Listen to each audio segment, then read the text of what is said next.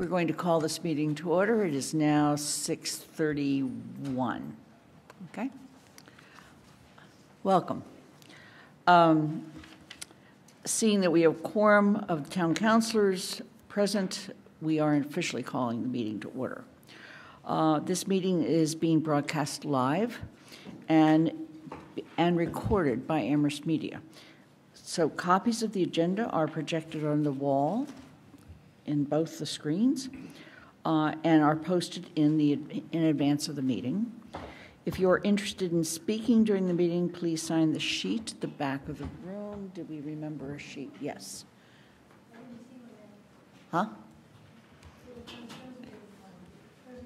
There's no sheet there. Okay. We'll put one there, not to worry. We like to collect your names because that way we know exactly what the name is. Um, We will not have public comment, however, until toward the end of the meeting. Um, So let me begin with announcements. Um, First of all, are there any councilors with announcements? Okay. Then uh, I have two. First of all, as many of you are aware, we have postponed our vote, our vote on the temporary Station Bridge Road Bridge until February 6th. At that, as, at that time, as required by the Charter, Section 5.6, Supplementary Budgets, Other Appropriations, we will hold a public forum called by the Town Council. Immediately following the public forum, the council will vote on two motions that have been recommended unanimously by the Town Council's Finance Committee at their meeting on January 22nd, 2019. Okay? Apologize for the delay, but we're also trying to meet by the letter of the law. Um,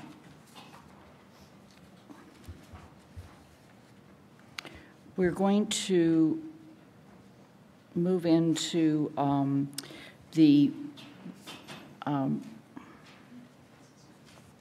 I just realized something didn't print. Okay, let me also mention. um,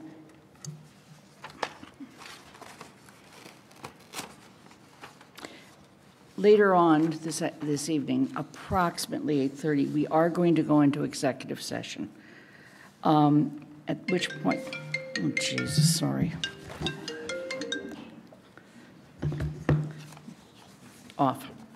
Everybody else? Checking? Thank you. Um, and we will convene in the small room in the back of this room. Uh, We anticipate that the executive session will will last no longer than 15 to 30 minutes, and we have, if not, if we have not completed our regular agenda at that time, don't laugh. We will convene immediately following the executive session back in this room. If we have by chance completed it, we will not reconvene following the executive session.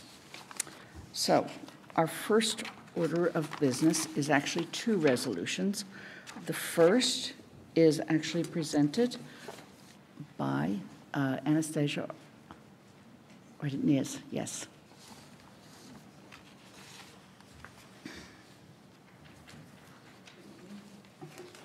Okay, I guess this one stays on.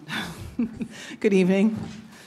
Um, Thank you all and to the town manager uh, for granting time for me to speak with you tonight about the Fund Our Future campaign and to ask that you support it by joining the dozens of communities around the Commonwealth that have already passed local resolutions, signed petitions, and shown their support in other ways for this important initiative. In your packets, you will have seen a copy of the resolution passed by the Amherst School Committee in December of 2018. This resolution was passed following years of advocacy by our school committee and our superintendent, Dr. Morris, and others, uh, to raise awareness among our state elected leaders about the negative impact that an outdated state foundation budget formula has on our schools.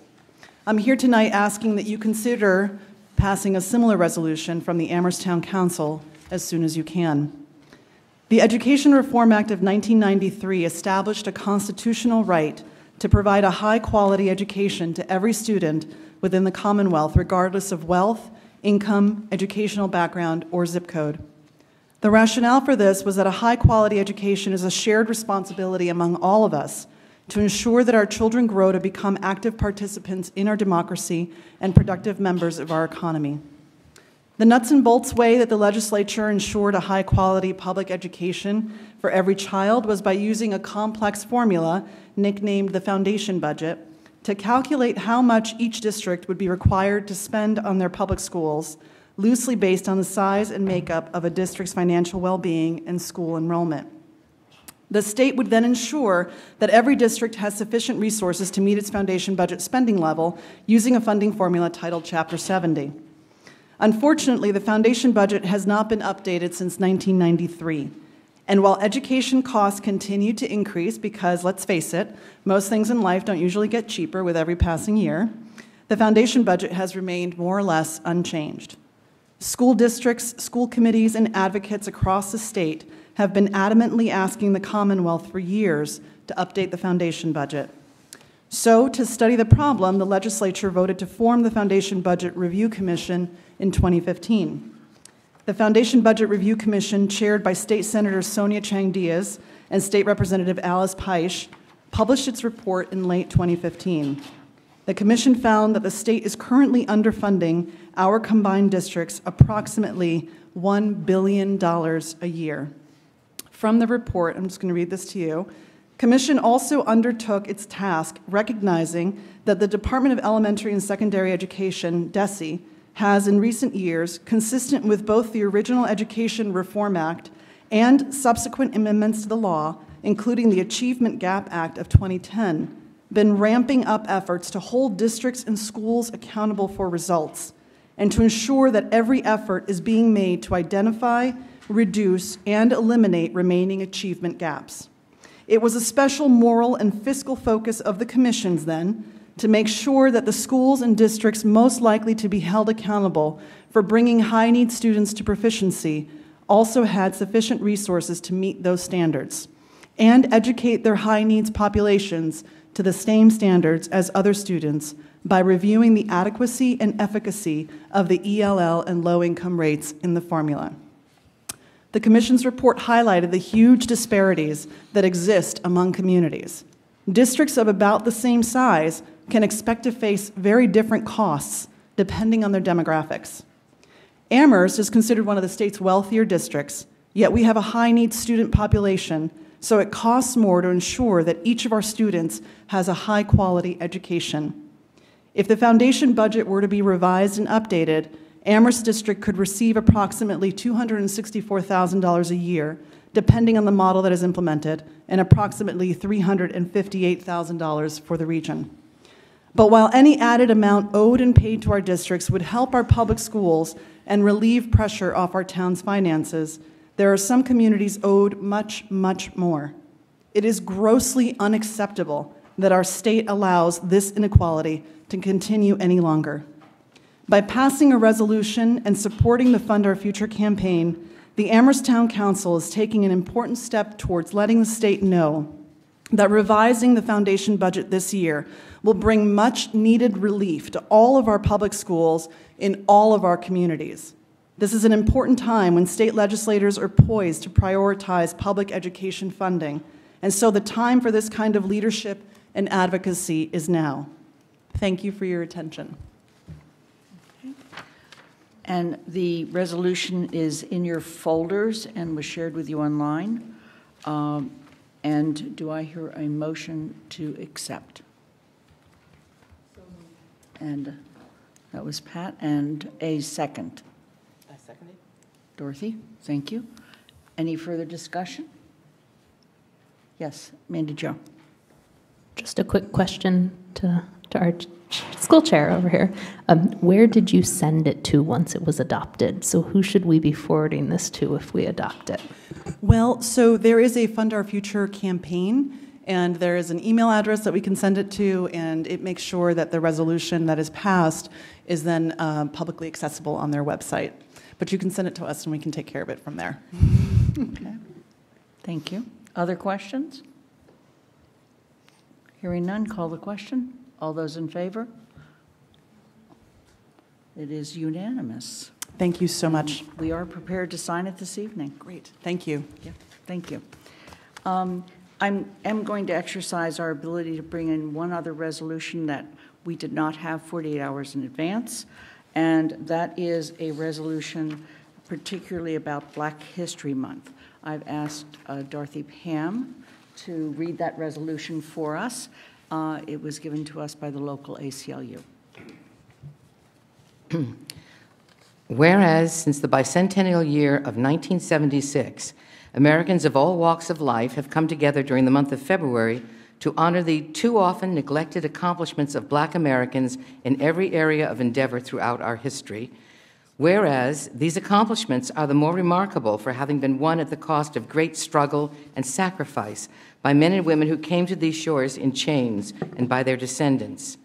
Whereas the authors of these accomplishments in Massachusetts history include Phillis Wheatley, the first African American to publish a book of poetry, Crispus Attucks, the first casualty in the of the American Revolution, Edward Jones of Amherst College, the second African American to earn a college degree, Edmonia Lewis, the first professional African American sculptor who learned her craft in Boston, the members of the 54th Massachusetts Volunteer Infantry, the first and most famous unit of African American Union soldiers raised in the Civil War, Jan Matzeliger, inventor who had revolutionized the shoe ma- manufacturing industry, W.E.B. Du Bois, pioneering scholar and civil rights activist, Edward Brooke, the first African American senator elected by popular vote, Deval Patrick, the second elected African American governor in the nation. Whereas captive Africans and free people of color were already part of the, of the Amherst story in the colonial era, whereas the first African American residents of Amherst have fought in our collective defense and freedom from the Revolution and Civil Wars to the present, whereas the African American community, some of whose distinguished figures are depicted on the history mural in West Cemetery, continues to contribute to the rich diversity and general welfare of both the town of Amherst and the Commonwealth. Whereas, to its shame, Massachusetts participated in the slave trade since 1638, but to its honor, in 1783 became the first state in the new nation to abolish slavery as inconsistent with our own conduct and the Constitution, thereby demonstrating our determination to live up to our historical ideals as we strive to build a better common future. Whereas, as former President Barack Obama proclaimed, every American can draw strength from the story of hard won progress, which not only defines the African American experience, but also lies at the heart of our nation as a whole. Now, therefore, we, the Town Council of the Town of Amherst, do hereby proclaim February 2019 as Black History Month and urge all residents to mark this occasion and to participate fittingly in its observance, beginning with a flag raising ceremony to be held in front of Town Hall on February 3rd, 2019. Voted on this 28th day of January 2019. Do I hear a motion to adopt this proclamation? Darcy, and a second? Which one? Anyway. Pat? Um, Any further discussion or questions? Yes, Alyssa? Thank you. And so the Select Board did this every year, and so I'm very pleased that it came back to us this year. The only question I had is, we sometimes have some confusion over what day of the week it is. It was typically the second Saturday. Is it really this coming Sunday? Are we certain of that, just to be sure? Because sometimes day-date things don't work the way we expect. We will check on that and change the date accordingly if necessary. Okay, yes. Thank you. There is an advertisement out for it that was put out by Kathleen Anderson and the Human Rights Commission, and it's Sunday, the 3rd. Okay. All right, but do you have the time on that? Uh yes, but not with me. I think it's 1 to 2, but don't hold me to that. I think it's, Um, I think it's could- 1:30, but we'll double check on it. Okay, It'll be thank you Early very afternoon. much. Okay. Um, Is there any other, are there any other further questions on this one? Yes. One of these days, I will learn to do this. Um, I, I feel very strongly uh, to support this uh, resolution, as we all do, but I really want to speak to some of the people here, uh, particularly from our schools, about the need for Black History Month to be 10 months long. To be, we should know um, our history, uh, we should know the values that this country was actually built on, and if we examine those values, we're going to have to take a pretty critical look at ourselves because we can set a date that we ended slavery, but we never really ended slavery in this country. Um, I won't go on about which amendments still allow slavery, um, but I really encourage our schools to be doing this all year long, and our community. Okay. Any other comment? Okay, hearing none, call the question. All those in favor? And it is unanimous. Thank you. Um, We do not have any scheduled hearings tonight, so we are going to proceed with our presentation. Uh, And we have a very important presentation by the Amherst Public Schools. Um, It's regarding their, the process of the application to the Massachusetts School Building Authority for a new elementary school. And we have both Mike Morris with us as superintendent of schools and Anastasia Ordonez as the Amherst School Committee Chair. Um, And they will be making the presentation. However, before, and, and there will be no public comment, but I do want to recognize one other person in the room, and that is Jean Fay, President of the Amherst Pelham Teachers Association. And draw to your attention the letter that is in your packet and all of the many, many signatures supporting that letter. Okay? So, um, with all of that, I'm going to turn it over to Mike and Anastasia.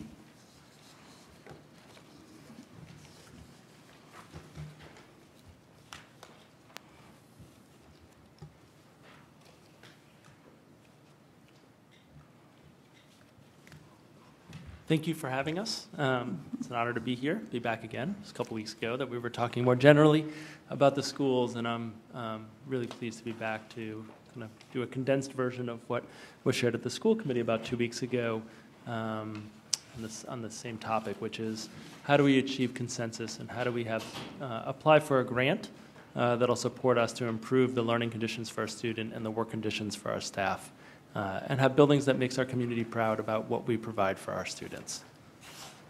So uh, I'm going to try to condense it for school committee. I think this was like 35 minutes. Um, so we're going to try to do about 15. So I apologize if the pacing feels quick, um, but there's, you know, in talking to the chair, there'll be plenty of time for discussion and questions afterwards. So kind of more generally, um, we have a significant need, which I'll talk about in a, in a moment, to replace or renovate two of our three Amherst elementary schools. Um, and for me, you know, I always think of problems as opportunities, um, and I think there really is an opportunity for our community to come together uh, and support this process. Certainly, there's a challenge. I'll get to a proposal, uh, and we'll talk about the process moving forward, which I know will be of high interest to the councilors tonight. So the problem. Um, so there are many problems. I'm going to summarize this in, in three sort of buckets. Um, so one is building conditions. So the MSBA, which is the Massachusetts School Building Authority, they estimate the lifespan of school buildings to be 50 years. And Wildwood's at 48. Uh, Fort River's not far behind. And you might say, well, homes in this community have lasted for hundreds of years. Homes generally don't have hundreds of students and staff walking through it 180 days a year. And so the wear and tear on our elementary schools has been significant, even separate from the other problems which we have. Um, our systems are starting to fail. So I was at Fort River on Thursday. I counted 18 leaks in the roof that day that it was raining, um, and our other schools also had similar problems. Um, you know, all these systems that are original to the building are really struggling, and it's having a significant impact on our ability to um, do what our task is, which is to educate the students of Amherst. We have significant safety challenges as well. For instance, the front entry is, you know, about 90 feet from where the main office is. You would never be able to build a school building uh, that way now. While we do have a video system that checks for who's coming in, anyone who gets in our building can have access to students well before they ever come close to the office. That's one example uh, of some of the safety challenges. Again, I'm, I'm happy to go on if there's questions about some of the others. And then certainly there's educational challenges. Both buildings were built uh, with an open classroom design, which means that you can hear uh, ambient noise from other class, not ambient noise, just noise from other classrooms, excuse me, um, because the walls don't go all the way up to the ceiling. They're not permanent walls. Uh, and there's incredible number of accessibility issues. You know, we recently, last week, had uh, a firm come in and do an accessibility audit on our district and all the schools. And at Wildwood, there are 33 areas of noncompliance with the Americans with Disabilities Act. At Fort River, there were 29 areas, and some of these have easier fixes than others. So we, we have significant issues in both buildings. Again, not, I'll I'll avoid belaboring the point because I think um, this has been discussed. I'm happy to answer questions about it, but I do feel like there's an urgent need to be doing something, uh, and I'll talk about that something in a second, to improve the conditions for our students and our staff.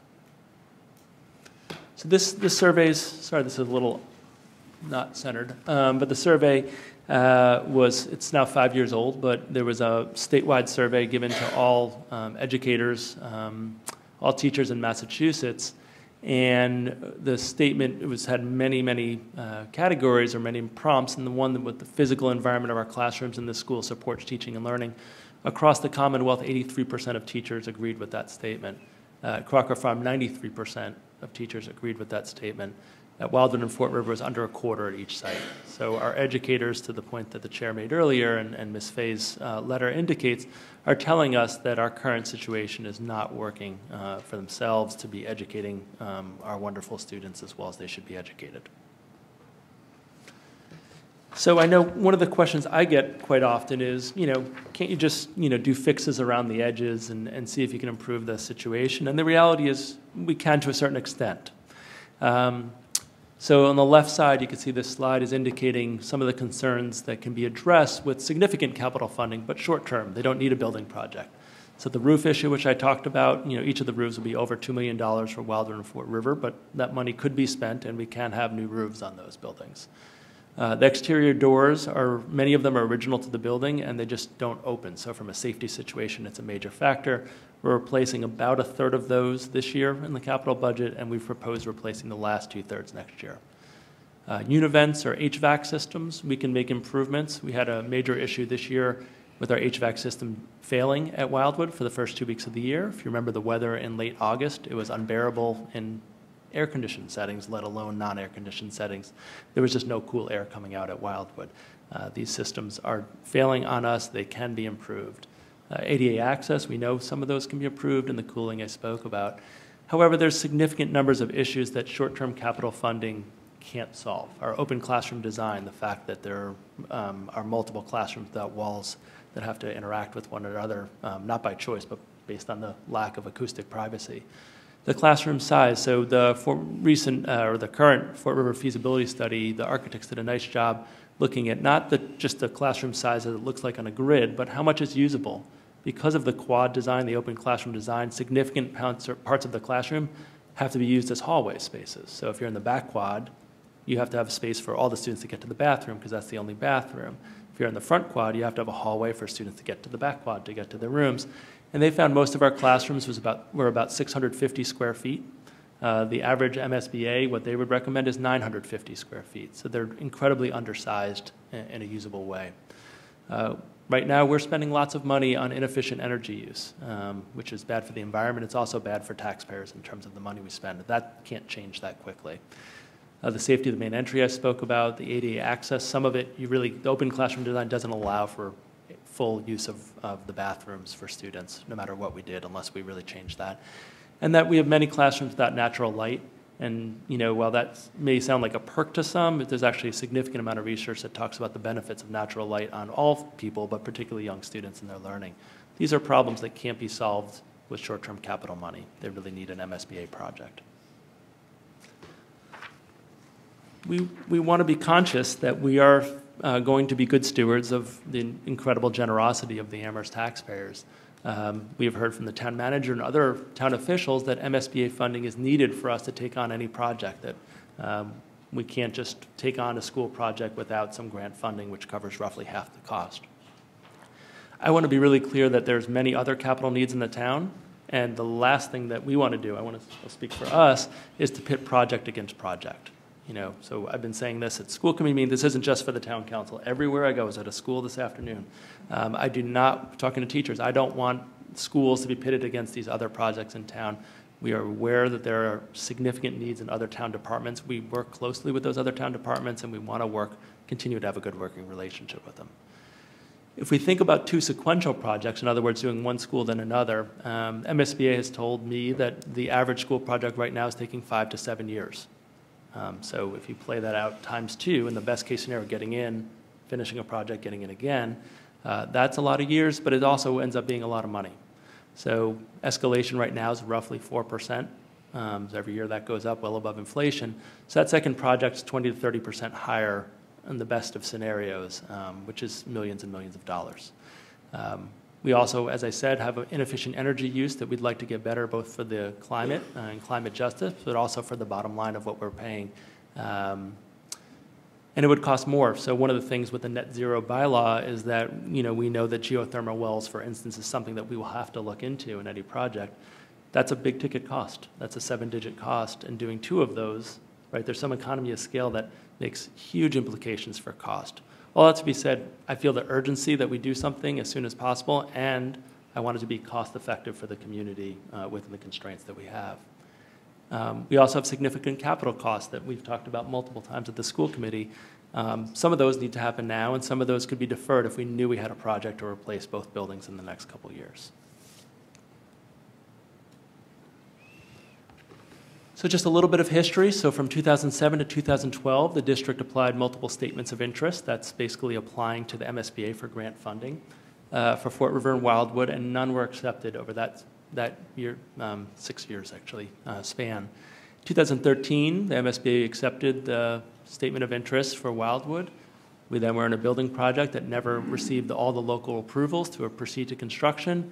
And last year, we applied for statements of interest for both Fort River and Wildwood. That was signed off on by the, both the school committee and then the, the select board, and neither statement of interest was accepted. So, um, being the concerned superintendent I am for why we weren't accepted, I've had multiple phone calls with the MSBA, and they've been very clear um, that for us, we need to have consensus. They need to have consensus from us, and they're asking us for a little more than they would usually ask for most communities in the statement of interest. Most statements of interest, and these are all online and publicly available, are very dry documents unless you're an engineer uh, or designer or something like that. What they're asking for us is to come together around at least a framework of how we might approach things, what we want, what we don't want as a community. They don't expect us nor want us to have all the details worked out. That's what the MSBA process is for. That's what the feasibility process is there for. But they don't want us coming in with no idea what we wanted. We've been in this as a community for many years now, and they want to know that the community has come together. And let me speak a little more closely about consensus. What they're looking for is either unanimous or darn near close unanimous votes of the school committee and the town council on a statement of interest that includes, includes more information than usual, as I was saying. It includes kind of roughly how many students are going to attend a school, and are we replacing both schools, or are replacing just one school? Um, I'll get into a little more detail on those specifics in a little bit, but the town council plays a very central role in showing consensus for the community. You're responsive to your constituents, so uh, as part of that, the MSBA wants to know that you're hearing support and then are feel comfortable voting, uh, given that support in the community, voting affirmatively to move forward the statement of interest. To put even a finer point on it, I said, well, what if we can't get there, right? And the response was, well, maybe you ought to wait till 2020, very bluntly. So MSBA is wonderful at being blunt and clear. Um, and so that was the feedback I got. Okay, sorry, I'm, I'm talking quickly because of time and not looking at Ms. Ordonez, which is a mistake. Um, so the opportunity for me. So right, the, the timeline is that we need to be accepted. Uh, we need to excuse, um, excuse me. We need to apply um, by April twelfth, 2019, and I'll get into timeline again at the end. So they, again, they need to be formally, statements of interest need to be formally voted by this body as well as the school committee and signed off on by the chair of the school committee, the superintendent, and the town manager. So this is what we shouldn't be talking about. Certainly the community can say whatever they like, but we shouldn't be talking about in terms of having decisions made, whether new construction or an addition renovation project is preferred. Right, people have lots of opinions on that. That's wonderful, and that would be part of the feasibility process a defined site that'd be the right one for the school. Again, that's required part of the process. Who the architect should be, or detailed building specifications, or a complete educational plan. Those are things that a group that would have a member of the town council, a, a building committee that would have a member of the town council, would have a chair of the school committee, uh, superintendent, staff members, community members on, on with an architect and owner project manager those are the decisions that that group would then be working on, solicit feedback from the community. The MSBA is not requiring us, nor would they want us to make decisions on those topics so soon, because they're really going to be informed by the work of a feasibility, a building committee. However, they are looking at us to have a vision of what we want um, and perhaps clearly what we don't want. So you can see that there's four points that I'm suggesting would be in a vision statement. The first being high quality learning environment for all students. No surprise there. Second is provides reasonably, reasonably maintainable buildings. What do I mean by that? Right now, we are adding staff um, to our buildings to take care, to either custodial or maintainers, to our schools, not because our square footage is so great, it's because our it's because our buildings actually require them. They are so difficult to maintain. It is, there's so many things that go wrong so frequently that our ability to do any proactive planning work is quite limited. And so our schools right now are an example of, of not maintainable buildings, even not even describing the challenges that teachers and students are facing, just the amount of money that we are putting into maintaining buildings uh, and the human side of that, it's significant. And we want to have systems that our staff can manage and work with. The third is a point that I've raised, shared in public multiple times, even before this proposal came out, which is, uh, I guess, a hope for commitment that our community would address both buildings before our current kindergarten students leave sixth grade. I think it's the quickest, reason, most reasonable timeline that we could have. I'd love it to be tomorrow. That's not a realistic scenario. Uh, but I think about waiting, uh, think about the young kids and what is our commitment to them. Uh, another way that someone in the community shared this with me is could we commit that our, our children born in 2019 never know what an open classroom is? Depends on how old your kids are, whether that's relevant or grandkids. Uh, but um, I think it, it addresses some of the same, same elements. And, you know, again, to restate a point earlier, we want to be fiscally responsible. None of this is going to be inexpensive. I'm not pretending that it is, it's going to be, um, it's going to be easy, but we, there's more expensive and less expensive ways to do this, and we want to be conscious that there are other competing demands in town. You all already are starting to hear them, I am sure.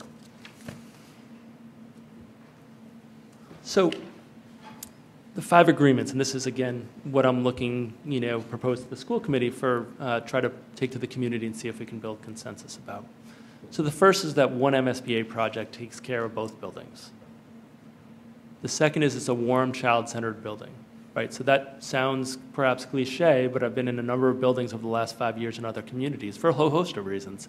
And some buildings you walk in and you could feel like I'm a child in here. I shared an example at the school committee meeting. I won't go into as much depth of the school in Connecticut I visited. And the first thing I felt like as I was eight feet tall because the building was so centered around the age and literally the size of young students. Um, was kind of like this huge tree, faux tree in the front when you walked in, and you forgot that you were inside the building with the light coming in. Uh, there was no, uh, it was all natural materials. There was no plastics in the hallways, and there was no Rembrandts or Van Goghs. It was all student artwork dotted all around the building. So um, I think this community really values that. They want that community feel. Our schools really don't have that now, frankly, um, and we'd want to make sure that we did that. The third point would be that approximately 600 students. I want to be clear, and I'll, this is a foreshadowing to the next slide, but uh, our current schools, if you combine Fort River and Wildwood right now, would be about 745 students. So this, this is going to involve some other shifts. But one of the pieces of feedback we've heard loud and clear from the community is that there's some concern that 600, 700, 750 students was too large, even if you made it into two co-located schools. So we're trying to be responsive to that feedback. I also want to say we've received feedback from many folks who say both schools have to be taken care of right now. So um, I know we we are engaging in this feedback soliciting process, but we've received many, many emails on this topic long before this PowerPoint was put together. Uh, the fourth point would be K5 to, or K6 schools. So that was a point of contention for many in the community around grade configuration. And I want to say publicly, it's not me espousing uh, a viewpoint that one is better than the other about the prior project.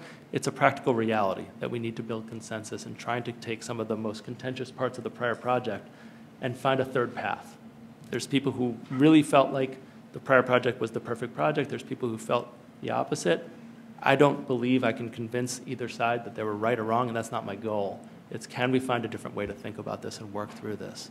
Um, this is a little more than the MSBA was asking for in terms of including all of these pieces, uh, but I feel like even if the MSBA isn't requiring it, we need to have it to build consensus here. So I'd like to go above and beyond a little what they were asking for, because I think our local, um, to build it consensus locally, we're going to have to. And the last one is that community surveys will be completed during the feasibility process prior to binding decisions. At that point, we'll have architects, we'll have owner project managers, we'll have a tremendous amount more information to, um, to both inform the community and gather their feedback uh, on exactly how we want to do this, both in the building design and also some things on the next slide. Let's see if this works. Why that's doing that. That's okay. Um, so um, to, to my prior point about building consensus, um, for, student, for 600 students is a familiar number to us. In the late 90s, both Wildwood and Fort River were both over 600 students. When I got to Fort River in 2001 and starting my career as a teacher, we were well over 550. Um, these are familiar numbers. We know this works well on the site. We know we can, we can do that. Um, I do, I am sensitive, and I've spoken before about, you know, 400 to 500 is kind of a nice size. There's some evidence about that in a school. The reality is we have a dual language program coming in that, by its definition, will have to be a subset program um, because the students stay within those two classes throughout. So we think about cohort size, which matters a tremendous amount to me. In other words, how many classes per grade level would there be? You know, there's roughly looking at three to four on the English side and then two on the dual language side in this model. That's three to four is what we have now at Wildwood. It's not a, it's not a change for our current model. Um, also, these models of schools roughly this size that have dual language programs in them are very familiar. I visited one in Harrisonburg, uh, Virginia. thing here shows it. Arlington, Virginia, Madison, Wisconsin, some of our partner districts in our Minority Student Achievement Network, their dual, dual language programs are, are strands within larger schools uh, in a similar size to here. So this is a familiar process, a familiar size, and uh, something that I feel like we can, uh, we can do very well. Um, how do you get to 600? So there's a number of different ways. We could think about moving sixth grade to the middle school. There's a study ongoing. Our first public meeting was last week on that topic. Build an addition at Crocker Farm. Look at the 7 through 12 consolidation. That's also being studied right now. Uh, one, and then hence one elementary school could move to the middle school. If regionalization with Pelham occurs, that could have some implications. All that's to say there's a number of ways we could get to 600 students. We're not going to figure those out by the time that statement of interest is, is submitted, nor should we. That should be part of this process, the feasibility process that kicks off if we get the grant. I also want to note that the social equity benefits that are so important to many in our community also can be, would have benefits in this model. Reducing to two enrollment zones would decrease the number of students with special needs who are currently bused outside their neighborhood school zone and also, we could look at East Hadley Road, which has a very um, divided enrollment um, zoning. Uh, if you look at our map, we have little islands of uh, students who attend multiple schools to achieve socioeconomic balance, and we could do that a lot better with two zones as opposed to three. So again, what, what, what we're bringing to the, what I'm bringing to the community is can we support one project, one building, taking care of both of our schools, approximately 600 students, K-5 or K-6, and how we'll ask for it. I'll, I'll do a little bit and then I'll turn to Ms. Ordonez, uh, who will add more. So we've already started listening sessions for staff. At the first one at Wildwood this afternoon. Uh, the other two schools will be this week. In the larger community, which Ms. Ordonez will talk about, there's an Amherst Media segment that's a condensed version, similar to the timing of this, I hope, 15 minutes. I can't watch the clock. But uh, the Amherst Media one's 15 minutes, and that's out on social media. Uh, we're looking for eventually feedback requested electronically to all to increase the access outreach to our parent guardian organizations, and my weekly update. But I'll turn to Ms. Ordonez to describe this in a little more detail. Thank you, Dr. Morris. So um, we had heard from our committee a couple of weeks ago when we had met uh, an interest in uh, bringing in a neutral facilitator to help us with our listening sessions, which you know seemed like a pretty good idea, given uh, a lot of the concerns in the community from you know having people who are party to either one side or the other in the previous project. And so we are currently um, in the process of signing a contract with a facilitator who has done this kind of work before with other communities, um, both around Massachusetts and Connecticut. Um, he is not from this community and is somebody who came with a lot of, um, you know, very good references for facilitating, but also for mediating, which we thought was a, an added bonus. And uh, really, the goal of these sessions so, Dr. Morris had outlined for the school committee uh, a total of nine sessions. So, three of them really would be for educator staff in the districts, uh, in the district, excuse me, and then six others for, you know, three for parents and caregivers and three for the community at large.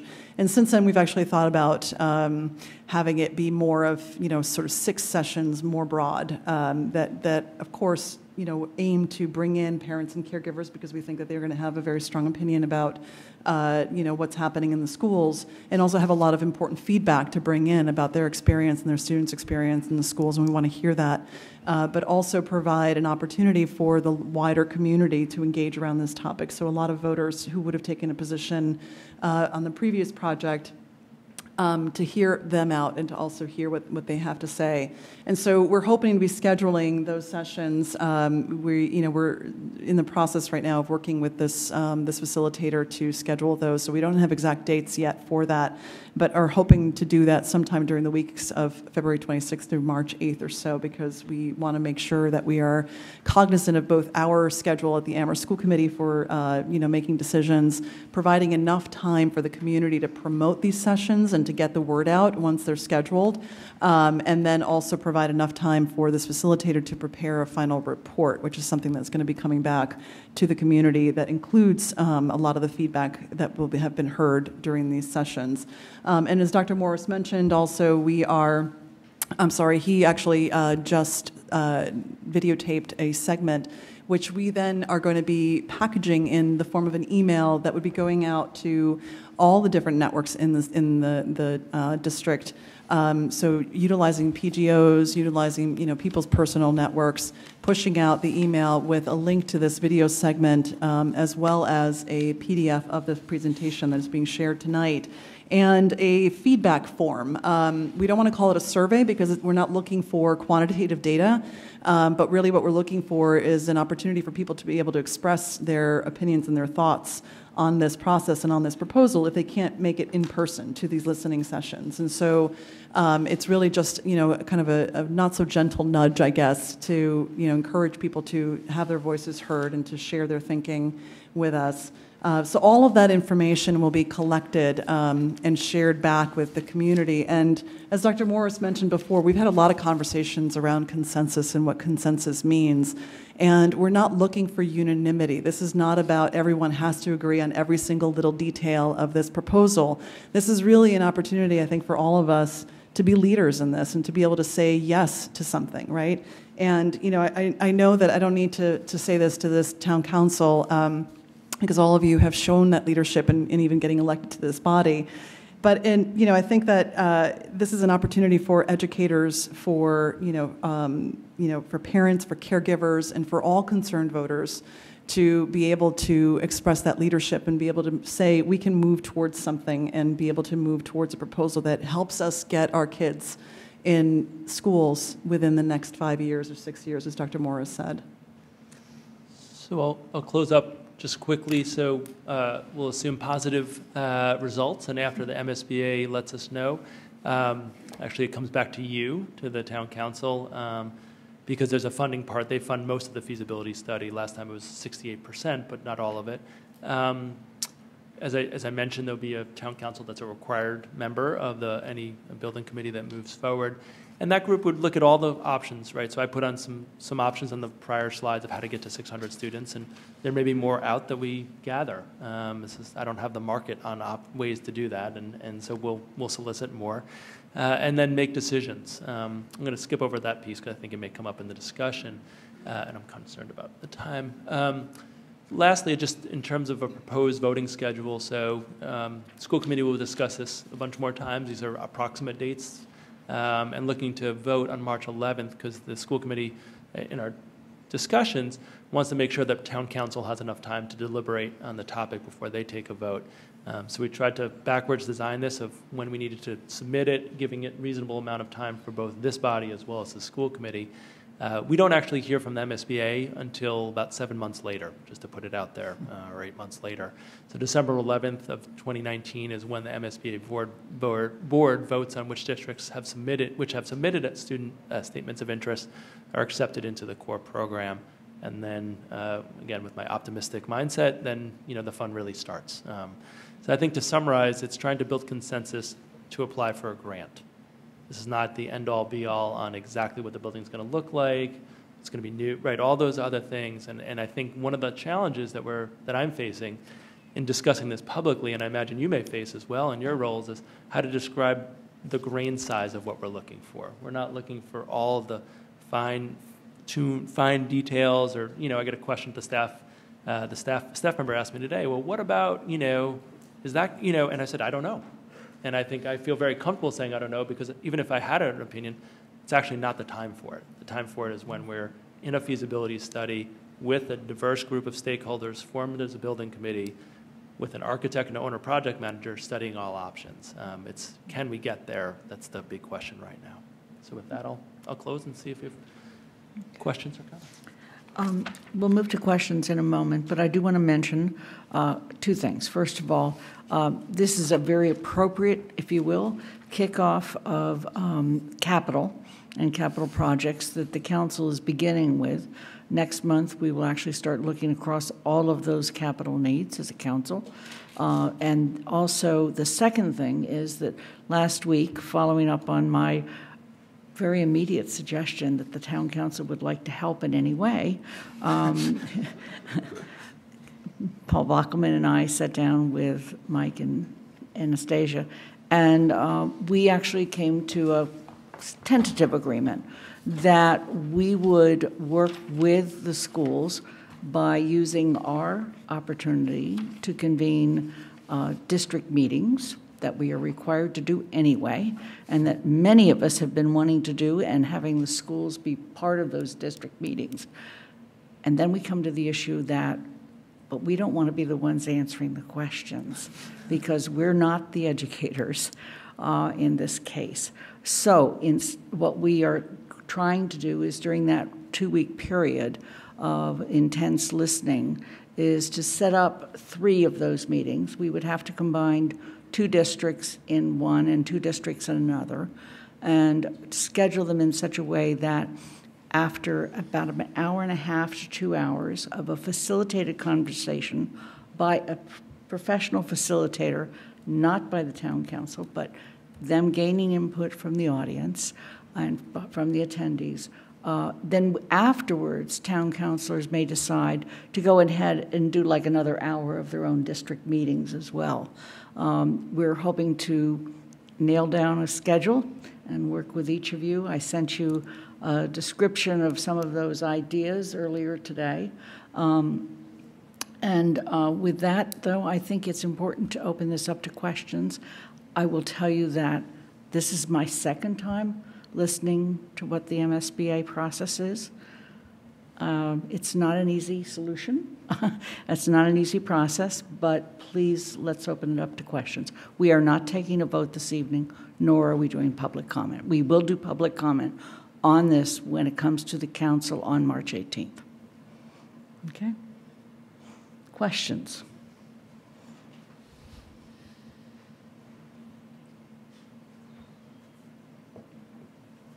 I'm sorry, Mandi Jo. Thank you so much for the presentation. Um, Those of us that attended the MMA meeting could not actually see your initial one because we were out of town. And so I really appreciate you taking the time to come here to give us a shortened version of it. Um, uh, The five agreements slide, I know right before that you made a point of saying the, the MSBA is not looking for things like um, educational plan and some of these other things. And I look at the five agreements and I see K5, K6, which was something I know that in the last process was was a discussion and a decision made per an educational plan decision. So I'd like you to speak more to um, not necessarily why that's on there, but how that doesn't contradict what the MSBA is looking for at this time. Yeah. So, um, and a kind of uh, as a, as a disclaimer, um, I've had multiple conversations with the MSBA, even you know what I put out publicly, because I'm conscious that they're a state agency and uh, they want to. If they're telling me things, I want to make sure that they're comfortable, so that when I say them in public, that they're happy that I'm saying them in public. And so I think in our particular situation, um, what I express to M- the MSBA and the representative I speak with frequently is that I do think without this in writing and a statement of interest, I think my belief is it'll be hard to gain consensus in the community. This is an issue that people feel really passionately about, um, you know, and one way or the other, right? It's not that there's only one side of this one, there certainly is not. And so when I expressed this to the MSBA, their understanding, having worked with us prior, that we may provide more information than they're requesting. Um, you know, there's also relatively small scale implications architecturally, whereas some of the things on the earlier slide, like new construction versus ad reno, not to pick on that one, but there's like, right, that's a, that's a construction decision. That's a that's a little different than a, a much, what's more clearly an educational decision. So uh, they also appreciated the fact that it's not saying one or the other, right? That there's actually still some flex in this for the community to talk about. So it's we're making kind of one of two decisions, but it's it's narrowing the scope of the grade span. It's not actually saying it's exactly K to six, and so they were comfortable with that. Pat, your mic. With the change uh, to K-5, would there be more opportunity for preschools, preschool students in both of the schools?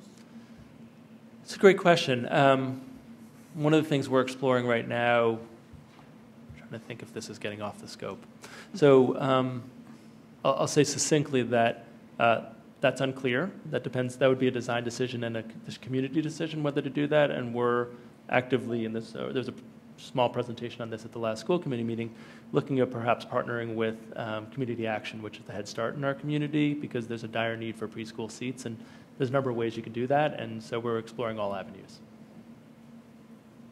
Kathy. Um, I want to follow up on Mandi's question about the K5 through K6. Um, as I was canvassing, one of the issues was, are we going to keep the grades together? And people, a few people have looked at this slide as saying, is that firm? Is that no matter what? You know, whether it's K5 or whether K6. So that's a question. Um, then the second question, and you answered it on the next slide on how will you get to 600? Um, there were a lot of questions um, on and positive and negative reactions on the idea of sixth grade moving. Um, so that seems to be a an issue that people are going to care about for me as a representative to know, you know, which direction are we going, even if it's not firm. And the seventh and eighth moving up and having a whole building available. Um, so I'm, I'm, asking probably three questions in yep. one. Are there costs involved in that? Can you just move seventh and eighth into the high school and then suddenly there's a whole building available? So the first is is the K through 5, K 6, a solid, yes, we're going to do that. Whether it's 5 or 6, we're going to do that. And then are you leaning in a particular direction on how to get to the 600? And if so, which? The 7 8, is that feasible or should that be taken off? Sure. So on the case, okay I don't know if you were. So on the, I would imagine that these agreements as written, you know, or at least my proposal would be that these are actually in the statement of interest. So not like I pledge them, but I'm not going to write them down. You know, the district's responsibility is to produce the the statement of interest. The, the elected officials is to approve or not approve it. And so these, this is what I'm suggesting we would actually have written down, committed in the statement of interest. That's the first question. The second question, in terms of leaning, um, I have thoughts on that, but actually, what I'll say is that my thoughts aren't. I'm aware that of my role. Um, but I think, like all of these things, we would need more information. You know, so uh, I, uh, I think it's worth saying that we should explore all of those. I think all are, you know, viable, and then that's the piece that I feel like when we're in the feasibility process, really hearing from the community about which is the best path forward. You know, in terms of the ways to get to 600. To the last question, in terms of seven through eight to the high school, um, we actually so that project just started that was funded by the regional school district, and our, we had our first public meeting on last Thursday, and would need to build an addition at the high school to make that work. Um, whereas for sixth grade to go to the middle school, our initial scheme, this is not a finished product, um, showed some potential to not need building an addition to make that work. Um, just the difference between sending 150 students to one school versus over 400 to another school you know, it really taxes the available space at the high school. Those aren't finished, but those are the initial drafts, and those are public documents, so I feel like I'd share that. And, you know, we'll be, um, any other additional questions people have, um, I'm happy to share kind of what's now public documents that have been shared about, you know, some initial sketches on that. Andy? Yes, um, Dr. Morris, could you tell us, to say just a little bit about how the Fort River feasibility um, work fits into the large, this project that we're discussing tonight? Sure. So uh, it's not complete, but close to complete. So I think there's a number of things that we've gotten uh, as takeaways from the Fort River feasibility project. One is we know tremendously more about the site of Fort River. Um, we knew a lot about the site of Wildwood because of the prior project. And so that's been useful, and incredibly useful information. And if we do move forward, uh, some of that initial work to understand the site at both, you know, both locations, that work is completed and we'll have a better sense of that. The second part, second thing I think we've gotten is that as we've explored the net zero, this has been sort of the trial run of what net zero would look like in a school building. And so we have uh, lots of discussion and, and um, information about what that looks like, what the cost would be, and different ways to achieve a net zero, the net zero bylaw that um, town meeting uh, passed last year. So um, there's other outcomes I could talk about, but in terms of major implications on a future project, those are two that, that I feel like are critically important. And if I can just add, um, regarding the Fort River feasibility study, uh, so, you know, as you know, uh, town meeting had approved a feasibility study a couple of years ago to, as Dr. Morris mentioned, uh, get more information about the Fort River site because the previous project only dealt with the Wildwood site. And so there was a lot of, um, you know, questions and uh, really, you know, I think just people wondering sort of what could be feasible uh, on the Fort River site. Uh, there was some conjecture that had made its way around because we didn't have that information. So this was an opportunity for us to learn more about that site and be able to understand, you know, if we were to proceed with a project, and that's a big if because there was no project actually currently in the works. Um, if we were to proceed with a project, that would actually then um, provide at least basic information about the, you know, the, the, the land itself, um, the building itself, a lot, just to answer a lot of open questions that we had from previous. But it's beyond that. Um, it's not directly tied to this proposal in any way. And I think that there's been some confusion in the community about that. Yes, Dorothy. In uh, the proposed 600-student uh, school, if there's 20 students per class, is that the idea? That's 30 classes, which if it's a K through five, that's six grades. Um, so that would be five classes per grade. And I was not too sure how the dual language worked in that. Sure. So the dual language piece would, would cover two of those five classes per sec, two sections per grade level, and that would leave three sections to be um, sections that are taught exclusively in English. Shalini? So one, uh, one of the concerns I heard during the campaign was uh, people complaining that uh, they did not hear about the meetings and so forth. Is there something we can do differently this time to ensure that everyone, um, you know, who is interested and affected can participate? And one of the suggestions that has recently come up in our district meetings was to have focus groups in the different communities where people are, rather than expecting everyone to show up at our district meetings, but to organize uh, meetings where people are. I can start if you. Sure. So um, I think that's a great suggestion. We've done that before. We've been, gone to the different, um, particularly communities where transportation is more of a challenge. Um, and I think there's some success there. I think you know not every place has a, a central location, so if it rains, that can be problematic. Um, not every, um, yeah, I think I'll leave it at that. But I think it's a good suggestion. I, I, do think some advantages we have right now is there's a lot of community interest on this, um, and I don't. I, I, think people are paying close attention, uh, both in terms of press coverage, social media, and otherwise. And I think the more that councilors and school committee members, I don't want to task people, but the more that you can be sharing some of these pieces with your networks. We now have a nice system, I think, in my opinion, of uh, a nice network now of people who can share with their constituents, get feedback, and that's really when we think about what the chair stated before about you know making them district meetings. To, to weave this into existing infrastructure, or emerging infrastructure, I should say, uh, about how do we communicate with the constituents of Amherst, um, and I think that has um, high potential to have more people part of the process earlier on. Uh, We certainly, both the school committee and this, the district, have been sharing this widely, um, whether it's superintendent newsletter, our social media accounts, um, and we've already gotten lots and lots of feedback from uh, a great number of people, and it's still not enough, right? We're not getting to everyone, and so that's our effort is how do we, how do we expand that circle? And we'll need a lot of support from, from elected officials like yourselves to assist us in that. And just to add to that, I think, um, you know, my, my earlier comment about the email that we want to blast out and, you know, and combine that with the video segment and the, the feedback form um, is an opportunity to reach several thousand people here in town simultaneously. So I think that combined with earned media, you know, press, um, and you know, social media, as Dr. Morris mentioned, and all of our circles, uh, both town council and school committee, I think we can, you know, pretty uh, easily reach most folks who can be reached around something like this. Probably not everyone, but you know, uh, a large percentage. Darcy? I just wondered if um, it it would be possible to send a mailer to every household. Um, That way you would be able to reach everyone. It feels a little bit like the process that's set up is, if we're just relying on people's networks, it's not, you know, it would be nice to be able to say that we contacted everyone. The thing that I have to think about, and I'm hesitant to say because I'd have to check, is whether we can use public funds because there's a potential vote based on it um, as a district. So that's something I can absolutely look into.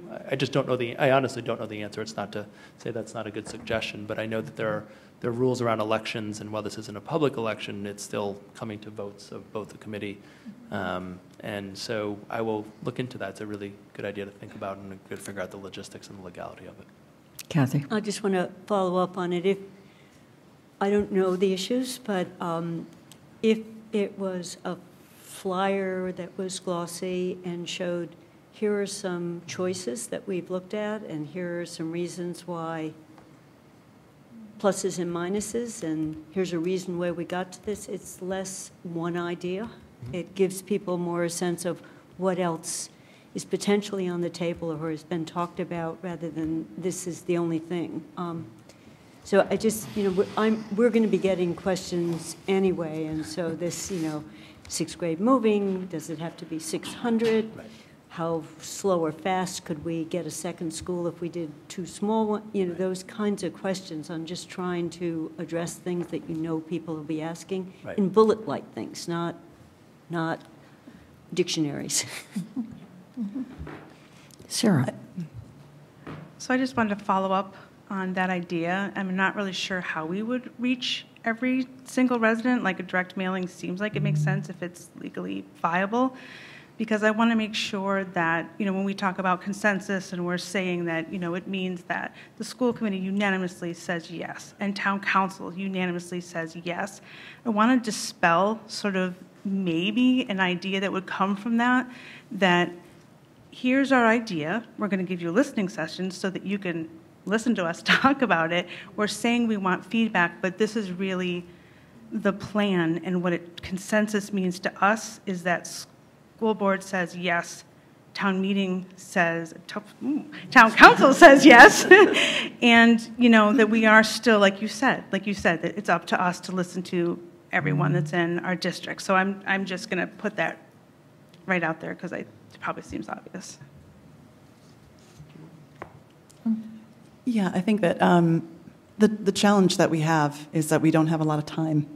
And so we are trying to find, uh, again, this is a consensus for an application, you know, not for an actual final project, right? There's still, even if, if the MSBA were to accept this application in December, there would still be a very long process involved to actually come up with a project that would involve, by necessity, the community's input and feedback over the course of a couple of years.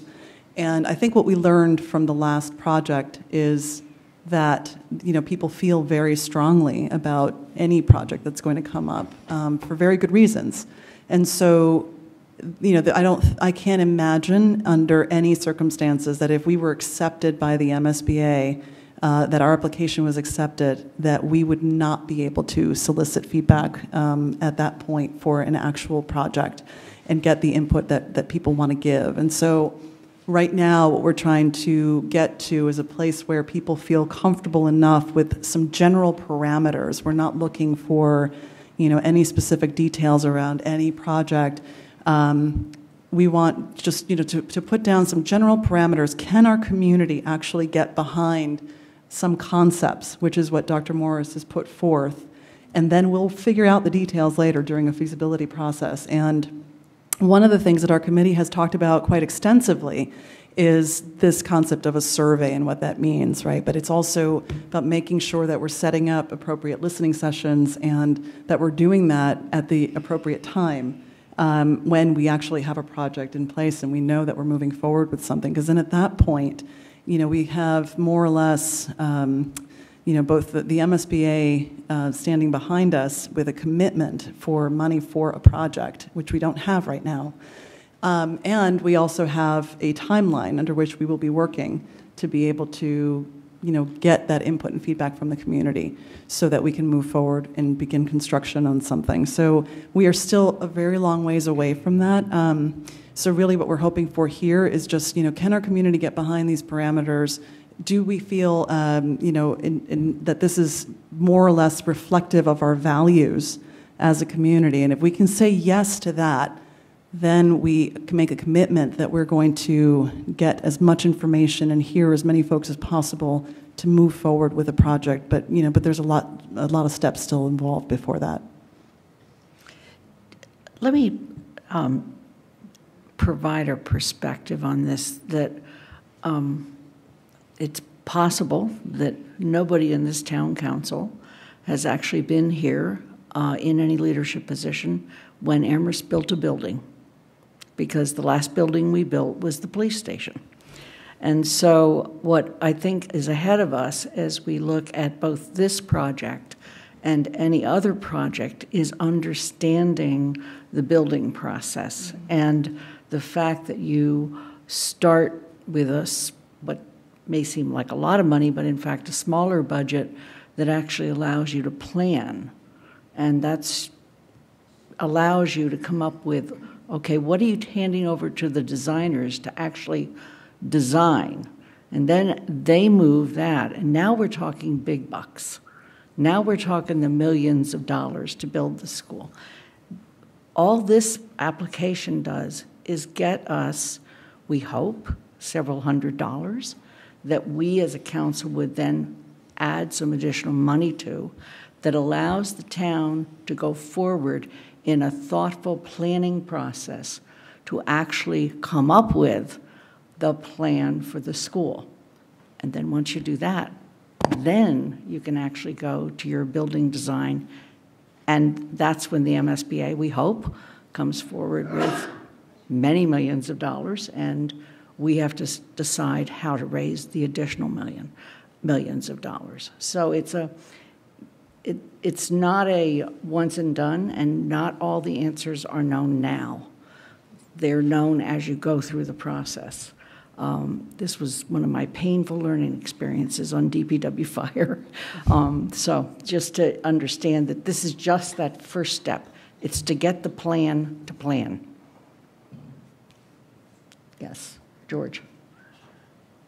I just want to be very clear, and I'm perhaps speaking more to my colleagues than than to anyone else. But my understanding is that we're being basically at these listening sessions and these mm-hmm. gatherings that we would be involved in, we're being asked to um, basically support these five principles.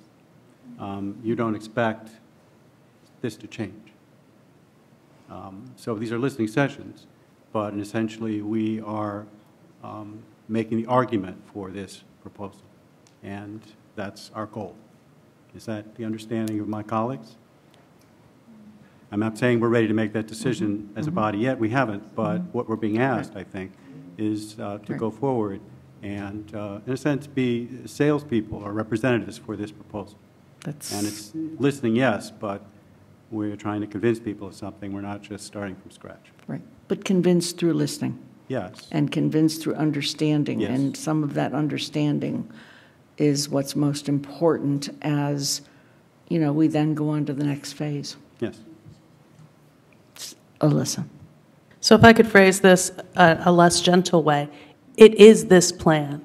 There is not going to be a color flyer that says, well, if we did two schools separately, it would work like this. That, that's not on the table. That's not going to get a majority. That's not going to get a consensus. What's on the table is, and I appreciate what's been said about, you know, we're going out on a listening session, but are you really listening? I mean, you got one plan. I, I don't see three plans here. I got one plan. Blah, blah, blah. What does it matter what I said? But it does from the standpoint that is this going to be workable? There are sacrifices no matter what we choose to do.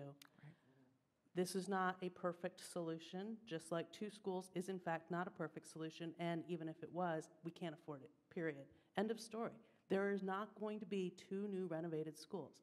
If there are people on this body who disagree with that, who believe that there can be two new buildings, I'm sorry, you're wrong. We don't have that money. We will never have that money. So the choice that you're making, if you say this isn't something I can get behind, is piecemeal renovation to limp along until magic falls out of the sky. Because literally, this is the choice we are facing. And so I, I appreciate that we do need to figure out, though, how to talk about this effectively, because we are not trying to sell people on something. We're trying to say, we understand this plan may have some shortcomings, that you're, you have concerns. We have concerns. I'm a little edgy about those 138 students that we're just hoping happen to move away at some convenient time, so we don't have to deal with that. Um, especially given the sizes we have had at Fort River and Wildwood during times when Amherst schools were incredibly well thought of. Talked to older town meeting members, their kids had a fabulous experience in the schools, much larger schools, much larger classes, many more choices than we've been able to offer for a long time now. So things were really good back then, particularly when the new building was newer, but still difficult to work around. So I, I think we just, I mean, maybe we need to discuss this more as a group before we go out and start having these conversations, because if there are people here who say, well, you know, I really have a lot of constituents who want there to be two buildings, and so I, I can't support this, then we need to, we can't go in with mixed messages. Let me also add to that, that as we move into next month and we look at the total set of capital projects and some of the projections, and even the Finance Committee started looking at old projections, uh, the reality hits the road real fast in terms of both what can we as a town afford and what can we expect our taxpayers to bear. So, it's, thank you. Could I? Yes. Is it possible to, um, so I just wanted to say that um, if it's any consolation, I guess, to, to this body, we have been getting a tremendous number of emails and uh, messages that have been sent to us from all sides of this, the previous project, including from leaders on, on all sides. And um, I think that the, at least the early responses to this proposal have actually been quite positive, which has made all of us, I think, I can probably say that, uh, optimistic on our school committee because we weren't, uh, quite frankly, that optimistic before. We weren't sure if we could get to a point of consensus. And so I think what Dr. Morris has proposed uh, sounds, you know, somewhat doable for, for folks. And again, I don't, we're not going to work on all the details that's not our calling now with this application. But the fact that we have a lot of folks, you know, from various positions around the previous project saying to us, this feels like something that we can actually endorse and get behind, is uh, makes me feel good. Cathy. Um, I, I just uh, want to uh, take off a little bit on what you just said, Alisa. You know, if it is a fact, and we have cost estimates that say one, with a full costing, because one big school is going to have some traffic reconfiguration. If we had to add to Crocker, if we moved some kids to Crocker and had to build, it would have some cost. So an honest best guess or, or ballpark versus one and then another, where one and then another of small schools would be a lot more expensive. I think we can't just assert that is a lot more expensive. It would just be good to have a fact sheet on it, that, that people could look at it and say, let's look at these two just as a behind, because it's, otherwise people are going to say, are you sure? You know, have you really looked at the larger set of costs with a full, you know, you know the timeline is longer. So I think it's just a helpful thing, rather than asserting that, that we can't afford two, we can't afford one, letting people see it. Yes. So, so I'll, I'll share my cognitive dissonance with, with that thought um, respectfully, is that anytime you put a cost estimate out, that assumes certain decisions have been made. And our community is savvy enough to know, for instance, the Fort River feasibility study, right, which is looking at, there's a, there's a, an enormous range between five or six different options that are presented right now. Multiple, like, top of my head, I think it's like $12 million, you know, ranging from like 60 to 40, right? And so the numbers are huge, and so that's the concern is that you put out numbers. A, people remember it. You said this was only going to cost X, and we decided we want to make it net zero, the most net zero building possible, and the community says we agree with that, and there's a cost to it. So, so that's my caution. I think the things we know are that buildings, short of like a Great Depression, buildings will get more expensive, right? There's a long, I mean, all these are things that if shoot me an email, I'm happy to respond to. The MSBA has a graph, really nice on their website, of cost escalation over time since the beginning of the MSBA, right? So it's not like my word or you know Mr. Donaz's word. You can actually see how projects get more expensive over time. You can see that that's actually the escalation has escalated over the last two years, and and it's not. You could look; they have actually like little icons uh, where you can click on the project and find out more information. So every project in the MSBA queue, over time, you can see how it gets more expensive. And we can send a link to. Yeah, we could send a link. I'm in trying to capture all the things. Um, so I think that's the challenge of, of quantifying it is then I'm making decisions that are a building committee's decision. And I feel really uncomfortable doing that because once I put a number out, I've made, I'm like, oh, well, someone's going to say, well, that's an ad reno. And I'm like, mm.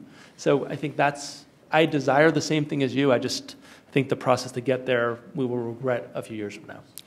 The other piece that is often not considered when people start talking about one building versus two is the operational costs, Yeah. which is every year, every budget. And that's people and costs of building. So I hope we keep that in mind too as we have this conversation. Further comments, questions?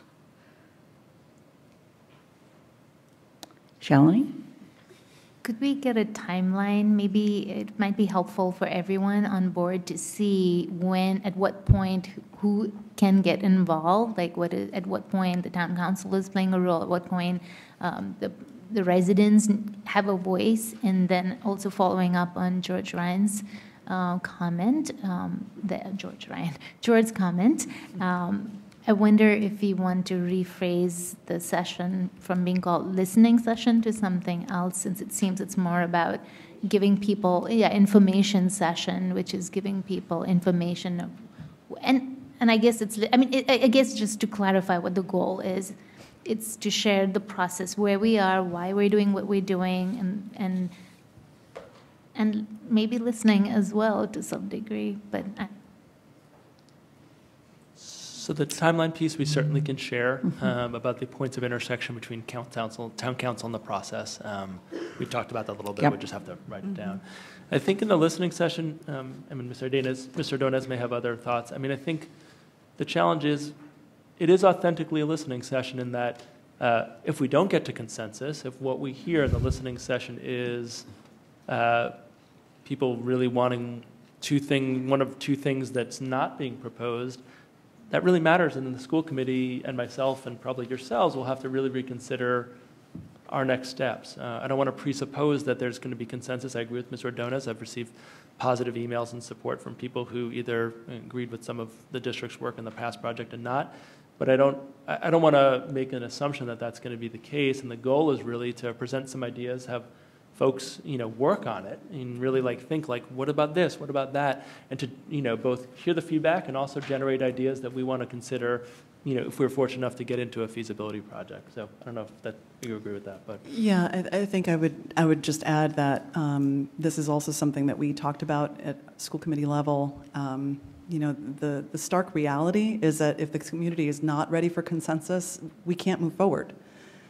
You know, the state agency has been very clear with us that uh, we must be able to show that we're ready to move forward with at least, again, those parameters or some sort of general guidelines. So if the community is saying, we're not ready because we're all over the place, then we're sort of dead in the water at that point. So that's what we're hoping we can avoid. And that's why we want to listen. We want to hear what people have to say. If there really is that kind of contention still at this point, um, we need to understand why that is and try to figure out how we can move forward in, in all of this. But what none of us really want is a repeat of where we were before. I don't think any, and we can't afford it. Our community absolutely cannot afford it. Our kids and the educators and staff in those buildings every single day cannot afford to be put into that position year in and year out. And as Dr. Morris said, these buildings are not getting any younger. They are just continuing to show the signs of wear and tear. And this is not an overstatement. I mean, for anyone who's been in those buildings for the past couple of decades, you understand how bad these buildings are getting, and they're not going to get any better. And so we cannot afford to go through the same level of divisiveness and contention that we had before. We actually do need to come together as a community and at least embrace the opportunity that we have here to move forward with an application. And I hope we can get there. Dorothy? Dorothy? Um, I just wanted to say I appreciate the way that you're going about this, and I have a positive feeling that we may have a way forward. So thank you. Thank you. Thank you. Other, yes, Andy? Yeah, I just uh, want to conclude with your, going back to your very last slide in your deck. Um, The uh, goal that we need right now is to get consensus between the school committee and this council about submitting a proposal this year, a, a statement of interest to the MSBA. And the end date for that of the date it must be submitted, April 12th, is a known commodity. So as we're talking about all these processes, we have to remember that it all has to fit within the schedule that's here.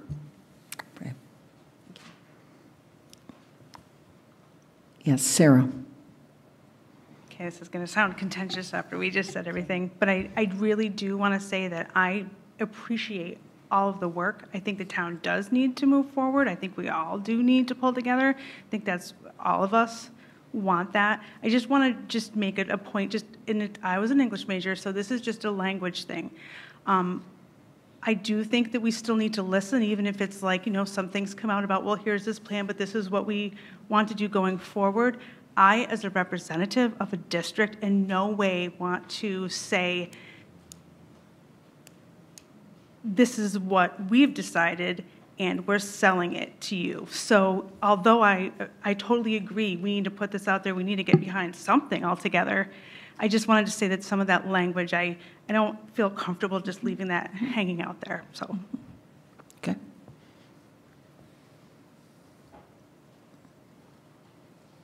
Other questions? Yes, Pat? Um, I think the facilitator is going to be really needed, and I'm delighted that you've thought of it. I think it's a wonderful idea. Okay. Oh, yeah. Yes, Alisa? I wonder if, in preparation for those plans, one of the many, many things that you will no doubt be producing is really something I have been feeling unable to answer enthusiastically about what we learned from Fort River. And I did hear all the words that were spoken, but it was a lot of money. Mm-hmm. And people need to feel comfortable that that money was spent wisely. We will continue to spend money wisely, but what that actually got us, because a lot of what's been out there in the community has not been particularly easy to digest for the people who aren't part of the everyday and haven't been attending those meetings. Thank you. Thank you. Okay. Other comments? Oh, okay. Thank you very much. Thank you. Both of you. I know this is just the beginning of this discussion, but it's been a very informative beginning. Thank you. Thank you for your partnership. Yeah. absolutely. So we're going to take a five-minute bathroom break.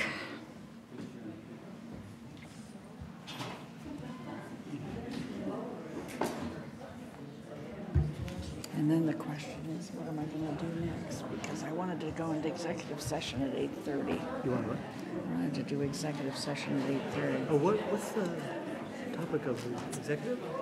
Or, oh, the Hickory Ridge? Or no? Just an update, there's no vote. Okay.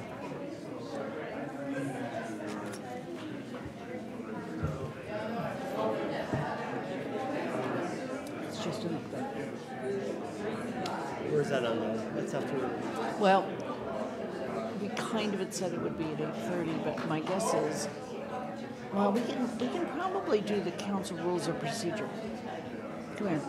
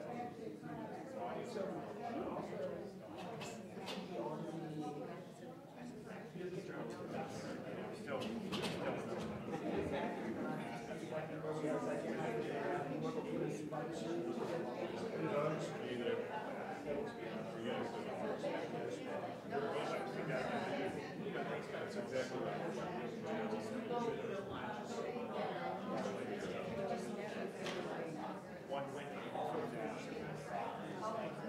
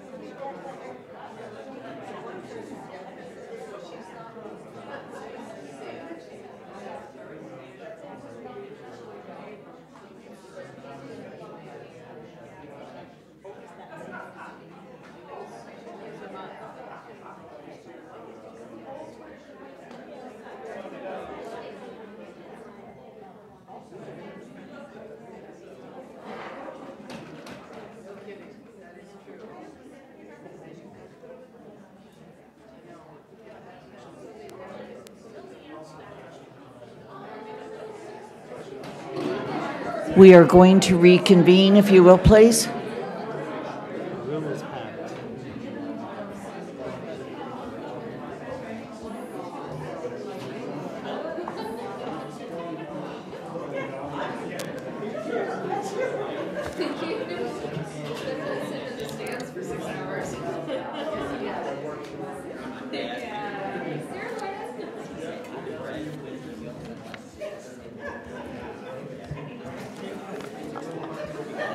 We are going to actually begin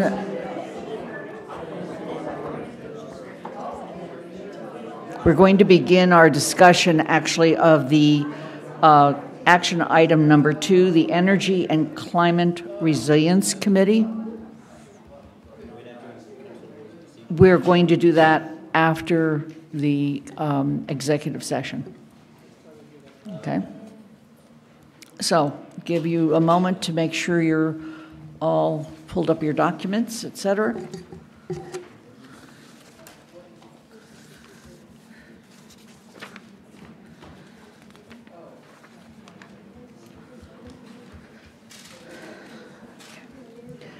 All right.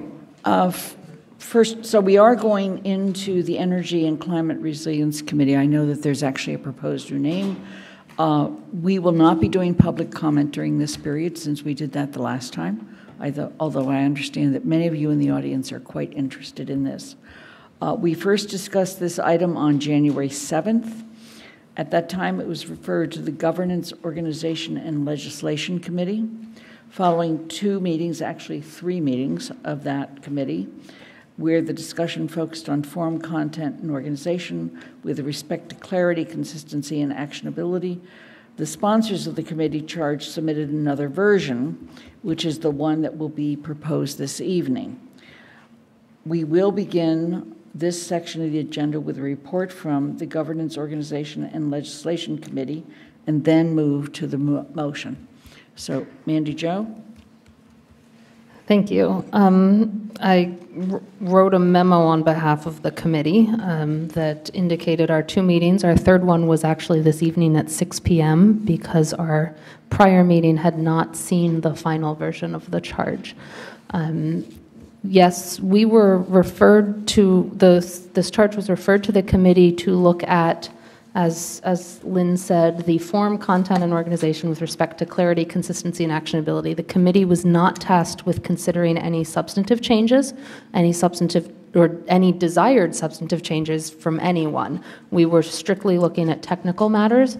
So you will notice and, and as I speak tonight, that a recommendation here is not a recommendation on any substantive matters in the charge. Um, it is simply a recommendation on the technical matters of it. it. It is one of the reasons the committee itself is not making the motion tonight because we were not tasked with substantive matters.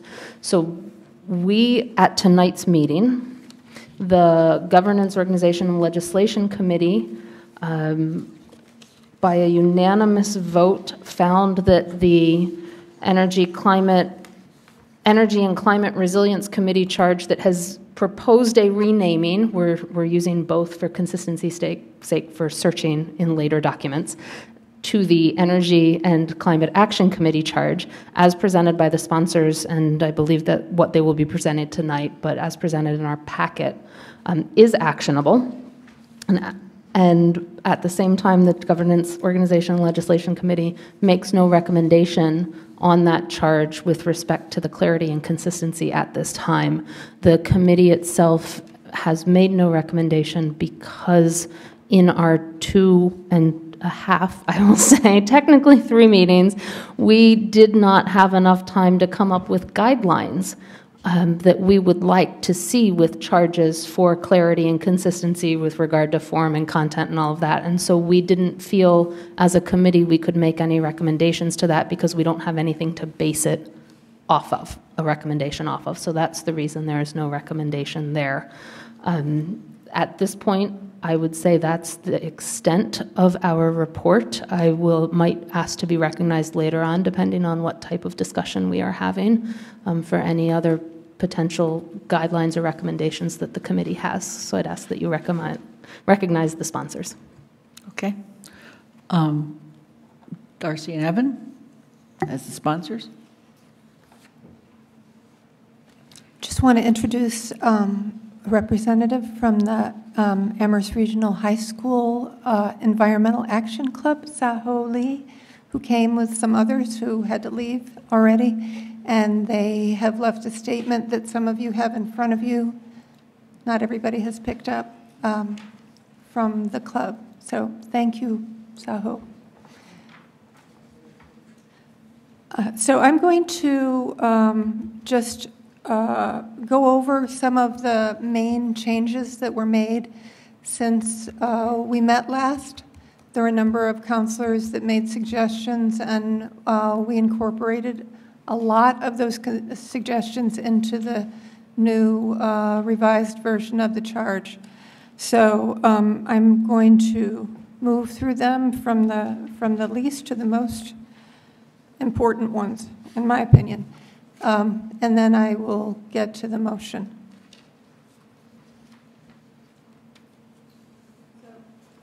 We're going to be talking about five main changes.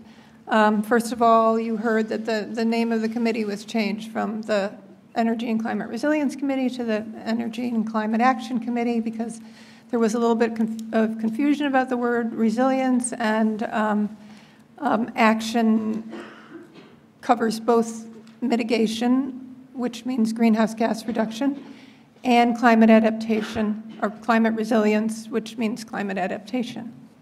Um, uh, Secondly, um, we eliminated the institutional sector from the list of um, town sectors covered by the committee charge.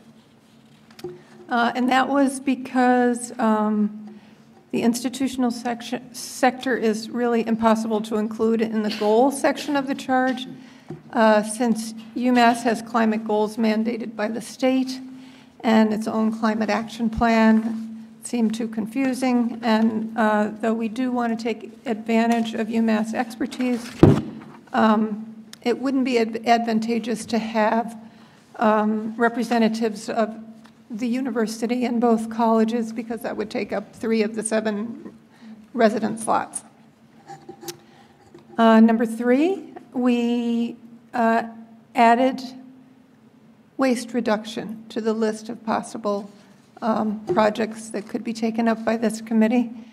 Um, It's a natural topic to include, um, though it does contribute very little to the town's greenhouse gas emissions if you don't count the contribution of consumption in general. Um, Number four, uh, the, deals with the composition, the composition of the committee. Uh, Diversity is encouraged in the new committee charge, um, as suggested by councilors at the last meeting. Um, Though you may note that the charter already does that.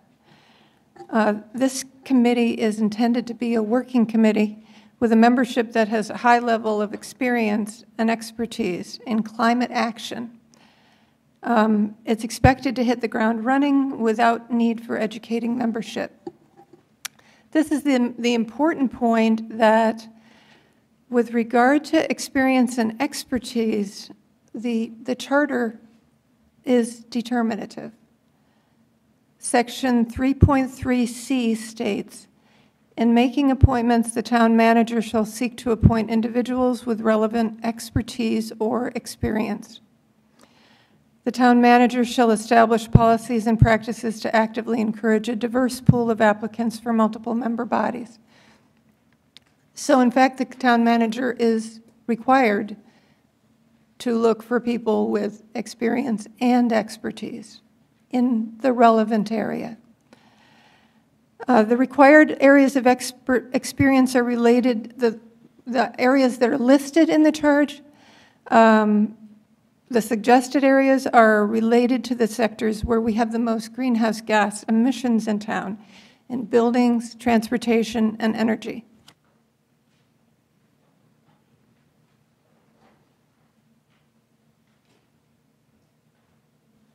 With our three colleges and a multitude of related departments, the Hitchcock Center, and several zero energy buildings, Amherst has many, many qualified people, and quite a few who are clamoring to be on this committee, including people from all sectors of the economy. Experienced people will be discouraged from joining if they think this is a discussing committee rather than a working committee. Um, okay, so number five, uh, the 90-day goal-setting requirement is retained and is now in the order. Um, so it was in the charge, now it's in the order. Um, the short-term goal setting was moved to the order as a result of the action of the governance committee uh, the, that committee uh, did not want to set the precedent of having both long and short-term goals in one committee charge. Retention of the Envi Energy and Climate Action Committee's goal setting requirements for climate action that have now been publicly aired will signify that Amherst is serious about taking action about reducing emissions. We have a 90 day timeline because the climate crisis is unprecedented, the gravest challenge ever faced by humanity. It would be hard to find a comparable situation that presents such an emergency. I hope the insertion of a short timeline for this committee to produce goals will produce will be a source of pride to future generations that we acted with urgency. Municipalities, states, and countries all over the world have already set goals. As Rudy Perkins said in his extremely well searched letter to the Council, and Rudy is right here, with its long tradition of intellectual and cultural leadership in our state and its strong base of educated, forward thinking, and inventive citizenry, Amherst has a responsibility and the capability to play a pivotal role in overcoming the crisis. The goal setting required in the committee charge was changed so that, that it's not policy making or prescriptive as some councilors had suggested we do. Because we already have as a town resolved to source our energy from 100% renewable energy and within that 100% renewable electricity. The addition of other greenhouse gas, quote, will give the committee the flexibility to come up with other alternate goals such as that of carbon neutrality. Um, it's possible that the committee will decide that they don't want to go 100% re, uh, renewable energy and they would rather go with carbon neutrality. So this would allow that flexibility. Uh, the Compact of Mayors framework, which, is, which our town has been working with through our sustainability coordinator, is based on towns going through a process to set goals for carbon neutrality. There are pros and cons to each, and the committee would have the flexibility to look at that and come up with new goals. Realize this is a lot. We need to set clear dates and firm targets for our greenhouse gas reductions and make a step by step plan to reach those targets in order to meet the challenge of the climate crisis.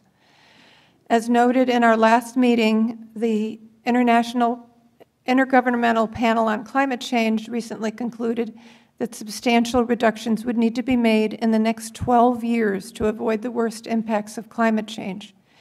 In short, to avoid extreme climate impacts in our world and our community, we don't have much time. Again, Rudy, uh, quoting Rudy, in terms of interim goals, there are a number of towns who have come up with 100% renewable electricity by 2030. So there is growing consensus around climate goals of something like 100% renewable electricity by 2030 and 100% net zero in all sectors by 2050. These goals are achievable if this work is launched immediately and in earnest, but can tolerate no further delay. Our town, our children, and their children are counting on our, your leadership in this crucial task. So that was just to tell you what changes we made.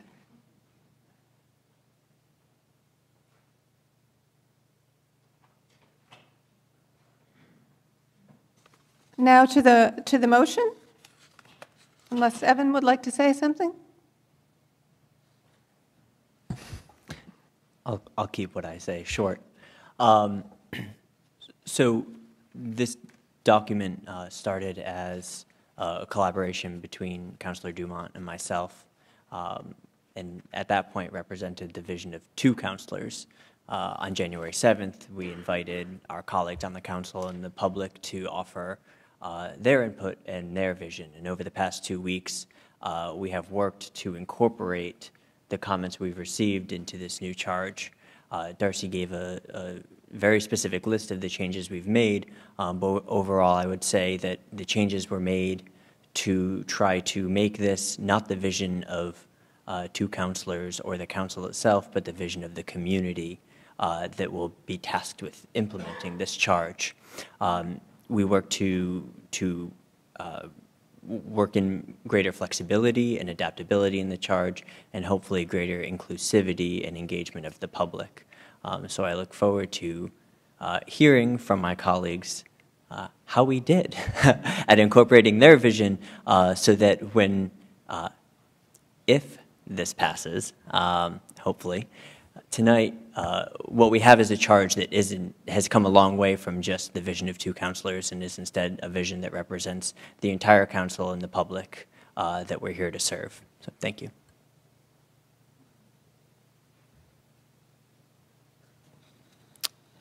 Climate change is a global emergency. The 2008 Massachusetts Global Warming Solutions Act acknowledged the urgency of climate change and setting climate, statewide goals for greenhouse gas emissions reductions. The 2018 United Nations International Panel on Climate Change special report underlined the impacts of global warming of 1.5 degrees centigrade above pre-industrial levels and urged strengthening the global response to the threat of climate change. The 2018 National Climate Assessment provided an in-depth look detailing the multiple ways climate change is already affecting and will increasingly affect the lives of Americans to each area of the United States. And the 2018 resolution to create a House Select Committee on the Green New Deal addresses the threat of climate change by setting forth an aggressive plan to move the United States to renewable energy economy within 10 years. However, recent inaction at the state and federal level on bold climate proposals highlights a need for local action. Amherst has a history of recognizing the challenge presented by climate change and meeting it with action. I am going to leave out that part because we went over it last time.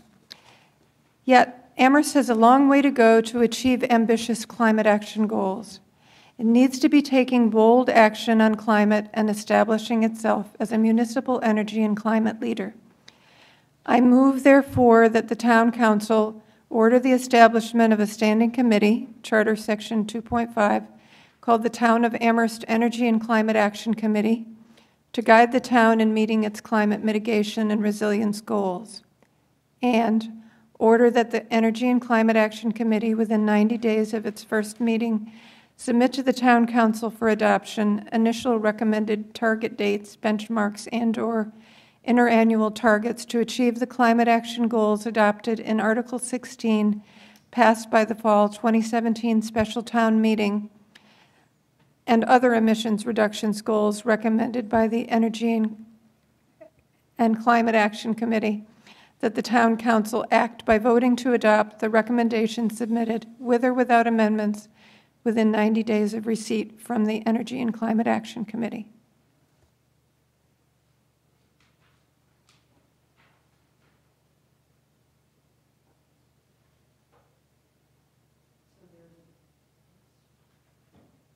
Pat, I'm taking lessons from you. Um, there's a motion. Do we have a second? Sarah has seconded it. And we're now open for discussion the, what we are discussing at this point is the motion, but that motion also involves the charge.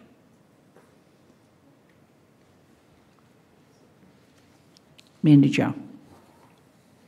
I, I guess I have a clarification and then and then a request. Um, mm-hmm. The motion seems to have two things, two actions. Um, so I guess my request is, could we split those up for discussion purposes? And then the second one is the motion is ordering the establishment of a standing committee but doesn't discuss the charge at all. Should the motion really be to adopt the charge of the ECAC committee instead of order the establishment? That's, that's more of a procedural question, since it doesn't really even mention the charge at all. Just says we're going to establish one, but doesn't say how. So the, the first of the two motions, one was to order the establishment, and I believe you're suggesting a friendly amendment in this case, and that is to adopt the charge?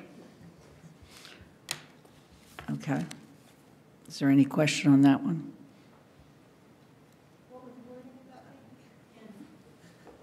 It, it was, it was a question as to whether the motion to order the establishment of a standing committee called this actually adopts the charge that is in front of us, or just says we are establishing a committee, but we haven't dis- decided beyond guiding the meeting that, of what its content would be. Andy? Staying just on the procedure for the moment. Yep. um, They're both, they're two complex documents that have a lot in them, each of which may have discussion, and it could be significant discussion. It therefore seems to me that going through a motion that has just been placed before us to establish the committee and let us talk about the aspects of that motion and whether there are any amendments we want to make to it, and then vote on that before getting into the charge and treating the charge as a separate document allows us to focus on each document without confusing the two. And then the third item, which is actually the reporting order of the Energy and Climate Action Committee, is yet a third discussion? I'm just clarifying. Well, my opinion is that that's part of the motion, and that's one of the reasons why it might be advisable to take the motion separate from the charge to the committee. Okay. Cathy? I just want to second that idea because I think about them so separately. So rather than linking them here, the charge then goes into a lot more detail, and we're being asked to look at pieces of it. So I, I'd like to, they, they read to me differently. Okay, which would you like to do first? The charge or the motion to create?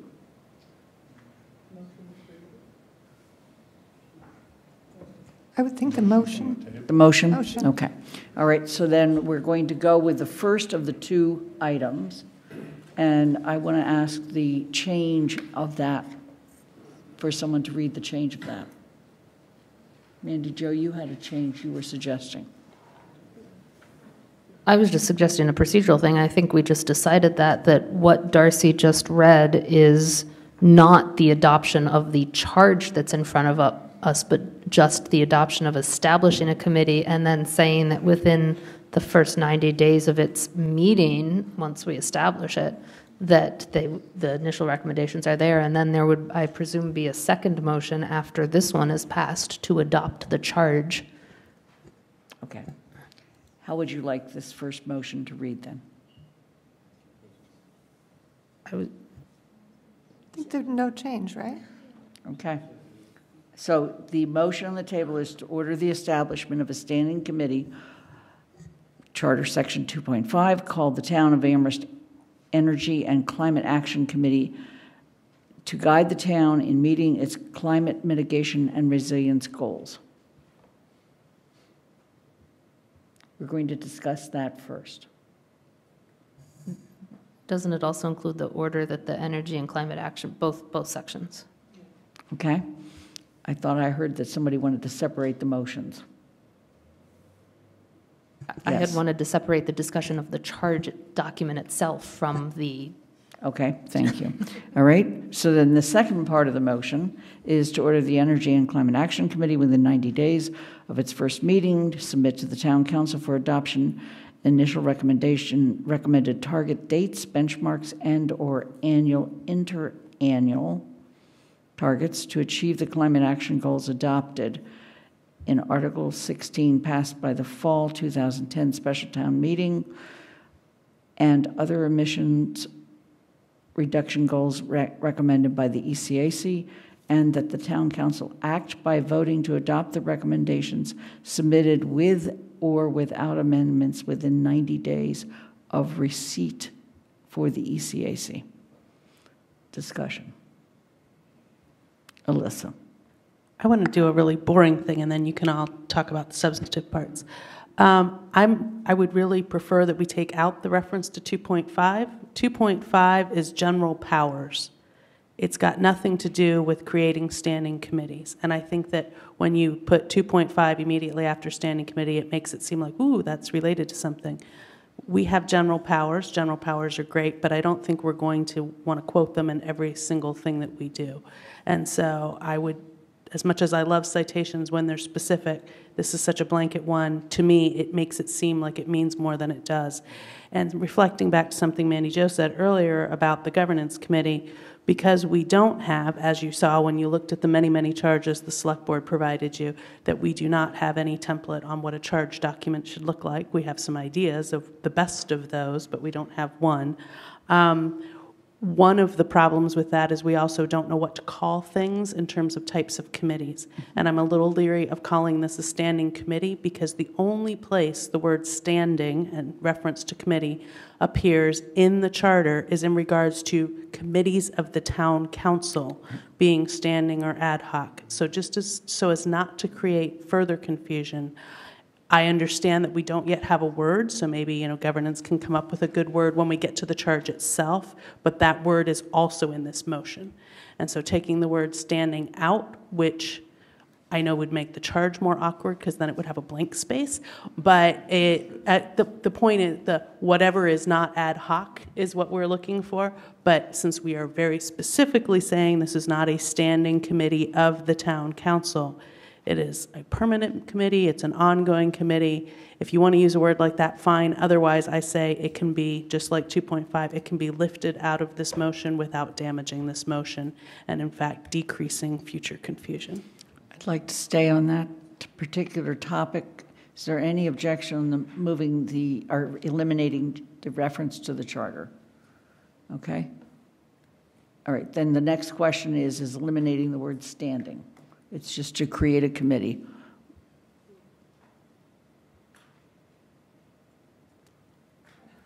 You got to say something besides Yeah, shake your head. um, I think that's a good idea, and, and in trying to parse through what we call things, I noticed the memo we had with a legal opinion on the difference between a committee of the council. Um, They called that a committee of the town. So Mhm. we, I think we could find out a simple way, we've got a bunch of them in town that aren't committees of the council, so that may be too many words, but if it's a committee of the town, it's not a committee of the council, you know, I mean, just Okay. something simple. So eliminating the word standing, is there any further discussion on that? Yes. I'm fine with that. But um, also, uh, just want to say uh, that the governance committee has been discussing uh, this and uh, did come up with a solution that perhaps would be more appropriate to discuss um, in the charge uh, about what we call committees and how we differentiate between them in charges.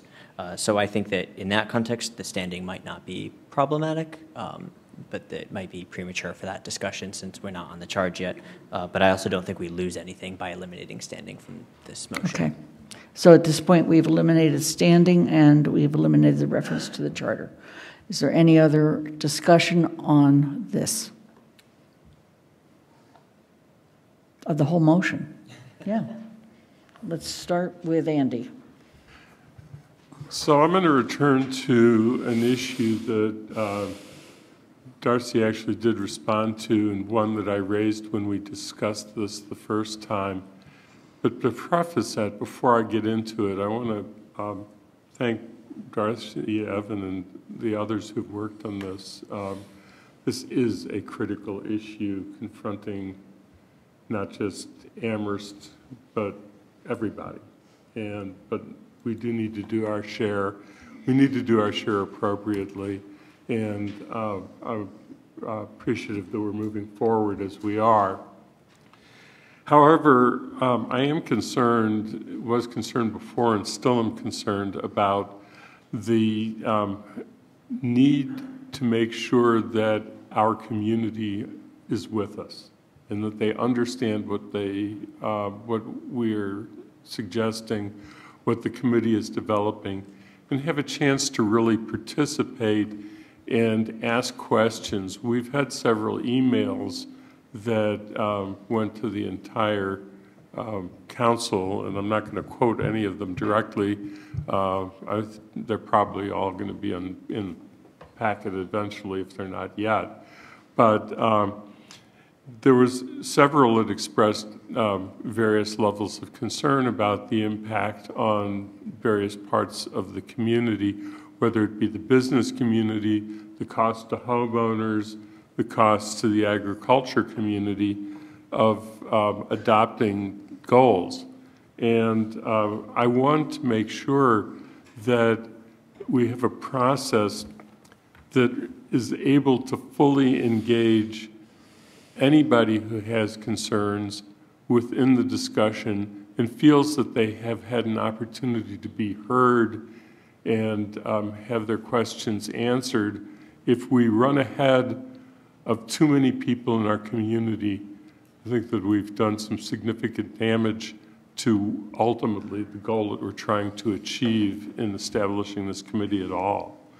And for those reasons, my proposal in the last order would be to remove the sections that refer to specific deadlines because I think that the committee itself can create its own deadlines and will have its own sense of urgency and doesn't need the council to put the urgency before it. I think it will have it will know the urgency. I would therefore in the first sentence of the second part of the second thing called an order suggest removing the words within 90 days of the first of its first meeting and then at the end um, eliminate everything after the ECAC that um, so it's almost so removing the words and the town council act by voting to adopt the recommendations submitted with or without amendments within 90 days of receipt from the ECAC. Um, and um, I really uh, firmly believe that those changes will not weaken this um, creation of this committee and in fact will strengthen the committee by making sure that the community has the opportunity to be um, involved and feel that they were involved and not feel that we are working under some kind of an artificial pressure that we've put on ourselves. Are you making that in terms of a motion? I will make that as a motion, yes. Is there a second? George? We're now discussing the amendment to the motion. The amendment is to remove in the second order the words within 90 days of its first meeting and to remove at the very last of the statement the words and that the town council act by voting to adopt the recommendations submitted with or without amendments within 90 days of receipt from the ECAC. Discussion. Darcy. Just to give you a little context, um, the original version of this motion was actually had the goals in it. uh, I, the first time around, we were contemplating the possibility of just putting the goals out there to the town council. Um, 100% renewable, uh, 100% renewable energy by 2050 and 100% renewable electricity by 2030. And um, through our process of thinking this out and wanting to make sure that we did give people more time, um, we put it, we revised it to its current language. Um, And as you heard me already say once, um, the, the process of coming up with goals is not going to be that difficult. Um, and I, some of you have probably seen in the, in the council packet that I shared a spreadsheet of comparing goals of other Massachusetts communities. It's a pretty straightforward, simple process, and you, if you notice in the column with goals, in the column with interim goals, they're all very similar, um, what these different towns have come up with. So um, my point is, doesn't take that long to do, and it would be possible to have a public process within that 90 days. Just like the school committee is going to have a pretty big public process in the next 90 days. Uh, So we could also have a public process um, that involves a forum or listening sessions or whatever. Additional comments? George? My concern is, is not with the goals per se, it's really with the time. And uh, it may turn out that in 90 days, this will happen. But I have concerns that we're putting pressure on this body that hasn't even been created uh, to get something done right away. And um, I think everyone is aware of the urgency. I certainly am aware of it. But um, I want to give this committee the chance to make up its own mind and to present its findings when it's ready. Um, And I also understand the desire for urgency. So I'm caught between these two. Um, But I share Andy's sense that taking this out does not at all um, weaken this very excellent document, but actually can strengthen it. Um, But it does obviously take a little bit of the sense of urgency away. But I think that it would be wise to take it out and let this committee um, do its work and uh, trust it. Additional comments? Shalini? Um, I also just firstly want to acknowledge the work that Darcy and Evan and all the people have put into this, and uh, also acknowledge that this is a great start for us as a um, town council to be working on this. It's such an important issue, and it's something that we all believe in. So I just wanted to put that out there, and also I. I just want to put it out there that uh, I feel like it's your baby. It's uh, you know Darcy's baby and Evan's baby, and uh, any suggestions we make is seen as a judgment on your baby, and so not it's not meant to be taken in that way. But uh, I'm hoping that any suggestions we make are because we really feel this is important and we want to make it see it um, achievable and you know implemented. So that all being said. Um, in terms of goals, I think the overall goals, like you said, have already been set by other communities, and I'm wondering if there are goals that might be specific to our community, like what are our specific vulnerabilities, whether it's related to flooding or you know what are specific areas of um, um, goal setting that we need to assess for our town. Where do we stand with that? What are our vulnerabilities? What are our uh, goals and intermediate goals going to be? And whether that's going to take some time as well. Okay. I'm sorry, I believe Cathy, you had your hand up. Okay, I'm, I don't know whether 90 is the right number, but having been on working committees, it is really useful to have, we have to get something done by X date.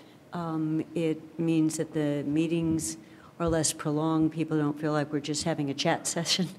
Um, And putting the same onus on the council that when this comes back, uh, take a look at it faster rather than slower. So I, I think a number, what, as I said, I don't know whether 90 is the right one, and I'm just going, you know, where does 90 get us to? Does it get us to May? Does it get us to June? And if we want this in place, because this isn't taking action, this is just figuring out what our stretch goals are. So we, if we want to get something in place in 2019, um, taking six months to get there is a big chunk of time, whether it's seven. So I'm, I'm just arguing for putting some kind of target there. Um, We're not going to put people in jail, I don't think, if, you know, if it turns out that they didn't fail, they, they got it back to us X days later. But I've worked on a couple places where we just didn't think we could get it done, and it turned out we did get it done because we had that uh, time, time Evan, I believe you had your hand up. Uh, So first, I just want to build off of Shalini's comment uh, that whatever you say, I don't feel like you're judging my baby. Um, And I, uh, I hope that you all give feedback and are critical, um, because we need that, um, especially as a new legislator. Uh, One thing I just want to just sort of throw out there to think about, and this isn't arguing for or against the amendment. Um, So to some extent, through the process of revision that we've engaged in, uh, we have made uh, a lot of the language, both in the charge and in the motion, uh, less specific. Um, And so we're looking for initial goals, recommended target dates, and/or we do provide a lot of flexibility. And so the committee could come back and say, really whatever they want. Um, and that could be several goals, that could be one goal, uh, that could be an absolute goal, that could be an aspirational goal. Um, you know, I think there is an effort to build in uh, flexibility so that uh, even though that 90 day period is constraining, uh, it doesn't necessarily mean that they have to return this specific goal in 90 days. If the committee feels as though, you know, they can only really agree and, and, and go through a process of getting one aspirational goal by the end of 90 days, then that's what they can confidently return uh, to the council. So um, flexibility, I think, is key here. Uh, I do think that it depends on how we envision these goals should be set. So on the one hand, uh, we do have this document that was provided to us. It sort of lays out the goals from other committees, uh, other communities. Um, and if we're just going to say, well, they did it, so we're going to do it. Northampton did it, so we're going to do it. We can do that tomorrow. Um, if we want to have a more in-depth discussion of a goal that sort of involves, you know, greater planning, that takes a little bit more time. And so there's there is a lot to think about here. Um, and so planting that seed into this discussion to think about how we conceptualize that 90-day timeline um, and how we even conceptualize what we expect from these goals. Steve? Um, I was just going to speak in favor of the order as written with the 90 days because I think it is helpful for possible committee members to know kind of what the urgency is. So I'm in favor of the order as written. Additional comment? Mandi Jo? So this is one of the ones I've struggled with in what to do about this timeline for reasons that Andy, Cathy, and Evan have just put forward of 90 days is really short, but what is the purpose of these goals? If, you know, what, when they're presented to us and recommended to us as a council, what information are we going to want this committee to present to us? Is it going to be, as Evan said, well, every other community's taken these because the I MIPCC um, has made these those, so yeah. Or are we going to want information that says, we believe as a committee, you as a town and we as a town can actually meet these? That goes back to something George was saying, I think, two weeks ago. Are these aspirational or all these, are these goals actually as a, are, as a council, when we adopt them, are we going, are we going to believe we can truly meet them? And it, I think I'm not sure where we are and which one that would be. If it's, we're going to want all the information to be able to tell the council when they're presented to us as goals that this committee believes we as a town can meet them during those timeframes.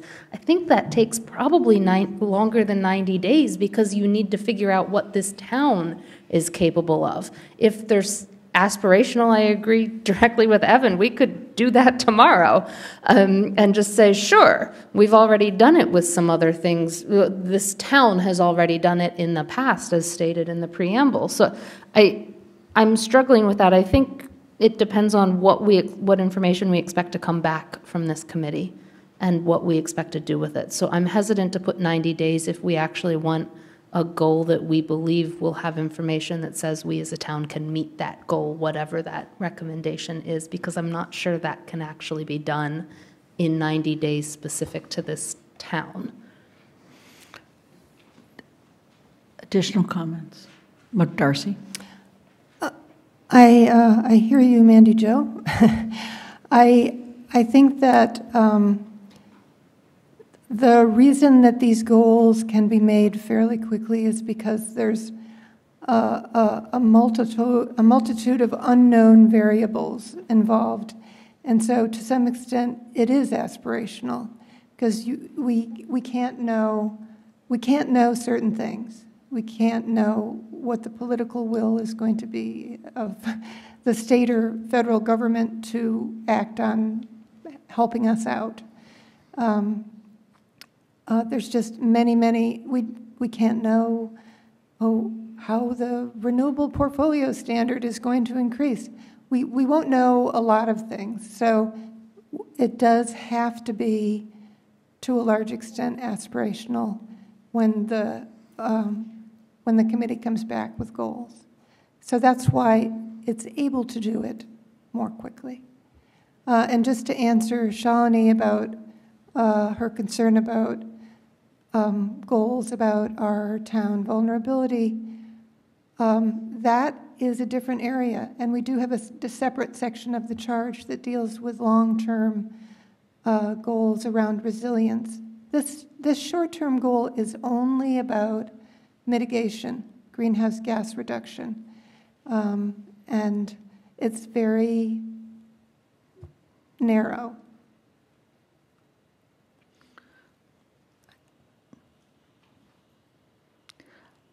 When this committee comes back to the council, I will want to ask questions like Who did you consult with?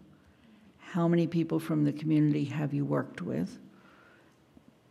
And I want evidence that this is something that the community has now developed greater understanding about because, like many of you, I have received the same emails, and many of them support, and I do too, climate action in very, very serious ways.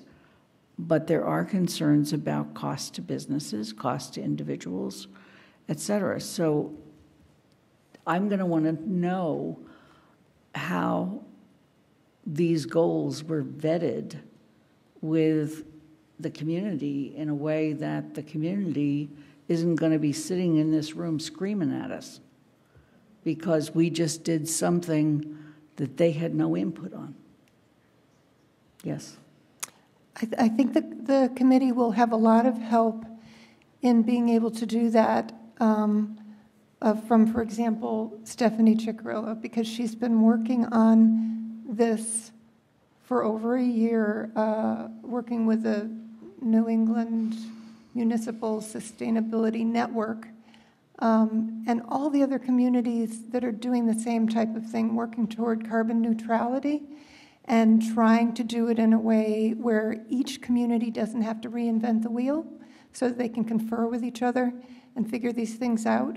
So um, uh, it's true that there are different things about our community, but I, I, have faith that with all the work that she's done over the last year, um, that she will be able to, to help a lot. Um, by all of her contacts and all of the information that she's gathered. Other comments?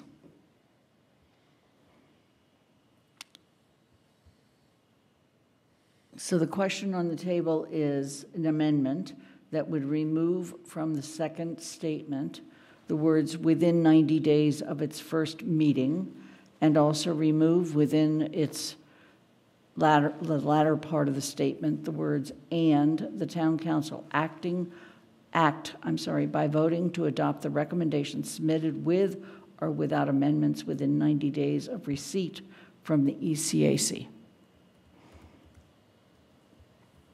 You Ready to call the question? So, Huh? I'm sorry? The, the motion is to amend the motion. It's an amendment to the motion. That's what we're voting on. Is there any other discussion before we go forward? Call the question. I think a roll call vote probably would be appropriate.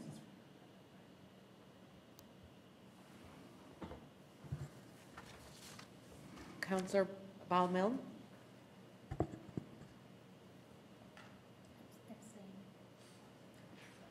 Abstain.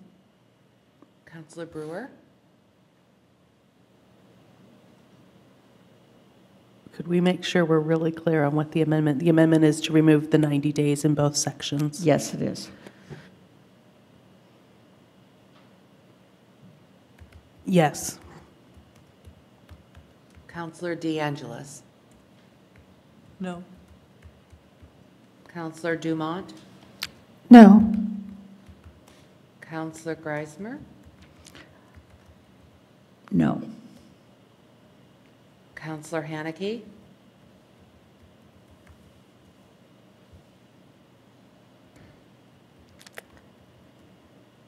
No. Councilor Pam? Abstain. Councilor Ross? No. Councilor Ryan? Yes. Councilor Schoen? No. Councilor Schreiber? No. Councilor Steinberg? Yes. Councilor Swartz? No.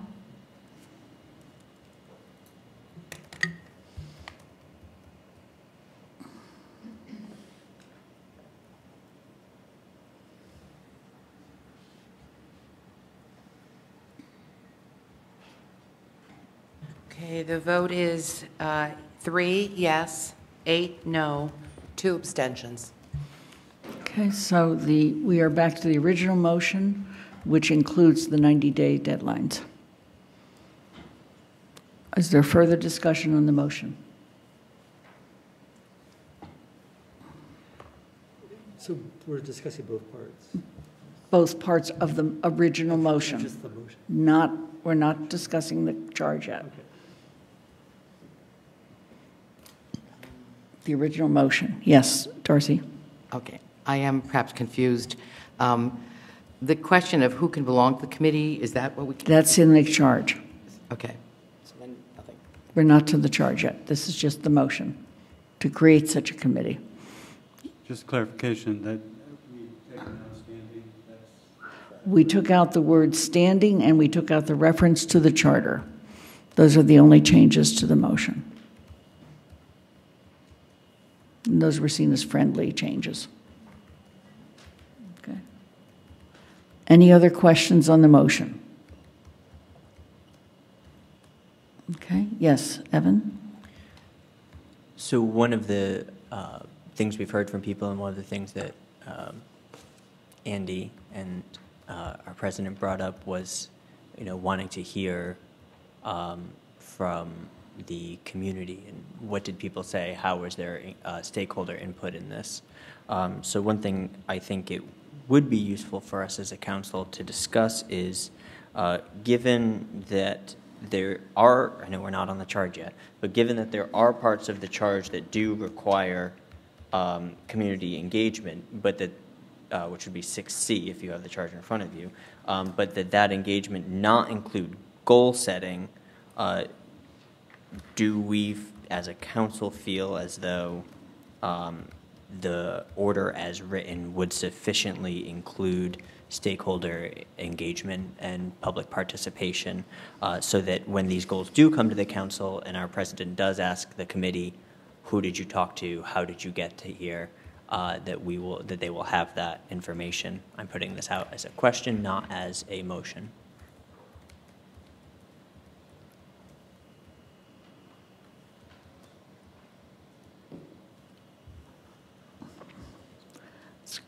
Excellent question.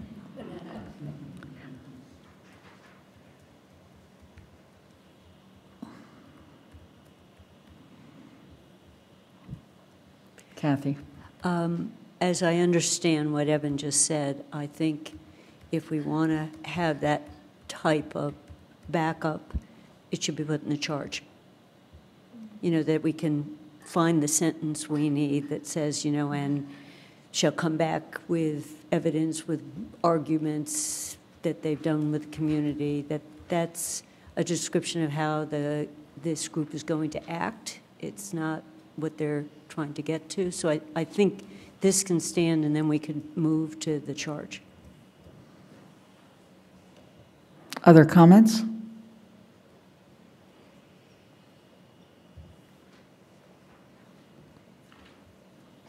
Okay, let's um, take a vote. Move, the, where the motion before you is the one previously presented, eliminating the word standing and eliminating the reference to the charter, and nothing else has changed. Uh, Is there anybody feels I need to read the motion? Okay. Uh, Would you like to do an all those in favor? All those in favor? It is unanimous. No, I'm sorry. I'm sorry. All those in favor? All those opposed? Abstain. Thank you for that, Andy. Okay, we are now going to move to the discussion of the charge. Um,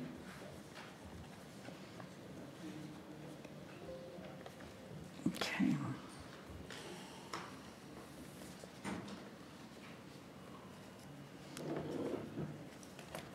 There is, we need a motion to put the charge on the table. I'm sorry? No. I'm asking for one. I so move. Okay. Dorothy, Dorothy moves that we adopt the charge to the Energy and Climate Action Committee. Right? Yes. And second? Okay. Pat seconded. Discussion.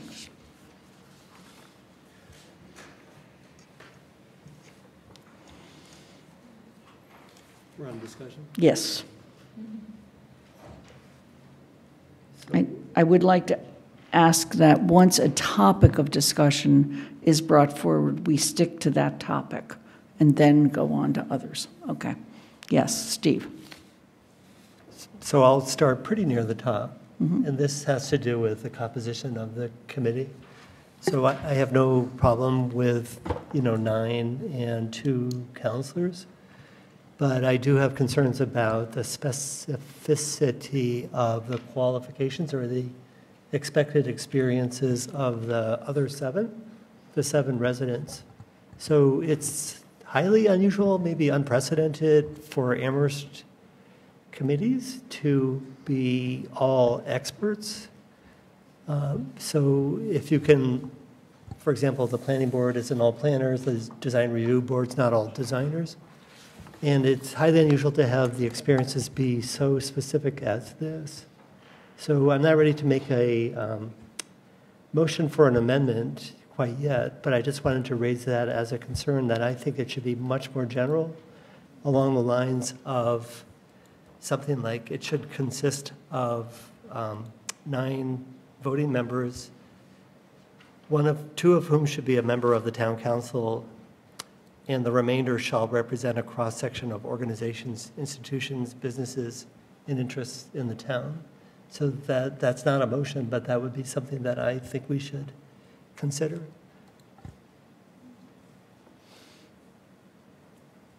Dorothy. Um, I concur with that.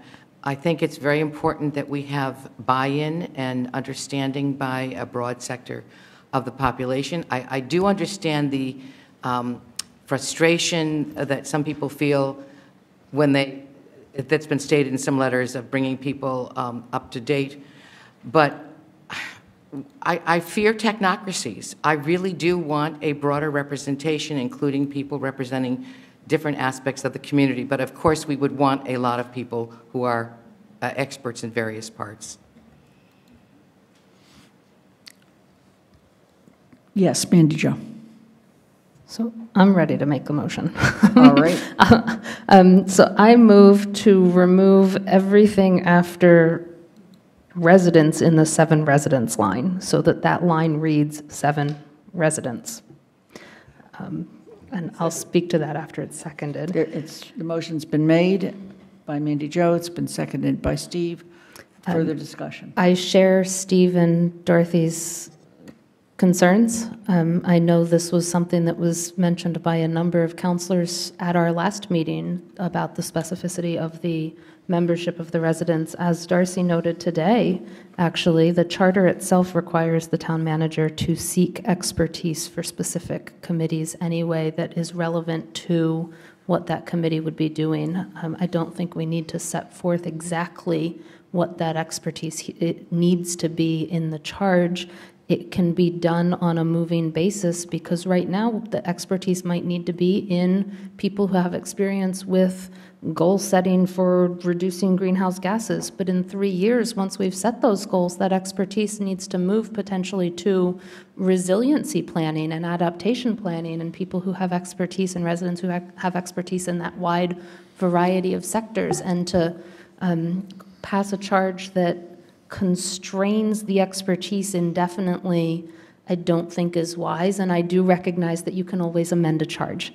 Um, but if we're intending to pass a charge for a standing committee, we shouldn't pass one knowing that in a year or two it would need amended. I think we should look towards the long term in what our charges should look like and should con- contain. Additional comment? Alisa?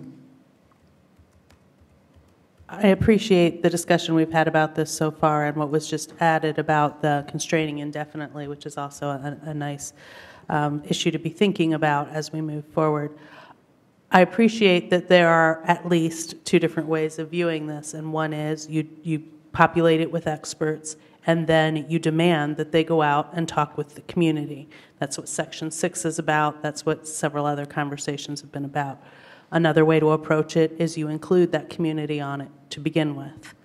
I have to say that having that's having discussed this a lot, I actually was leaning toward going with the experts because we have had many, many, many experiences in Amherst of, ooh, let's put someone with this incredibly creative way of looking at life on the planning board that doesn't have any interest in zoning. Um, and that's great, but it doesn't get the work of the planning board done. It doesn't mean the planning board shouldn't be listening to people when they come to their meetings, but there's something to be said, as we have seen. You know, basically the letters fell out two ways. One is make sure you include all these different perspectives, all of which are incredibly important on the committee, versus have the expertise on the committee to be able to bring plans forward. And I think we make a mistake to say "Yeah, that doesn't matter, and it's absolutely not unprecedented, I will say. We have very specifically created, actually, it isn't. Uh, We have very specifically created charges that said there will be someone with this level of expertise, that level of expertise, et cetera, on committees, but they've been more like working groups. And so that's part of what we're looking at here too. And so while as much as I'm big on setting precedent and looking at structure, I think that it depends on what you expect this group to bring back. Because if you expect this group to bring back something fairly quickly, I think the expertise of all the members up front who are then also find the skills to reach out to various parts of the community, that's one thing. If you're expecting them to talk about making a master plan for over 10 years, then feel free to put everyone you want on the committee. Steve? I'm sorry, Cathy. I- Cathy was actually next. Um, I I just want to build on this comment, um, because I think we're, you you can't have it both ways. If you want to have in 90 days, people coming back with something, and you can push people hard on what's the evidence, what did you think through, how would we get that, then you have people who already have a lot of experience and have been bringing a field to this. I've been on several commissions that are more medically oriented, and it was really important if we wanted to do achievable quality metrics for the U.S. healthcare system, that the people on it said, you can't measure that. We don't have any science behind that. We do have some science beyond this. And because consumers, uh, all of us who want safe medical care, had a vision of things that could be done that the science wouldn't allow us. So I think being specific on the range of expertise that we're looking for is important. You know, I'm not going to say that this is exactly the right list, but I think it's important rather than saying, and it, it does say experience, so it could be someone has been doing this for a while and implementing it in a town and working with a co-housing unit to get it to be zero net, you know, thinking through the systems. Um, so it could be a systems thinker. It doesn't necessarily mean a t- technocrat in terms of just the science field. Steve? So I have no problem with some expertise. So obviously, expertise is essential for this. And I do think there's a huge difference between a working group and a standing committee. So a standing committee is going to be here forever. And as you were saying, that the goals, the goalposts are going to be changing. So the, the committee of the town, as I see it, is almost meant to be not exactly disinterested. They have to be obviously engaged, ready to, to uh, you know, not skeptics of the subject.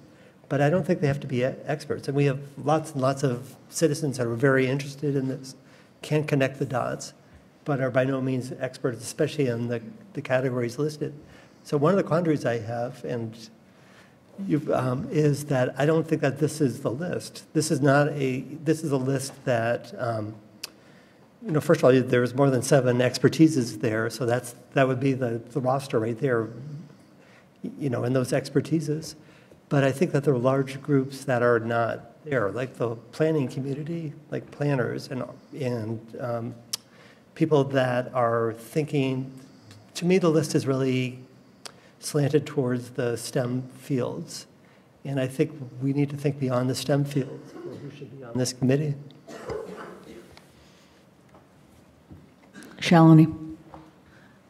So um, I'm citing the research of um, certain um, researchers in climate change, and Beth Sawin in particular from Climate Interactive. She's a PhD from MIT. I don't know if you know. And uh, so in looking at, actually, I looked at her TED talk and she sent it to me and uh, was uh, kind of shared her experience in that TED talk, which was that at United Nations they had they were presenting their cutting edge um, analytical tools and they presented all the data to all the countries that this is how urgent and important this um, you know this issue is and they found to their disappointment none of the countries were willing to be on board and so she struggled with that, that we have the data and what do we need to do to convince uh, people to change. And what she discovered was that there are a lot of urgent pen, current issues that um, people have or countries have or towns have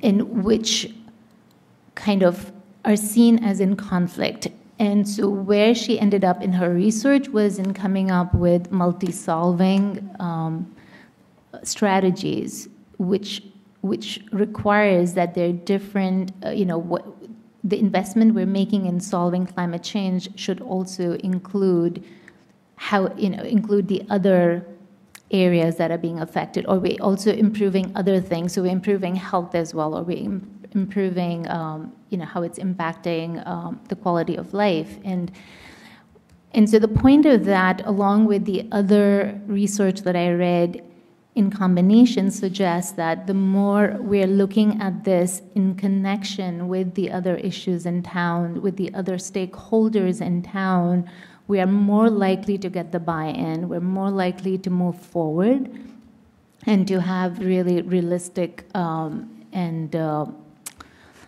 and have strategies that will be implemented that will have the buy-in. So I am uh, very much in favor of having definitely some experts, um, and maybe we can define the number of that. Um, you know that we definitely need four experts in this area. But I do feel, especially, and the third aspect of this is listening to people during the uh, during the campaign as well. Um, there were doctors, there were startups, and there were parents of schools who were concerned whether we'll have the building with the net zero. So there were a lot of people who were concerned about um, what are the implications of these uh, policies on you know just um, their lives. So if you look at equity, we look at social justice, we look at business and our economy, we look at the environment. I think we need to look at all three of these issues in a way, and we can't just uh, focus on one narrow, looking at climate change in isolation. George. I'm imagining someone who cares deeply about this issue, and when they read this, they realize they need not apply because they just don't fit these seven categories. And I agree that expertise is needed, um, but we also need buy-in. And I'm concerned that people who want to be involved and actually could bring a lot to the table are excluded just by the, the very limited nature of this language. If we could somehow make it a little less rigid, I think we will get a better pool. Darcy.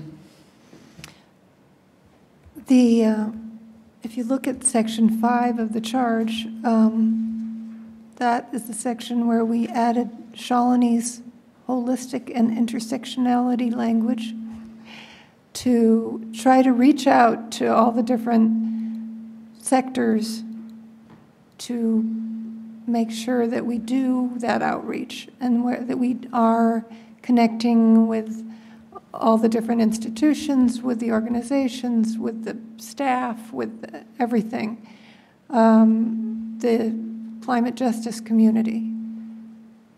And um, that doesn't mean that they have to be on the committee.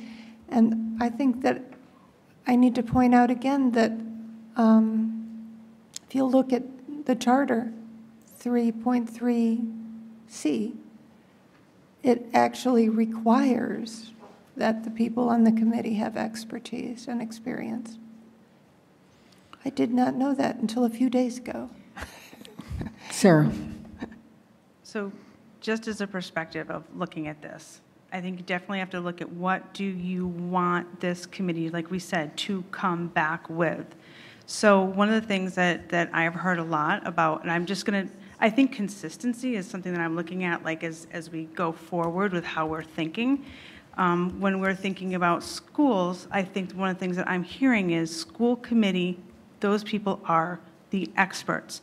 They bring something forward to us and then, then we sort of work on it from there, right? So if you're looking at a committee um, that's going to get you, you know, very real goals fairly quickly to present to you, and then, you know, you're going from there with it, I can see one of the things we first said about this committee was having experts on it would be ideal because, you know, it could hit the ground running and, you know, definitely know where it was going. So I think it, I think it largely depends on what you want this committee to do. Steve? Yeah, so the, for me, the quest, the school committee is a great analogy because I've been thinking about that because the, and there are school committees elected officials like us, so their, their expertise is that they're able to get more votes than, you know. um, but so they're not, there wasn't a seat for a teacher, a seat for a, you know, in other words, so, and so where the expertise comes from is then from either the regular staff of the, you know, of the school, of the um, Amherst Public Schools, or from consultants. And for me, so one of the questions I have here, and somebody brought this up in a letter, one of the letters to us, is really what this committee would need is a, in addition to what we already have in town staff, probably a consultant. So to me, that expertise that's embedded in the membership should be expertise in other help that's given to this committee so that they, on behalf of the town, can make, make recommendations. Um, I'd like to make a comment. Thank you. Um, I've served on three committees in this town. I've never built a fire station. I've never built a DPW. And I really don't know that much about net zero buildings, Chris. But you taught me a lot, as did Rudy. Um, but what I do know is how to ask questions, how to look at what makes sense, whether or not definitions are understandable, and to listen to people like Andy on committees when he says, you know, when you write a bylaw, it really needs to have a section on definitions and so forth. And so, in a space of two months, eight of us, four of whom are very, very knowledgeable about net zero, and four of whom were not, myself included. I don't know, maybe I shouldn't speak for you, Andy.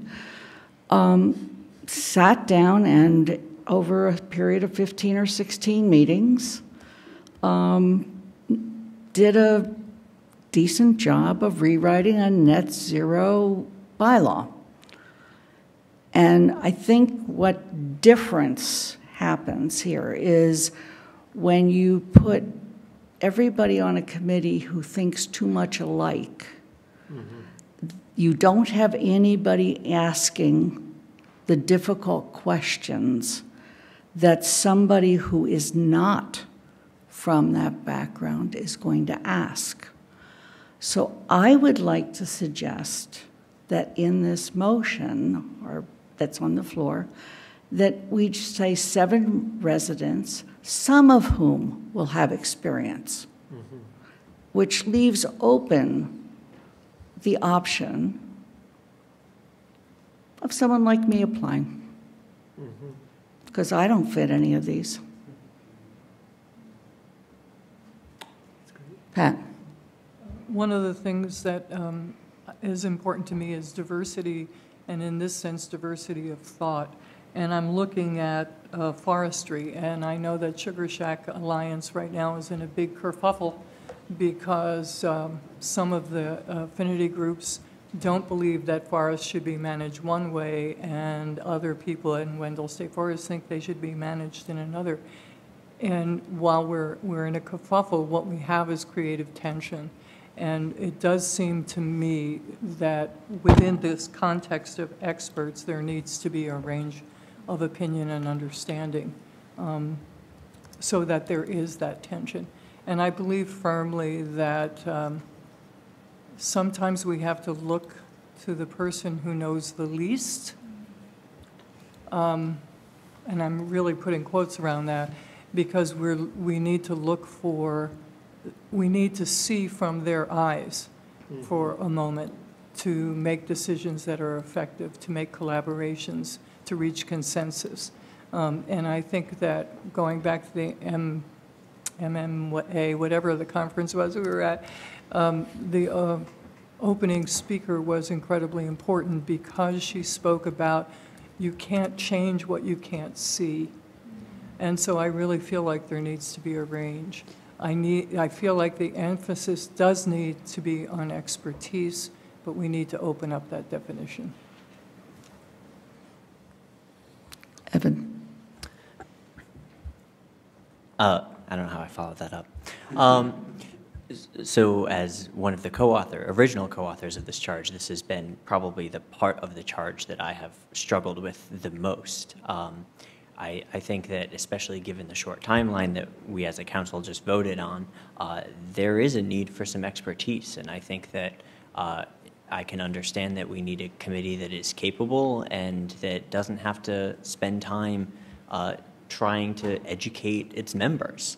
Uh, there's another part of me that also believes that the best committees uh, are not composed of all experts and that sometimes a group of experts in the room together uh, talking to each other doesn't always produce the best results and that sometimes you need stakeholders to, uh, as the president mentioned, ask those tough questions.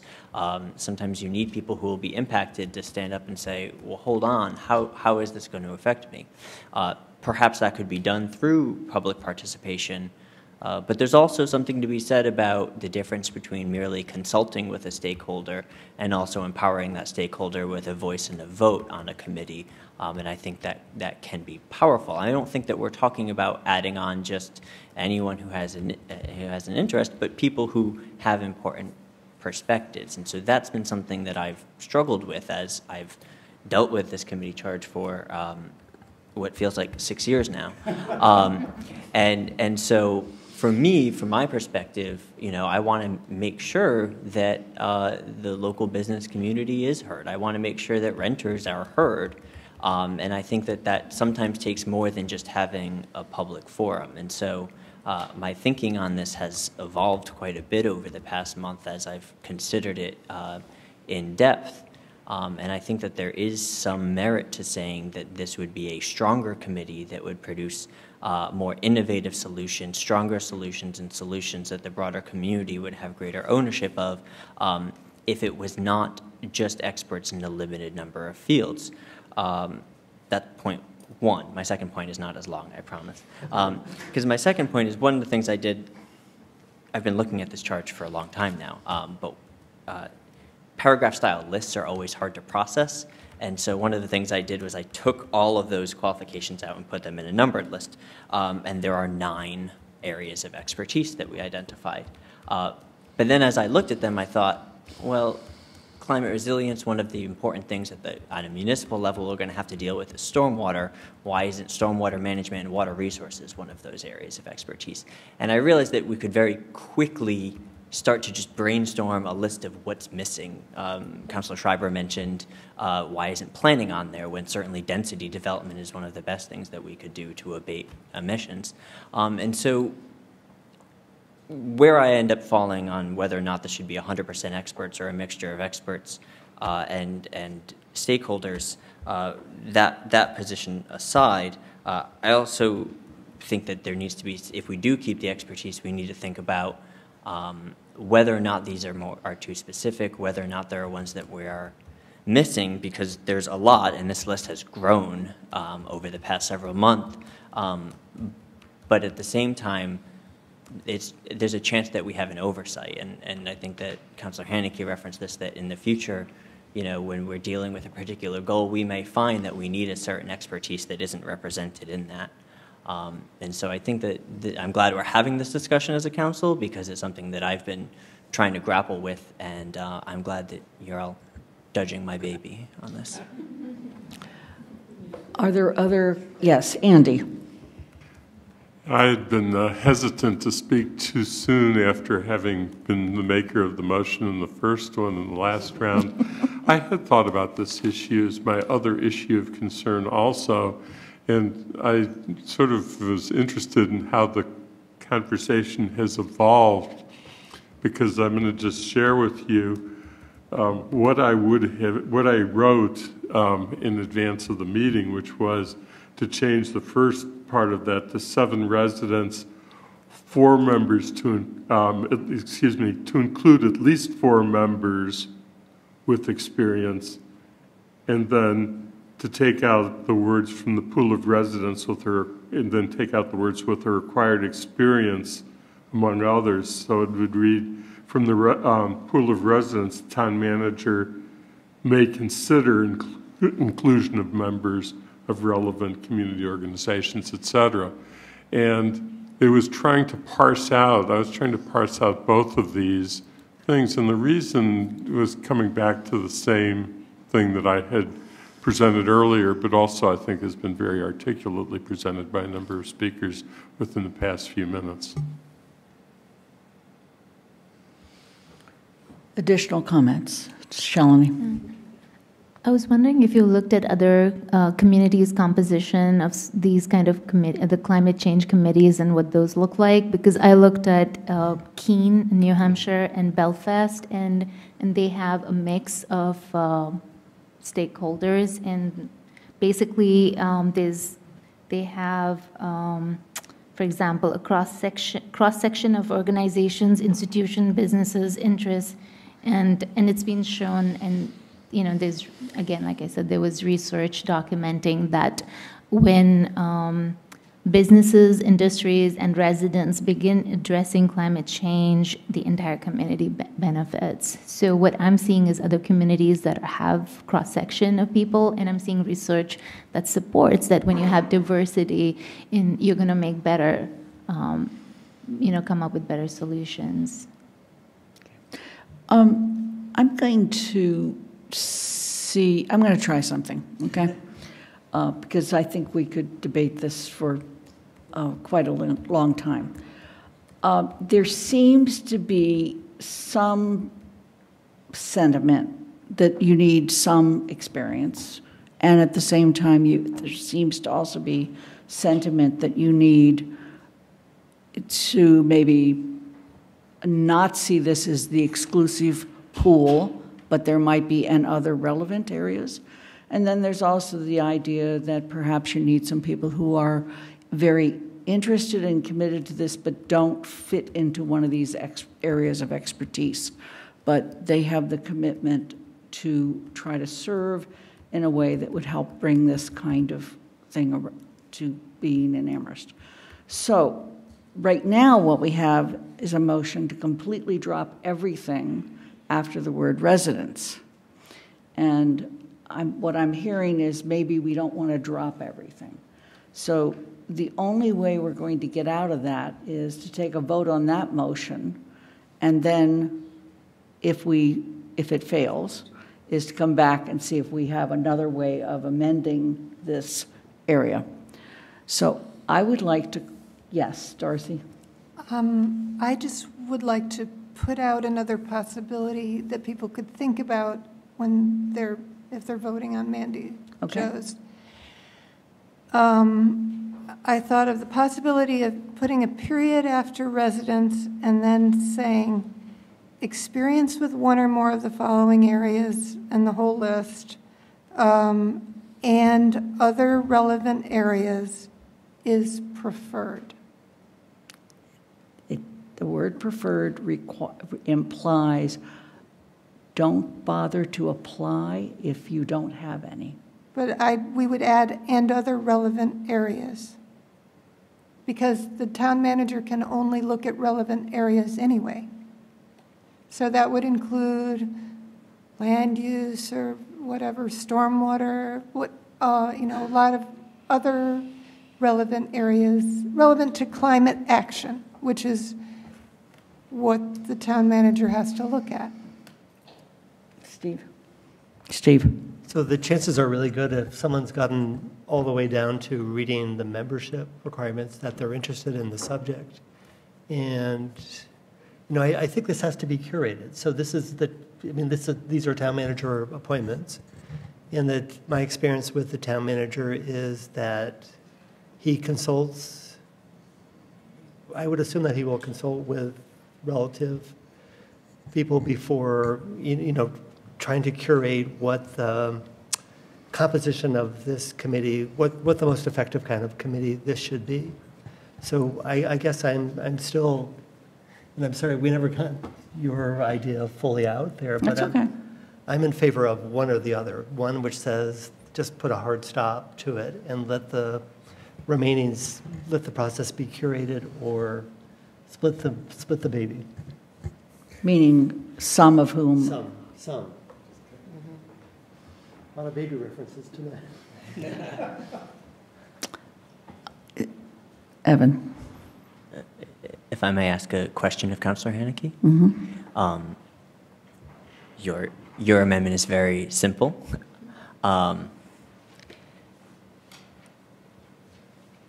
I, I guess I'm just curious, so because uh, there is an expectation and also it's stipulated in the charter, both that um, the town manager should be appointing people who have some type of relevant experience or interest or something to offer. And also, um, because it's in the charter that we're looking for committees that are diverse, is your expectation that the conversation we've been having tonight about balancing expertise and also sort of inclusion, diversity, and stakeholder engagement uh, is sort of inherent in that simple, simplicity because it's elsewhere?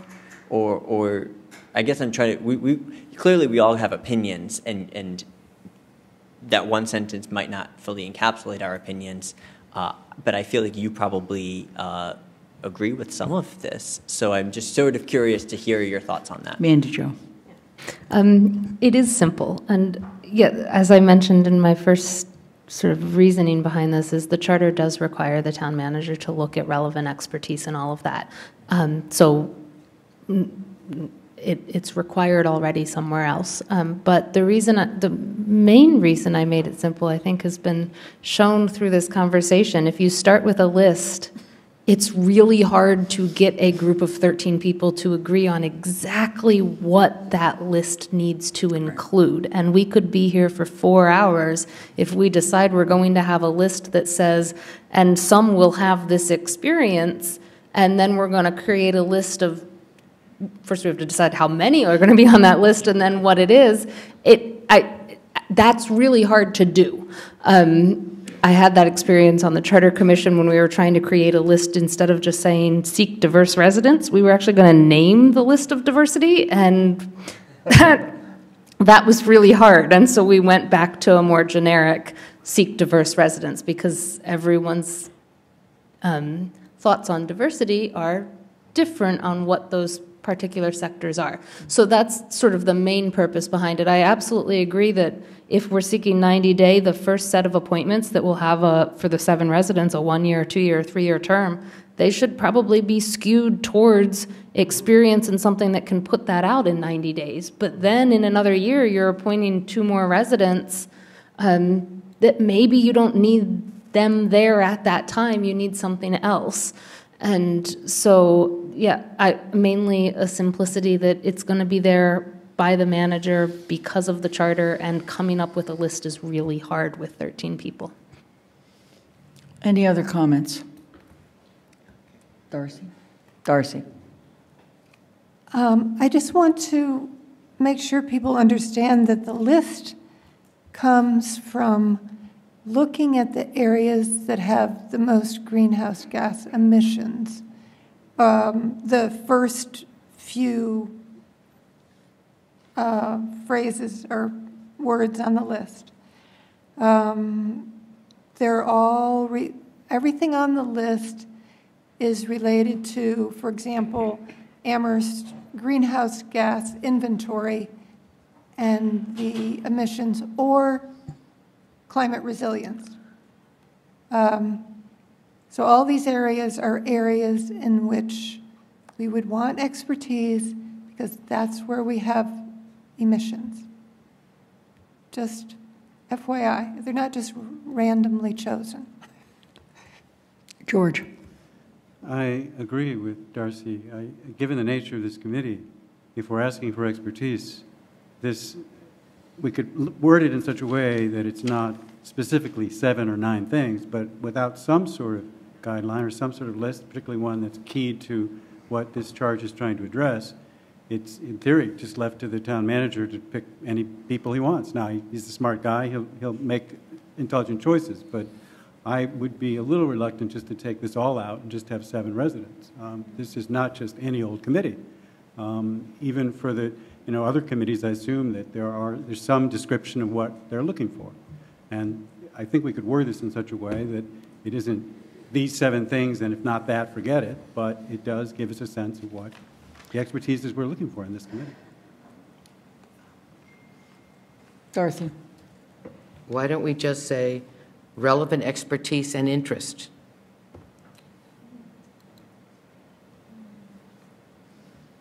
Steve?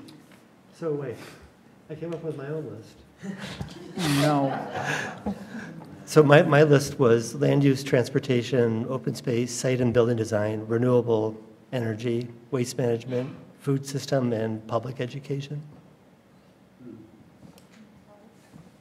So that's how, why it's going to be hard to come. Right. Yes, Alisa? I think one of the things we've been spinning around here, and, and I really appreciate you pointing out, Darcy, the very specific nature of that, and that's why I disagree with Steve's list, is because your list is relevant specifically to where this committee is right now, yet in the future, this committee might need to be someplace else. So I wonder if it makes sense to, in terms of trying to reflect all that, to go ahead and give these examples, these specific examples, with that caveat that's been thrown around as to some of which should include people with these experiences. Not four have to or seven have to, but some of which should be in this area because that also does, despite what the charter says about um, what the town manager is supposed to do. I can tell you that previous appointments were based on, quote, merit and fitness, and that was a completely meaningless concept. And so um, hopefully this new charter phrase is more relevant, relevant, but merit and fitness didn't really mean anything. And so giving guidance so that as everyone's out in the community doing outreach, as the community participation officers are out in the community doing outreach, saying, we really need some of these things right now, but not, they don't all have to have this, but we need some of these people, because if it turns out that none of the people who apply have those things, then we have a problem, because we're not going to get anywhere with the 90 days thing. And then, once the committee gets started, if we're like, you know what, that wasn't really, that is no longer the right set of things, and they come back and say, actually, next time you need to do appointments when we all quit because we're tired of this, um, pick the next set of things. But that's why I wonder if we could come up with a compromise. The motion on the table is to eliminate everything after the word residence. I'm hearing that somebody would like, some people would like to have something here, so I'm going to call the question on that motion, and then we'll see if there's a different motion. Call the question. And that is to eliminate everything after the word residence. So the second bullet reads, seven, parentheses, seven residents. Would you like a roll call vote, or would you just go with hands? All those in favor of that motion, raise your hands. Three. Those opposed? Okay, so that motion has died. Um, The, there are three people here that said yes, and the other people said no. Do I hear a different motion? Darcy? I move that we um, uh, put a period after residence and then start with the sentence, experience with one or more of the following areas, net zero energy building, energy efficient retrofits, climate change mitigation, advocacy research, clean energy practice policy infrastructure, community choice energy, green infrastructure for climate adaptation, sustainable transportation, sustainable farming and forestry, waste reduction, environmental or climate justice, and other relevant areas is preferred.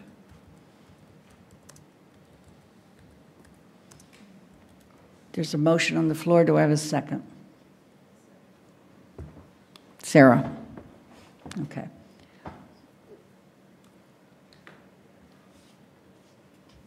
Mr. Bockelman? Just clarification, is the rest of, is the next sentence, in- is, is there a period after preferred and then the rest of, um, the next sentence deleted or included? Darcy? Deleted.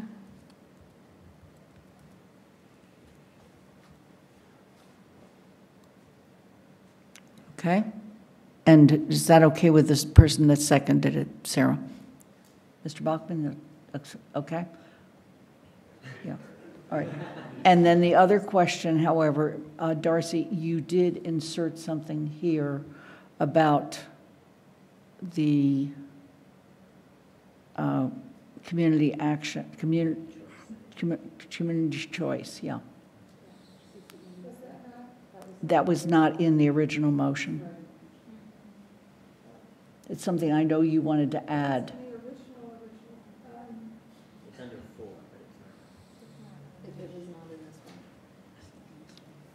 Yes, I would like to put that in there. And where was that inserted? Right after? Right after infrastructure.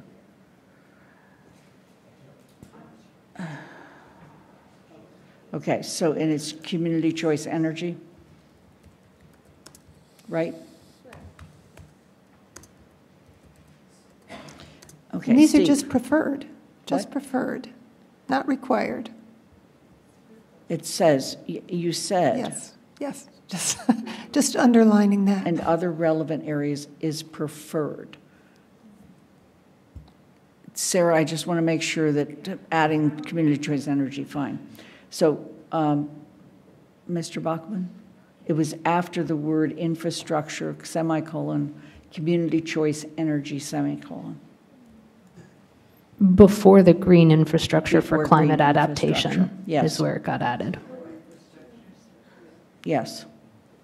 Uh, Steve?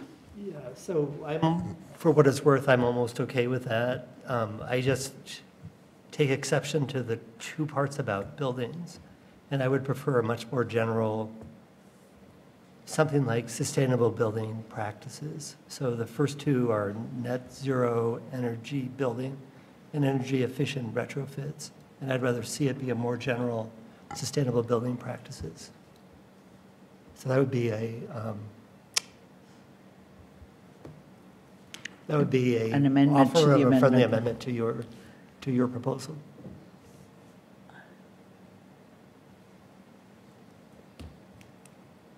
Uh, I, lo- I would like to have net zero in the words in there because we, we have a bylaw.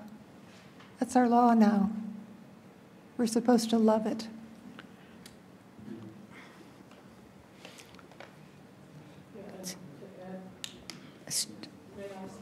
Pat? I'm forgetting what I was going to say. Um, uh, Net, I think that uh, energy effici- efficient uh, retrofits also is important in there. And for me, that brings in a lot of carpenters and, and other people, plumbers who worked on my house when we had a deep energy retrofit. Um, And it needs to be there because it, it goes beyond sustainable building. And I think sustainable right now is, there are too many definitions floating around there that aren't what I think we're looking for. Mandi Jo? So um, I still think it's a little too specific, uh, particularly something like green infrastructure for climate adaptation. That's the only place in this list that climate adaptation is mentioned at all, yet this committee is charged with not only dealing with greenhouse gas emissions, but also dealing with climate adaptation. And I presume there's more than just more ways to look at climate adaptation and things that you have to do in besides just green infrastructure. That's just one example of how specific this is. Um, the other relevant areas that is preferred, um, as Lynn said earlier, that that is a in if you're just a regular person who is very interested in climate action and you read the list and then you see is preferred you might be scared away from applying because of that because you might not have any of that experience despite the fact of how interested you are and how much you might have read and all of that. And so I don't see it as the fix that we were just discussing that might be of opening up the potential membership to a mix of those that have this expertise and those that don't because you've got language in there that says is preferred. And so versus some that's versus language that is some may have or should have that clearly indicates that not all have to have. Whereas when you say is preferred, there's an implication that if for seven openings, nine people with experience apply and the other within these areas apply and 15 people without experience in those areas apply, the way the charge is written with the is preferred means that maybe the manager has to take seven that have that experience and you don't end up with the um, the the diversity and that that split that we're actually looking for. If we want the split, we should not say is preferred. We should just say some should have or name a number. Pat? Uh, It seems to me if we go back to saying with experience uh, in or in, pardon me? Ex- I think it's, With, yeah, I'm pressing my button, honey. Um, uh, if- I think if we go back after seven residents, we're talking about people with experience uh, with or interest in and any of these topics. Uh, get rid of that- those preferred. words were not in there. Yeah, right, I'm saying add them and get rid Um, of preferred. Just to make it complicated for you, Lynn. Okay. Um, Evan, I'm going to take your comment, and then I'm going to try something, okay? Go. Uh, so I feel like we're in a bit of a Goldilocks situation here where Mandi Jo's amendment was uh, perhaps too simple for many of us. Um, this one still feels maybe a little too complex. Um, and, and the more I've sat with the idea of a list, the more I feel uncomfortable with it, even throughout this discussion, because we could talk for hours about what is and is not on this list. So net zero energy building is important, right? But what if you have an architect who's really good with sustainable materials, but maybe hasn't worked on net zero energy buildings, but has worked in some type of sustainable construction? I, that doesn't really fit in here, right? Um, and so it feels a little bit exclusive that only people who have worked on net zero energy building, even if we all agree that that should be the goal, um, especially as it's sort of a, a burgeoning uh, thing, you know, it's the list still sort of lacks ideas about planning and land use and, and, and development, which I think are tied also to emissions. Um, and so I, I worry that any list of qualifications opens us up to an exhausting debate over what is and is not on that list and how specific uh, we should get um, beyond that. I mean, to say experiencing community choice energy is like a specific policy. So it's even, I mean, we have cl clean energy practice policies abroad, but CCE is, is one policy that we're saying, or experiencing this. That's remarkably specific, I think, for a charge. Um, and so perhaps there's a middle ground. There was a councilor earlier who put forth an idea of some language that is maybe that middle ground that perhaps she would be willing to put forth um, to, to find, you know, a compromise between the two amendments that we've had before us so far. Darcy. I'm hearing people say that they want to have people on the committee that don't have expertise and are just interested. And I don't think the charter allows that. The charter says that the town manager has to seek to appoint people with experience and expertise in the relevant area. So to me, that means that that's what he has to do. Um, Steve. So the, I mean, the, the mission, so then we can simply go to the purpose of the committee and say that you must have experience and expertise in, can I read it off the, of yours? How do I scroll down? You- Oh, You you should have um, experience and expertise in climate mitigation and resilience goals. So that's really, that's what the purpose of the committee is.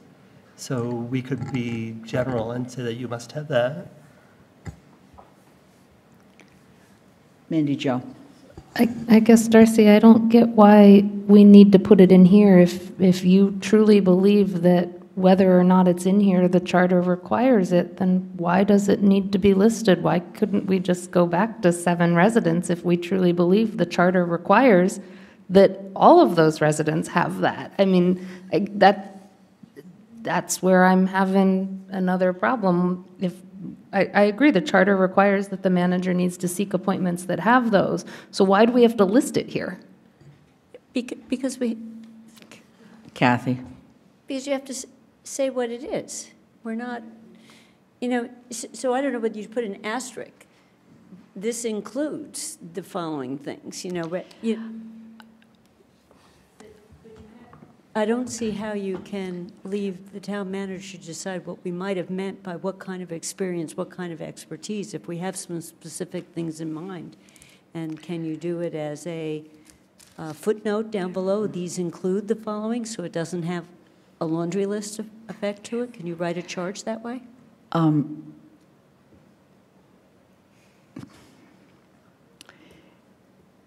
The motion on the table, okay, is to say seven residents, period. No, no, no, no. And then, next sentence, with ex- experience with one or more of the following areas, and then we list them. And we say, or other relevant areas is preferred. The discussion thus far has suggested preferred is as good as saying must have. And the issue of the list, we could go on all night, and we're not going to. Um, it- We've said other relevant areas is preferred. So um, I think we need to vote on this motion. And the motion is seven residents, period. Experience with one or more of the following areas, blah, blah, blah, blah, blah, blah. And other relevant areas is preferred, period. And then we eliminate the second sentence. Unless there's an amendment around the issue of the word preferred, because I did hear that. Yes, Shalini. So I just feel like as a as a council, I don't feel we have a consensus of what is the nature of this committee. What do we want it to look like? I don't. I'm not sensing that we have a consensus. We want the diversity. We want uh, people who are going to be affected, a cross section of people who are going to be affected, to be part of this committee, to have their buy-in, and and that's a fundamental, I think. Um, and that's why we're trying to reach this, which is neither this nor that. And so, can we, is that worthy of a debate? That do we want that or not? So that goes back to the idea of saying some of whom will have experience. And also specific, specifying the way um, Keene, New Hampshire had that, and then what the others would be, they would represent a cross section of organization, institutions, communities, or so if you're not saying that it and just saying that the, this is preferred, it's almost not uh, inviting that sense. Like we want all of you from different um, sectors to be part of this, to shape this, because this is affecting you.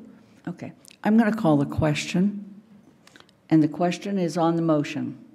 Seven residents, period, experience with one or more of the following areas. It- It's the full list of areas. After that, it says, and other relevant areas is preferred. Nothing else after that. I- And the community choice energy was added, yes. Do I need to reread it? Okay. If all those in favor means yes, means that you're in favor of this version, no means you're not. All those in favor? All those opposed? All right, that one just got defeated. I'm going to try another one. I'm going to try one, okay? Who was the great compromise? Who was the great compromise? Or- Oh, maybe it was. Seven, seven residents, some of whom shall have expertise with one or more of the following, and you can include community choice energy. Uh, and at, after the words crim, climate justice, include in other relevant areas. There is no preferred or is preferred. And I don't see any reason to even have the whole conversation about the pool because that just, the pool is the pool. The pool is from any number of places, and we hope it's broad. Do I have a second? Second. Andy seconded. Yes.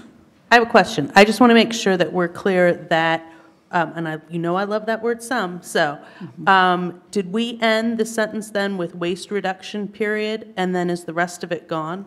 No, it's waste reduction and environmental or climate justice or other relevant areas, period. Okay, so that's different. Okay. Okay, so can I just clarify again? So the start of it would be seven residents, comma, some of whom have? What- mm-hmm. what- What's the start of it? Is that? Some of whom shall have experience with one or more of the following areas. We added in the words community choice energy, and we added at the end, and other relevant areas. How is that different from is preferred? It says some meaning some of the people. Some of whom? So, in other words, some of the people on this committee will have this kind of expertise. Others may have a strong interest, avowed commitment, but maybe they've never done an energy efficient retrofit. Alisa.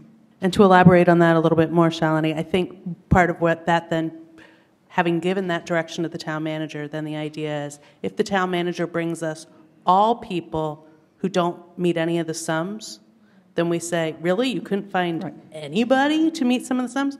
Or if the town manager brings us only people who have those things, but nobody from any of the intersectionality discussion we've had, then we'd say, really? Because it only says some. You, you had to pick every single expert. So it's a way of, of checking back in and saying, we wanted this combination.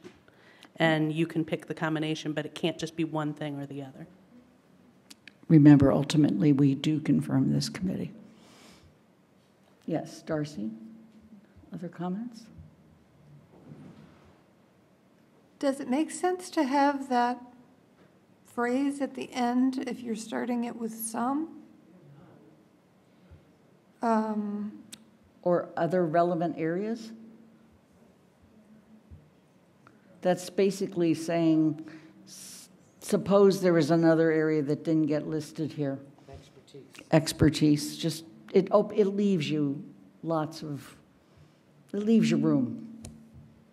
So that seems to, are, are we, uh, I guess I've repeated this quite a few times now, but does the charter not say that every person on this committee has to have experience or expertise in the relevant area?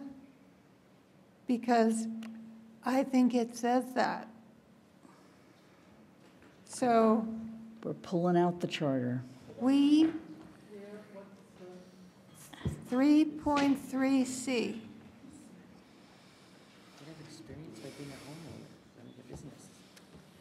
Yeah. I mean, otherwise, we could just go hire a consultant. Exactly. I think we should have a citizen committee and hire a It's- If it's a committee, it's got to have people. Can you tell me the section you're looking for? It's three point, I mean, that's what we are. Exactly. We're not experts. Well, maybe you may. Exactly, no, yeah, no, you're, you're But you're exactly. being asked to vote on things that you're not an expert in, so I'm not. Right. So you become, ex- or you become expert or not. Experts, But we represent But people. that, that is. I'm sorry, Mandi Jo, 3 point what? And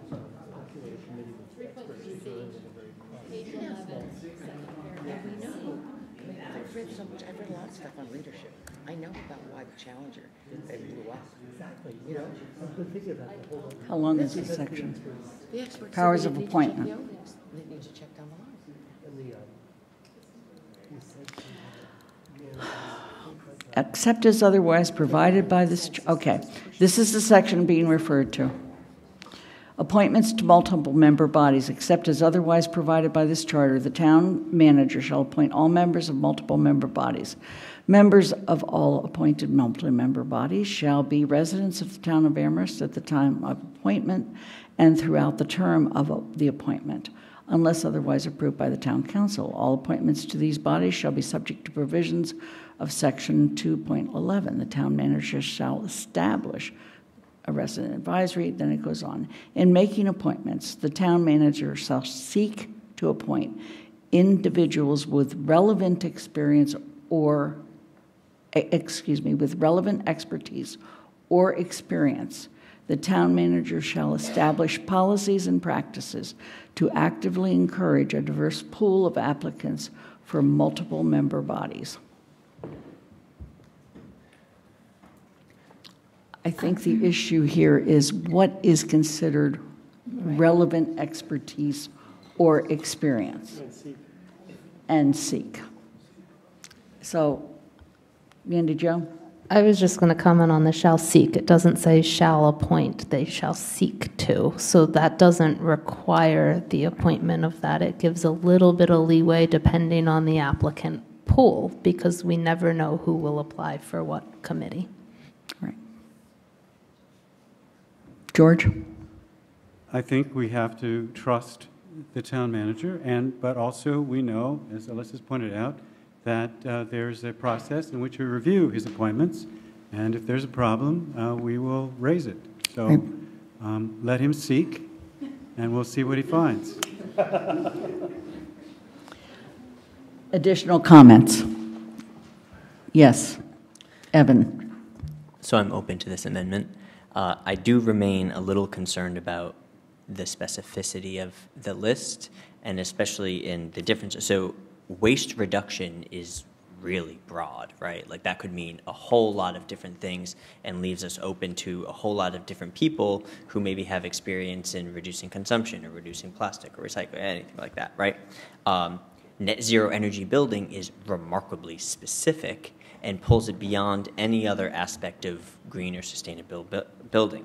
I, the, the one that I have a big issue with is including community choice energy, which is not a statement of my support or opposition to the policy itself, but just that it is a very specific policy that we're, we're encouraging them to have expertise in.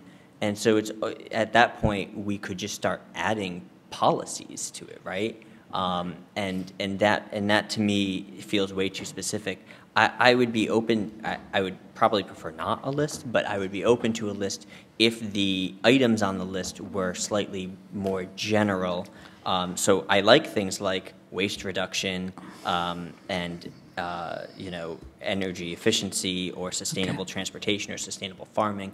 But some of these things like community choice energy and net zero energy buildings seem far too specific and far too restrictive um, to include in this list. Steve? I don't think we're ready for prime time. mean, I, I- I- I- I'm I- about to, I'm about ready to send this No, back to a committee. The issue is which Yeah. committee? It's 10 o'clock, we're on page Yeah. one. We're um, not going to be happy about, however, we're going to vote because we're tired, but we're not going to vote to, and, you know, I really second Councilor Ross's concerns about the specificity of, uh, you know, a lot of this, which I think is attractive to a certain kind of a person, but really who I think is the most important are people that can think holistically. Alisa? I want to go ahead and have the vote, even if it's not unanimous. I understand that we're tired, I understand that we're frustrated, and I have no idea how we're possibly going to fix it in another meeting, because we are never going to come to agreement as to what the list is going, supposed to include. We just have to come up with a close enough thing that we can tolerate it, and we can start appointing people to start doing this work, which is what we say is more important than whether or not we got the list exactly right. If the town manager comes back to us and says, I can't find anybody with any of these expertise, so I'm just going to give you a bunch of enthusiastic folks, that'd be fine, but that's not going to happen because we know that we have people in our community, some of them sitting right here in the audience, who are going to apply with that level of expertise. So I'm not nervous about finding that. I'm just totally loath to postpone something when we aren't going to learn anything between now and then, except that we're less tired. Yes, Margaret? May I read back the uh, composition as moved? Yes. All right. So, seven residents, some of whom shall have experience with one or more of the following areas net zero energy building, energy efficient retrofits, climate change mitigation, advocacy, research, clean energy practice, policy, infrastructure, community choice energy, green infrastructure for climate adaptation, sustainable transportation, sustainable farming and forestry, waste reduction, and environmental or climate justice or other relevant areas. That is the motion. I move the question. Mark Darcy, yes. What does it mean that you, that we say some? I don't, It I means don't really that understand if the people that apply might have enthusiasm and maybe even experience, but not in the way it appears here. But the town manager, through his process, deems those people as good people for this committee. He recommends them to us.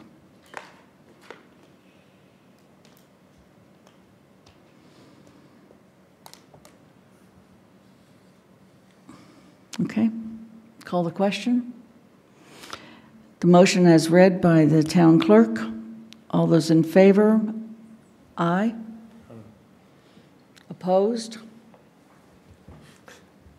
I think it's, were you opposed?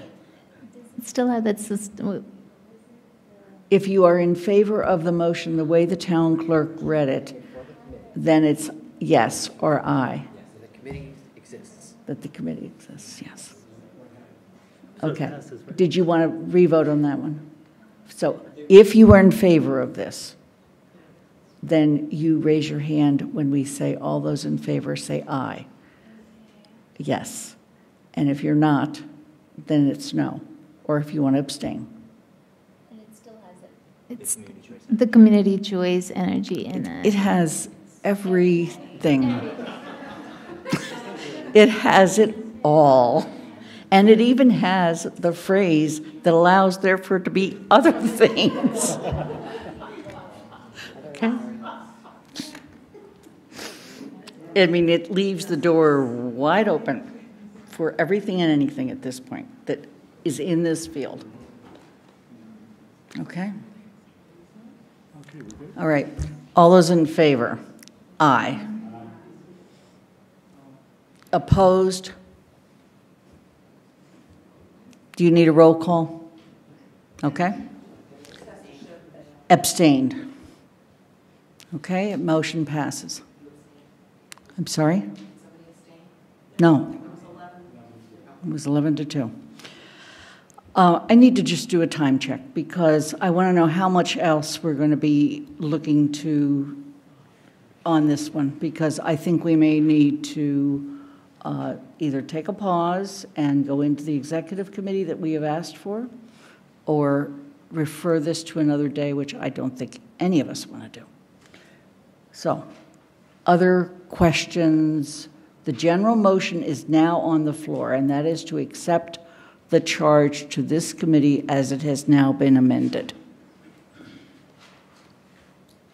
I do want to say, I believe from the earlier discussion on the motion that we have gotten rid of the word standing, and I think that's to be filled in later. That's part of a whole legal counsel reading, et cetera. Cathy? Okay, so I have something that is not substantive, all right? Okay. So it's not to what the charge is doing. Okay. Um, The appointing authority Yes. has the town manager appointing town councilors. And then it's coming back to the town council to review the appointments, including some of us. And I think there's a separation of uh, power here that we're crossing over that's a very bad precedent that I've never seen a legislative body delegate to someone they hire appointment authority over them. Um, you know, I can't imagine a member of Congress saying that a department head in the federal government could pick which two members served on this. Um, so I, I think we're doing something that's precedent setting that isn't a good idea.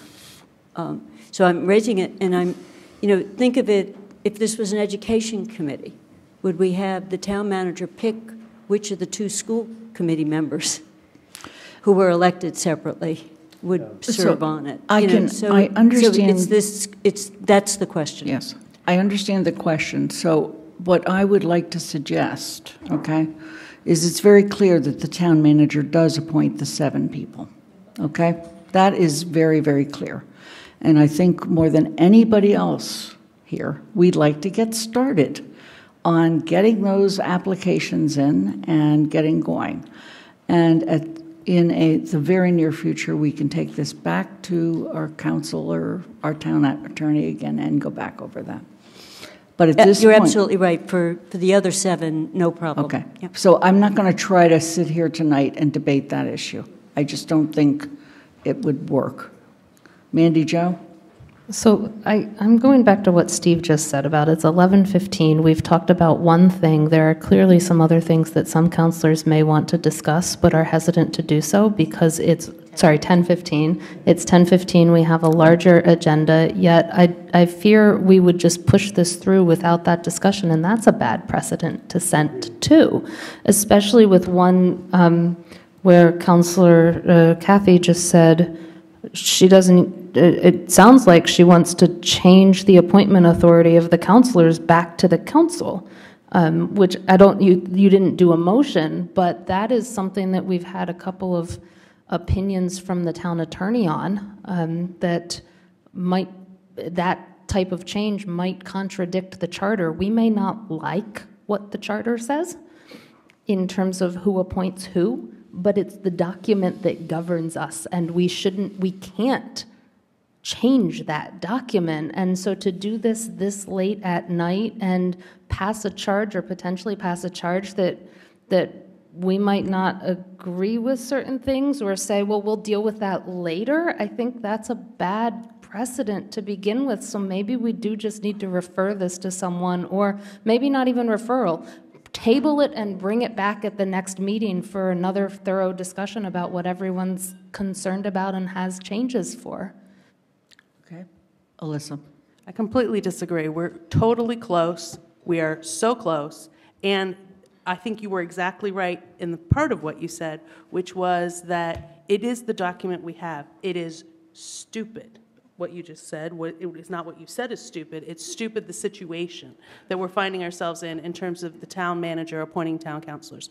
Part of the problem is the charter did not properly for Amherst style, envision town councilors being placed on a committee that weren't a town council committee, which is, remember that conversation when we started all of this? So that's where we've boxed ourselves in by putting town councilors on a non-town council committee. And therefore, according to the charter, the document we have, it says this is how it works. The next argument to be had is whether or not the council president gets to pick those two councilors and recommend them to the town manager, or if we all talk about it, talk to the president, and then she recommends them to the town manager, or if he just picks names out of a hat and hopes for the best when he gets to the decision tree that the, another committee is working on. But in the meantime, we need to recruit the seven members, and we're not going to get a change in the charter document to do what we think is weird. Um, and so we move along and we start going. Mandi Jo. So I, I take issue with the fact that your statement of we are close because we've talked about one thing and no other. I, I believe there are councilors here that are hesitant to discuss things they intended to discuss tonight because of the time. So I don't, I'm not willing to concede that we are close to passing this because I don't know whether we are given the language in here. So, so that's why I'm saying tabling might be the best situation right now. Um, Other comments? Steve? Oh, I just want to remind you all that we passed a motion, of one of our first meetings, that we have a hard stop at 10. And so I'm not sure, I'm not sure No, that, we never passed that. well, I'm not sure that uh, tabling, I mean, I I think, I Steve. think that tabling is a reason, we still have uh, other parts of the agenda. Question about, maybe it's a point of order about tabling, since that's not something we've ever done at town meeting, and it's not something we ever did at select board. And so it's a new thing to Amherst to be doing tabling. Um, We we postponed, which is roughly the same thing. But when we postpone, there's a reason, not just that we're tired, not that some people are afraid to talk. If the president would, wants to poll people and say, is there anyone who has concerns that they're not willing to bring up tonight, but they will let us know? So therefore, if they do, we won't have any idea what they are until we show up at our next meeting, and we'll go through this all over again. I don't know what their concerns are. If people want to bring up their concerns and then say, but let's not decide, I'm fine with that. I'm not fine with saying, we can't talk about it tonight, we're going to show up the next time, and we're going to hear it all for the first time, and go, oh, okay, well, that's really interesting, maybe we should postpone it again. Like, please speak up and tell us what they are, and then ask us to, to postpone the rest of the discussion, I'd be fine with that. But walking away now, I have no reason to believe anybody has a problem with anything other than the things we already fixed. There's been a suggestion that I ask are there other things in this charge that councilors would like to discuss now or in the future? Mandi Jo. I, I have four other things, frankly. Okay. All right.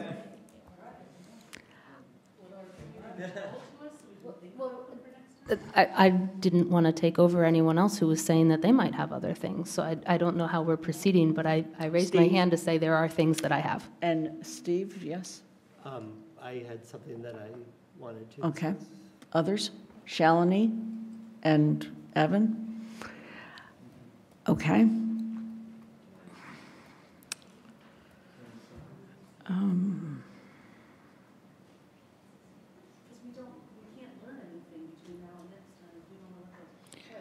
Right, and we don't have the right committee to refer this to.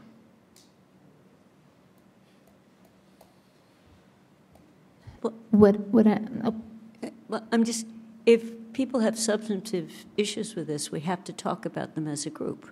Isn't Right. that correct? You know, That I mean, they- correct. there- Even if there was another committee, they could just have Well, a chat and bring it back to us. I mean, we, Right. we- the 13 of us need to Right, hear but it. there, there is not a committee that is assigned to deal with substance. And that's where I would imagine most of the rest of the comments are, because the committee that deals with governance has already dealt with those issues. Pat? Uh, I think we need to hear from each of the councilors what their issues are. Uh, There may be um, parallel issues or the same issue coming up. Um, I agree with Alisa, if we don't know what they are, we can't prepare for them, we can't deal with them now or later. So let's go ahead, and people need to say what's on their mind. Let's start with Mandi Jo.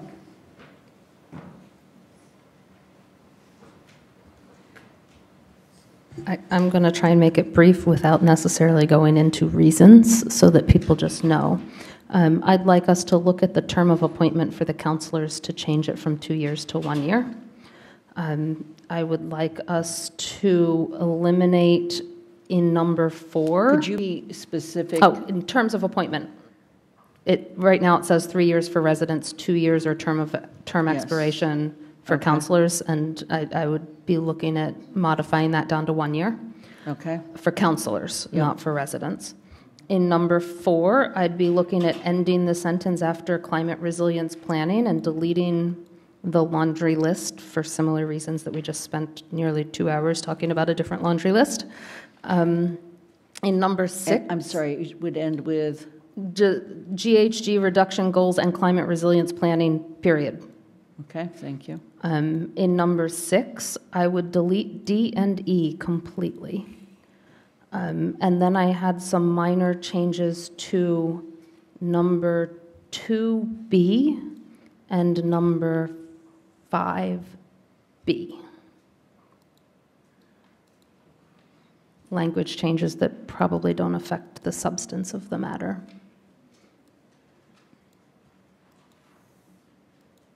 Okay, and five, 5B, you said? Steve? Um, Actually, Mandi said exactly what I was, number four, what Mandi said. Okay. Um, Shalini? I wanted to hear more about the public um, forums and what is the process of public involvement, because it said there would be one meeting in a year, and I'm not sure. So just more clarification of that. Um, And I was thinking of understanding the process for goal setting beyond the overarching goals that we have. What are some of the intermediary goals? And also, again, um, um, if we could get a sense of in the report, would it include um, a roadmap and not just isolated um, policies or isolated um, actions, but what would the roadmap look like in terms of uh, what our goals are and what are the challenges we encounter and you know what are the intermediary steps, what are the long-term steps, and, and so forth. So like a roadmap. And um, that's all for now. Evan? Mine would be very quick, I hope. Um, Based on the comment I had on the motion, would be 6C, engagement of the public and relevant stakeholders in education, planning, and development of climate actions. I'd like to add after education, uh, goal setting. Since goal setting is a big part of this charge, one and two, I think it'd be useful to make sure that's stipulated, that that should also include the public. Anything else? Okay. Uh, Were there other people over, Pat, any of you? Okay. Yes. Go ahead, Pat, microphone. Um, Under reports, I would be very interested in what the committee did uh, in terms of cu- community engagement and how successful it was.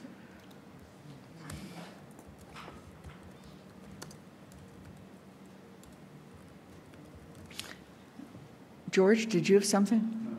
Okay. Others?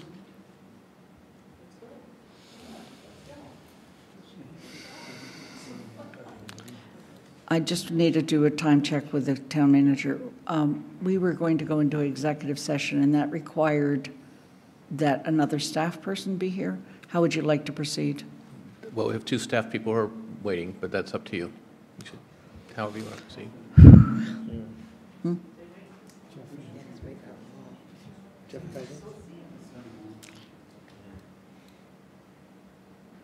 Okay. Yes, Andy? I was just wondering if the uh, president would consider appointing an ad hoc committee that would um, consider this charge and bring it back next meeting. Given the input that we presently have? Yes. I think that's necessary, given the number of changes that people are looking at. And so I'd like to entertain a motion to create an ad hoc committee to take this charge, and that committee itself will in fact look at substance. Is there a second? Second. Further discussion? Alisa? I think that's a great idea, and I think that one of the reasons we went ahead and had to go through our lists, and if Mandi Jo wanted to go through hers more, um, was because we said it in a public posted meeting. So now this ad hoc committee can go back and say, so Mandi Jo, what, wa- what were those sentences you said again? And Evan, what were those sentences you said again? And it's not like you're going around and deliberating, you're just fact gathering and trying to put it back together. And I actually have marked up my copy. So Cathy? If we set this up, can we limit it to things that were just brought up now rather than get a wholesale re- rewrite of it? So that we're looking at this document addressing the specific areas? Could we just have agreement that it's not going to, you know, like That's have, fine with me. Yes, George? So when this imagined ad hoc committee comes back, they're going to report to us what the objections were of these councilors? And make recommendations. And make recommendations mm-hmm. instead of letting the councilors just speak for themselves, so we Yeah. can hear what their objections are? Well, the, the, the ad hoc committee would take what people have suggested during this quick survey, and they would come back with a recommended change. Otherwise, we're going to be sitting here for hours. This is, if, if I count, it's, if it's Mandi, Steve, and Shalini, and Evan, and Darcy, where they're working this, uh, and Pat, you know, I mean, we've got people who raise specifics, so if they're in the room, then they can repeat what they just said to us. So we're working on. That's fine. I have notes. Okay. So there's a motion on the floor. Did I get a second? Yes. Okay. Uh, Excuse me. Of course I did, Andy. Is there any other comment on this? All those in favor? Yes. And Mandi Jo. I just wanted to add, I forgot 5D as one of my word changes when I was looking at my document quickly. Just to put it out there. Okay. Anything else? Evan? I'm not completely clear on this. Is the motion simply an ad hoc committee to hash out the remaining substantive issues, or does the motion include that that conversation be restricted to what was just brought up? I'm sorry, go ahead, Margaret. Restricted, yeah. That's why Amanda Joe just made sure she mentioned that. I'm giving anybody else a chance. Where else you want green lines in this thing? Because that's what I've got right now. Okay? The motion's been made, seconded, call the question, creation of an ad hoc committee to take this with those items that have been identified for which the councilors have questioned and come back to the council with a recommendation. Yes? Yes. All those in favor? I think it's, Darcy, your hand's up? Know, reluctantly. Okay, it was unanimous. Thank you. Now I need to have people express their interest.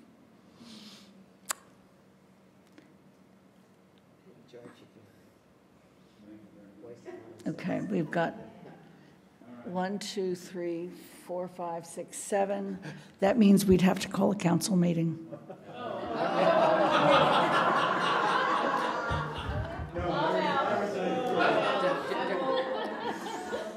Anybody like to withdraw your hand? Me. Okay. And we're supposed to have an odd number of people. Yes. To be clear, you're going to have to post this meeting. I know. Put, put however many people you want on it. Does that mean- That's true. Yes. I, I think Lynn's point was if seven are on it, it also needs posted as a full council meeting, not just a committee meeting. It, that's actually, a- that is actually a point of discussion I've had recently with our town attorney. And that is that since we have five people on most of, on all of our standing committees, if two more councilors plan to attend and be vocal, then we have to put, vo- post it as a council meeting. Yeah, but if you've got seven people on a committee and they're all from the council and they're all going to be vocal, It, it's, a- it would, it would be a posted meeting if it was two people or if it was seven people. The difference is if you have somebody come to a meeting you weren't expecting, that's where it gets problematic because you have more people associate, you have a committee and some people who aren't on the committee. If you have seven people on the committee, it's okay. But again, you probably don't want seven people on the committee, just saying. Okay. How, let's, it, I'm sorry? Pat has removed herself. Would I, could I see a show of the hands again? One, two, three. That's six. Can we have an odd number? Huh? You removed you? Okay. All right, five. So uh, the president gets to appoint to ad hoc committees, and I appoint to the following ad hoc committee. Darcy, Mandi Jo, Steve Schreiber, Shalini, and Evan Ross. Okay. We are going to go into, yes. I just ask, um, we, since we passed the motion creating the committee, it- can we uh, get that going and, and start taking applications, get it on the form? It's a very good question. Thank you for asking it. Paul? Yes, so we do have a press release ready to go, and you took action tonight in terms to create it. I'm assuming that nothing, nobody cha- challenged the number of residents. Right. And so that's, that, we can move forward with advertising for that. Okay, great, thanks. Excellent. Okay, thank you. Uh, We're going to go into executive session. Uh, I have to get my language out.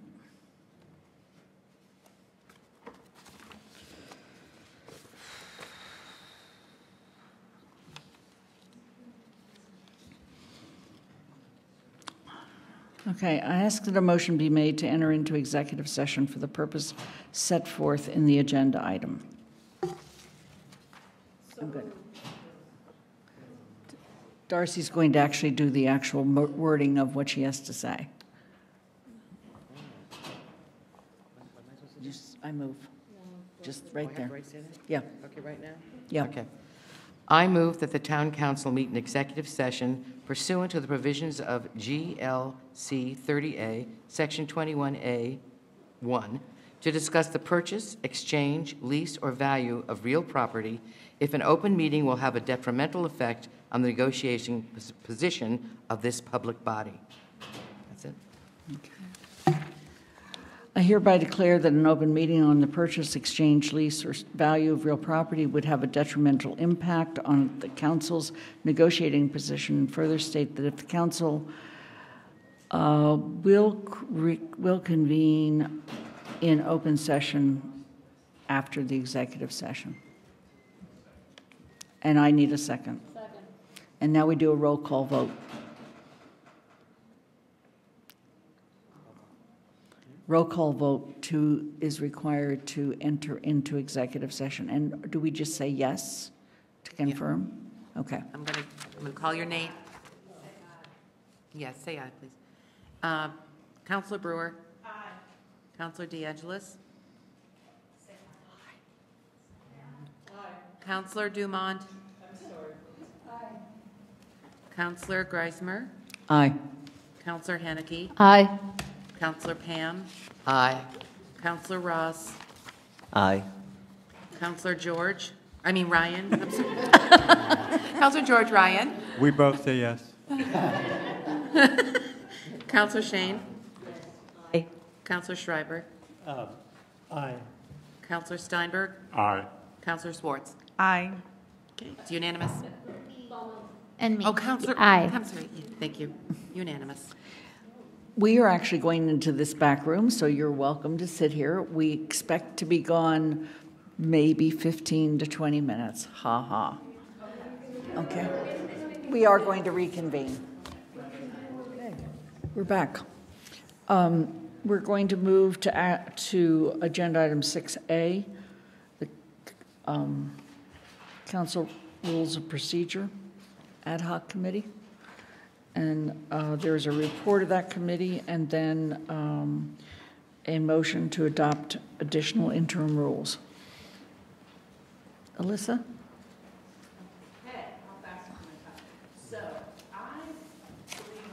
Our motion sheet has some acceptance of reports, and I don't know why, because we don't normally do that unless it's something like a recycling and refuse management report that we're accepting.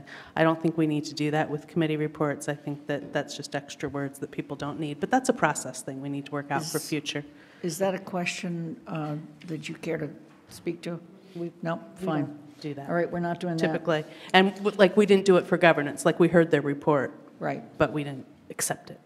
So you don't have to accept our report for rules of procedure, but we have many documents. So what you saw in the original packet that was published many days ago was the action items. It was not written on uh, letterhead at that time. It just said rules of procedure, town council, ad hoc committee, recommended action, and that had the motion which I'm not actually making yet, to adopt the interim rules of procedure dated January 15th as amended, because figuring you'll change something, under the Amherst Home Rule Charter, Section 2, 6D, uh, my eyesight is fading apparently at this hour, and 10.7P1I. And basically, here's the deal. So you remember, way back when, when we got the original rules and procedures from the Bylaw Review Committee, and we sat here and we tore it apart. And we said, yeah, this is duplicative Mass General Law, this repeats what's in the charter, let's just do the basics. And then we'll have this committee go off and turn it into something else. Well, as it turns out, one of the sets of basics that we pulled out, according to the charter, we needed to have in there in order for them to count as our interim rules. And so what we did is, if you look at, I know there's so many documents here. If you look at the, you can look at the beautiful marked up one that you got at, oh, I don't know, midnight.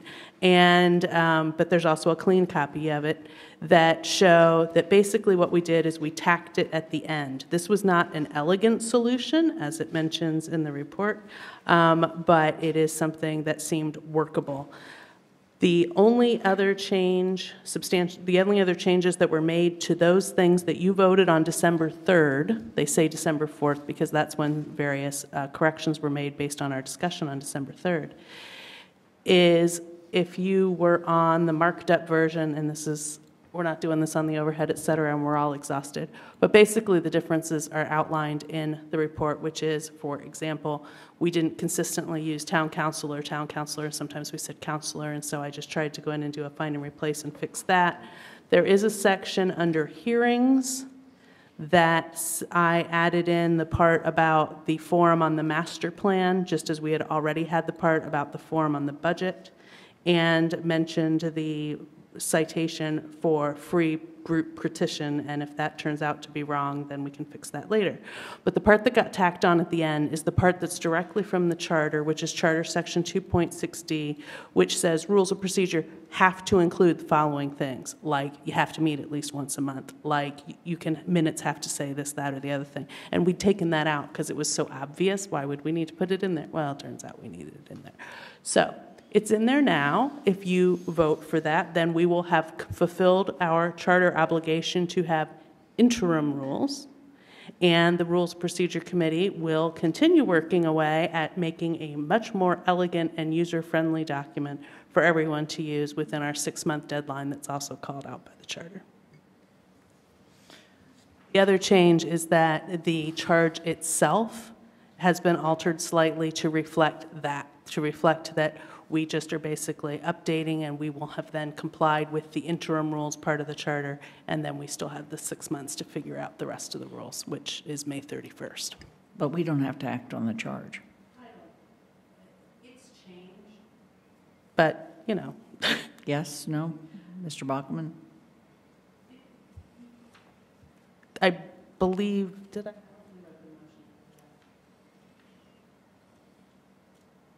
We could by consensus just agree that it's been updated to say that. And the other thing that happened is we had sort of an interim sort of charge format that I made up when I suggested it to the energy group, and so I reordered some things. So it's just reordered. And you'll see at the end, it has less text, more just bullet points. But the content that's changed is it's showing that we have complied with the charter if we agree that the thing we voted on December 3rd, which appeared to be sort of temporary, kind of interim rules, are actually our interim rules. I'm going to call for a vote on the revised charge, just to be clean, okay? Uh, Do do I hear a motion to ex- uh, accept the revised charge? Motion's been made. Second? Mandi Jo? I- Yes. I haven't, what are the changes to the charge? I haven't been able to see on the charge of the Rules of Procedure Committee an actual redlined version. I haven't found it. So can you actually tell us what those changes were? And I don't have my mic down. Um, We received a hard copy tonight of what it was. Right, but we have, this is what we approved before, and we have, it was my mistake. I thought I provided a red line, but I hadn't, on the charge itself. I'd done that for the rules, but not for the charge itself. There's a clean copy. It was supposed to be 8 o'clock when we talked about this. I guess, what are the amendments to it, besides the changing of, like, location of things? So the original one, if you turn over the one that we had in our packets, thanks to Margaret bringing these to us tonight, you look at the back, it says reports. It has a bunch of sentences. Instead, now it has two bullet points that say, "A proposed set of interim rules no later than February 1st," and citation, "A proposed set of permanent rules no later than May 31st," instead of saying, "The ad hoc Rules of Procedure Committee shall bring to the council." That changed. Instead of membership saying the committee consists of five members of the town council, it says five town councilors.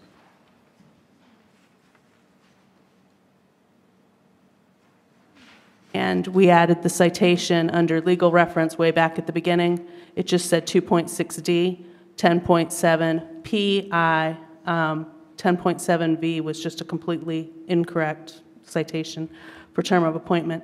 Um, But it's 10.7 PI. That's what happens when people are in a hurry changing things. That's what we did on December 3rd, and we were cutting things apart, and then on the 17th, when we did this one. Um, But 10.7 PI is that transition section, and that's where it said how we could get together and do the rules ahead of time, and that if we did the rules, they had to include this extra section that we'd cut out, that we've since put back in. That same extra section is in fact right here on the charge as well. So it's like you should become very familiar with it because 2.6D just keeps showing up over and over again. It was right here in the charge itself, but it was no longer in the actual interim temporary rules we adopted on the 3rd. Questions? All those in favor? Unanimous. Okay, let's move on to the actual uh, additions to the interim rules. And again, if I could just make clear, this is going to look way better. We're already making progress on how this is going to look when we do it at the end, but as you can see, this is just what was left when we pulled it apart before. And that's why if you look at the redlined version, it's almost all blue. The blue stuff was the stuff we cut out back in December 3rd. And uh, the red should be mine, which is mostly just moving things around a little bit, adding a couple citations, and as I mentioned, referencing that our discussion about what hearing format is like is different for the hearings on the master plan and on the budget. Do I hear a motion? It's a motion to adopt the interim rules as amended. The citations actually on our motion sheet. I'm sorry, thank you. It's to adopt the interim rule, rules of procedure dated 1/15/19 as amended under the Amherst Home Rule Charter, Section 2.6D and 10.7P and I. A motion has been made by Cathy, second, Pat. Any further conversations? All those in favor? It's unanimous. Okay. We're now moving, uh, Town Manager's Report. Mr. Bockelman? Such a long town manager's report, but um, a few things. Uh, The, just want to let you know that uh, technology is up, so tonight we've been live streaming our meetings, uh, been broadcast through uh, Amherst Media, but also live streaming through our website. Um, Second thing, some, we had kind of um, advertised that we were going to be talking about the North Common tonight, and there's plenty of time tonight, I think. But um, uh, what um, basically is, if you recall, uh, we had originally looked at uh, redoing the parking lot, the Main Street parking lot, and the North Common. We decided those two things should are, in, are intertwined, so we should look at them together. Um, we, there was a committee that looked at this, developed a lot of reports, made a, a presentation to the select board uh, towards the end of their term. Um, and part of the project was, what part of the recommended action was to reduce parking in part of the Main Street parking lot. It was, it was called the bold option. Um, it's a significant issue for the town, something that gained a lot of attention. Um, and we knew that there was a lot on your plate, and that if we didn't get a really quick decision from the council, we wouldn't be able to do construction this summer. And so, knowing the number of things on your plate and how you, um, with the schools and everything, we decided to postpone um, this whole conversation uh, for two reasons. One is so that there's, the council had more time, but also, more importantly, we have a consultant coming in to do a study of the parking and that consultant's already started. And so we hope that we'll have that information for you when it comes time for you to make a decision about what to do with the North Common and the Main Street parking lot. We anticipate that that will happen later this calendar year. So it's still a live project. The money is still there, and we hope that we'll bring it back to you then. Um, I'm doing one of my Cup of Joes on Friday, February 8th at the Lone Wolf with our sustainability coordinator. Um, you probably have read about Hampshire College um, making some announcements. Uh, we, I've been in touch with uh, the president of Hampshire College. Uh, there's nothing imminent with Hampshire College, uh, but it's significant uh, employer, it's significant landowner for the town. We care a lot. Uh, things hap- whatever happens at Hampshire also in- influences the neighborhood and development in that neighborhood as well. So we're keeping a close eye on what's happening there and it's unclear what is going to happen. They have a Board of Trustees meeting uh, next week, So I think there'll, there'll probably be some news that comes out of there. I hope some news comes out of their Board of Trustees meeting. Appreciated everybody who was able to, to attend the MMA meeting in uh, Boston last weekend. I thought it was a really good meeting. And I really appreciated, I think the whole town appreciated how all the councilors came together to escort Nancy Eddy over to the opening session where she was recognized and gave a speech, which I thought was a really class thing for the um, MMA to do. Uh, the uh, Metropolitan Planning Organization has a vacancy because we had Doug Slaughter, who was chair of the select board, on that previously. Uh, uh, Lynn Griesemer has been um, nominated to take that seat. It's a seat that's voted on by South Hadley, Easthampton, Northampton, Hadley, and Amherst. There are two other candidates, so the president has been working the polls, as it were, um, to that ensure that uh, Amherst retains that seat, uh, and I think that's that's going forward. Um, there's a terrific, uh, pr probably one of the best uh, Martin Luther King uh, Day uh, events that we've had here. we were we weren't here, but um, they had a really good presentation, one of the largest turnouts and uh, everybody who went said the food was great. It was just one of the best ones that they've had. I'm sorry we many of us missed it because we all had everybody in this room had another obligation.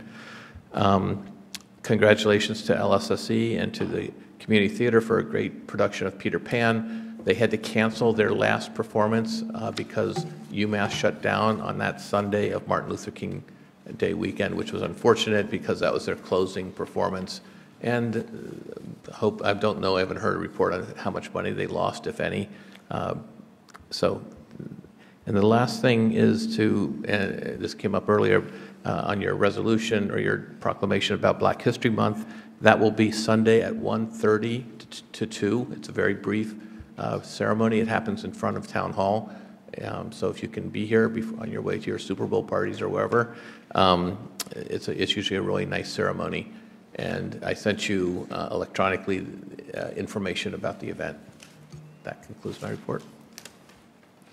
Okay, thank you. Um, moving on to eight. Uh, we uh, did go to the town council for a read on when the president appoints and when the council appoints. And based on that, I developed a memo to you dated January 23rd. I attached to that memo the council's opinion, I mean, the attorney's opinion, and I also attached to that the Excel spreadsheet that I developed based on the polling that I did with each of you on which, which committees, both standing and others, you were interested in. Um, of all of the committees, the only committee that I now appoint to is, in fact, the Bylaw Review Committee, and be based on people's interests, uh, I am appointing Alisa Brewer, Pat DeAngelis, Evan Ross, and then two external people, Bob Ritchie and Bernie Kubiak. Those do not require approvals. The other appointments, however, are by the town council, and I have made a suggestion based on the um, polling that I did. And then I have to say, I looked at the balance of who was being asked to do what, et cetera. Um, and I also talked to several of you because I needed to create balance. So, for example, um, the Finance Committee uh, wrote their charge so that the Participatory Budget Commission needed to have a Finance Committee person on it, and yet the only person that mentioned interest in it was Evan, and he was not interested in the Finance Committee. So um, I went through this puzzle. I think I had about seven iterations of this chart till I finally made those. I do say in this, for the appointments by the town committee, these are recommendations only to you. If you do not accept these recommendations, I would suggest that you refer all of this to the appointments, to the um, Communications Outreach and Appointments Committee, and um, that, and that's fine with me, either way. Cathy. Um, I have, uh, I want to speak to the way we're making the appointments, so I'm not questioning necessarily the people. Um, when I think about what the design, and there is a motion to amend in your packets, I think, a written one. When I look at the way the charter was designed and the way it was um, described to the public who voted on it, one of the things that was stressed was it would be a very democratic process. We'd have 18, 13 council members with no concentration of authority in any single person. And in fact, we don't, we even review what the ma- our manager is doing. And so what I proposed is that when we, the council, um, what the legal memo said is when it's a committee that's not of the council, it's us, the council, that's doing the appointing. So we can decide on a case-by-case basis how we want to do it, um, including let the president make recommendations. But what I would like to recommend for the three in front of us, so the Joint Capital Planning Committee budget and participatory budget, is that we consider not just taking the president's recommendations or referring it to a committee, but actually saying who's interested in these positions and taking a vote on it. And this would both have a process that didn't invest in authority in any single person. And so it's not a question so much now of was this fair or not, but if you think of the future, the precedent we would be setting is the president is appointing pretty much all the positions um, without a discussion. So I, my understanding, if I think of the way things were done before, we're in a new world, but select board would talk to each other about who wants what. And often there didn't need to be any kind of vote because people distributed themselves. Um, So my motion's before you, and I can read it um, if you need it, me to. It's to amend the motions to these specific committees, so I'm just focusing now on the three in front of us, for a different procedure. We'd have the council members here indicate which of these they're interested in. If there's more, too many people for the slots that are available, we have people say a word or two about themselves, why they think they're capable of it, and then we would put it to vote. So that's the motion um, that I have before you. And I, I just, I'm on the Rules of Procedure Committee, so I've been looking at how do other towns handle this? And several of them, Randolph's one, say it's a majority vote when a council member is going on a committee, if there are more people interested. So I'm thinking of the future, not trying to concentrate authority in a person. The charter doesn't have a mayor. We made a decision not to do it that way. So the motion's been made. Is there a second? Second.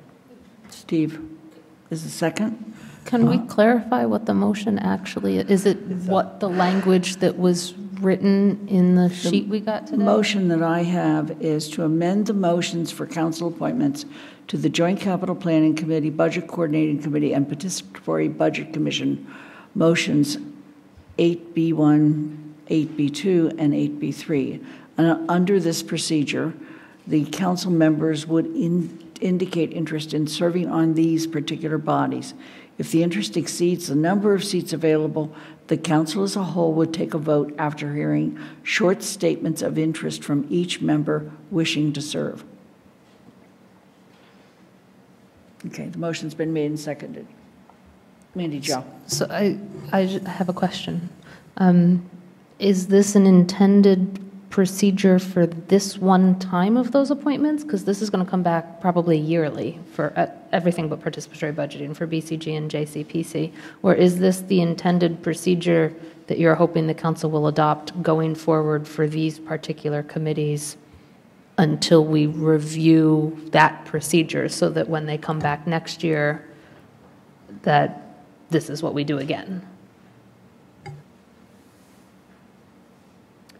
I originally wrote this broader, saying that whenever we have a situation where we're appointing a council member, that we would go through this process. And it made sense to me that I confine it just to this, because I'm amending the, th- the three motions.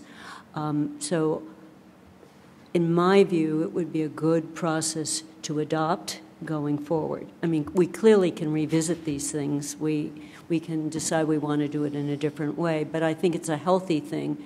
And if I think of, say there's a situation where we have a contested vote for president, which we didn't have this time, it was unanimous. Um, you don't want a situation, you don't want the risk of a situation that there was favoritism among uh, different factions on the council in any way, and somehow people just weren't getting the things they wanted. So this avoids that risk completely and doesn't depend on having a fabulous president who's trustworthy. So, uh, you know, I would see it going forward, um, but clearly it's just amending the motions in front of us, and this is a yearly decision we would have. Other comments, questions? Oh, I'm sorry, Alisa, yes. So, uh, appreciating once again, I don't think we've had the whole analogy about flying the plane tonight, so we have to say it at least once every night. Um, governance hasn't had it, I mean, governance hasn't talked about it, obviously. They may talk about it because their their purview seems rather broad, actually. Um, rules certainly hasn't talked about it, and this is the kind of thing one might perceive as being within rules, and obviously that's one of the reasons it came up, because Cathy's on rules, she's vice chair. Um, I am also very uneasy with the charter that we have from the standpoint of all the authority that's invested in the town manager and in the council president. That's just a fact. That's where I'm at.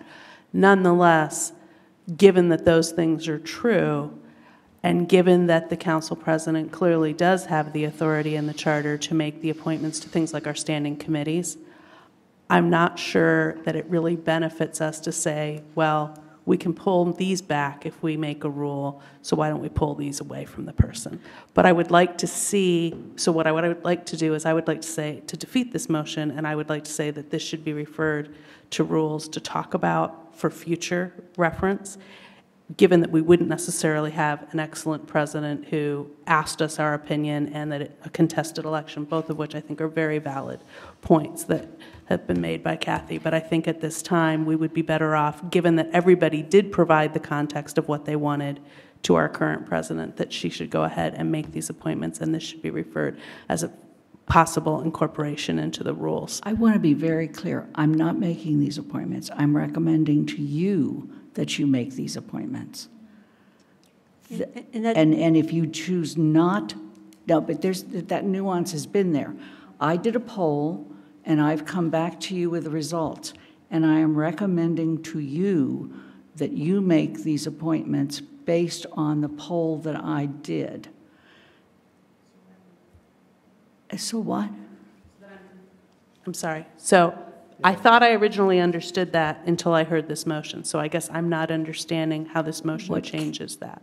What Cathy is suggesting is that in taking the poll, if there are more than the number of people um, required by the committee charge that want to be on that committee, that the, it should come back to the council, and the council hear short statements from each of the potential candidates, and the council actually vote by candidate, not by recommendation.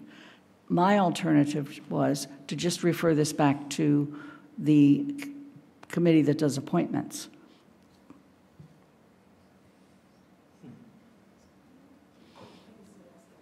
Mandi, Mandi Jo. I was just going to say, I think, given what's here, we have three options potentially tonight. One is to have a, the, mo- there's a motion on the floor right now to say these appointments go by indicating interest tonight. If the interest exceeds the number of available tonight, the council would vote to take, after hearing short statements, would vote who's serving. Another option is to just make a motion to adopt the recommendations that Lynn, our president, has made. And another option is to refer those recommendations, or even the appointments in general, to the um, Communications, Outreach, and Appointments Committee. That's correct. Those are the options. as And, but the motion them. on the floor right now is the one that Cathy has made. Cathy? I just want to make one clarifying comment just to, speaking directly to something Alisa said, and I, I always think you're totally right on this, but the reading, and it's a hard-to-read memo from a KP Law, I think, but they basically concluded that the vested power is only for the council, the committees oh, we yes. create. Right. And for others, we're making the decisions. We're not taking power away from the president. If we conferred it, we'd be expanding the authority. So I'm trying to restrict, and, and I agree that the wording Lynn has suggested is not taking the authority, it's, it's offering us some choices. It's trying to move the process by giving you the information that I obtained through a poll and saying, if you don't like it, send it off to a committee or do something else. Evan? So I understand the concern about the town council president um, being able to make that decision. Uh, That said, I think that the procedure outlined here actually makes me fairly uncomfortable, um, because what it becomes is that for these three committees, we have like a series of mini elections um, to those committees. And, and to me, uh, one, that's time consuming in a body that doesn't have all that much time, as we've seen tonight. Um, but two, what we end up having is is the prospect of potentially um, councilors, you know, whipping votes within the council to try and get on a particular committee. Uh, we could have lengthy votes of trying to see who who can be on what committee. Uh, I think that our president did a lot of work to to figure out how to put these. Uh, she was also very transparent in providing us how everyone ranked things. Uh, I got some of my first choices. I got some of my third choices. Um, and so, you know, if you look at some of these like JCPC, there were a lot of people who wanted to be on that, and I would worry about having essentially a, an election in the council to figure out who gets to be on it, um, especially absent. You know, our president was able to sort of to take the 30,000 foot view and say, okay, here's what we need to do. How do we allocate this? That's something that we can't necessarily do within the context of the council easily, um, because it takes a lot of time and thought, which I'm sure she put into it. And so I, I, I worry about that procedure, and my preference right now would be uh, not to have this motion to to accept, to vote and accept her recommendations now, and have the rules committee figure out a long-term policy for how we're going to do this. Additional comments? Darcy? I agree that the Rules Committee should look at this, um, but um, I, I agree with Cathy that, um, that we, we need to somehow or other um, have a procedure that the council itself can use uh, to make appointments, and that it, um, it feels, you know, it feels like, um, I can understand what Cathy was describing, that, you know, if, if Lynn makes an appointment, uh, or if she makes recommended appointments, that feels, it's harder not to accept a recommended appointment than it is to vote on the people that you want on the committee. Um, So I would agree with Cathy's motion. Additional comments? There's been a motion on the table and seconded. Any additional comments? Call a question. And the motion is to amend the motion for council appointments to the Joint Capital Planning Committee, Budget Coordinating Committee, and Participatory Budgeting Commission. And under this procedure, council members would indicate interest in serving on their particular bodies. If these interests exceed the number of seats available, the council as a whole would take a vote after hearing short statements of interest from each member wishing to serve. All those in favor? Opposed? Abstain? Okay. There was one abstention? Oh, okay. Okay.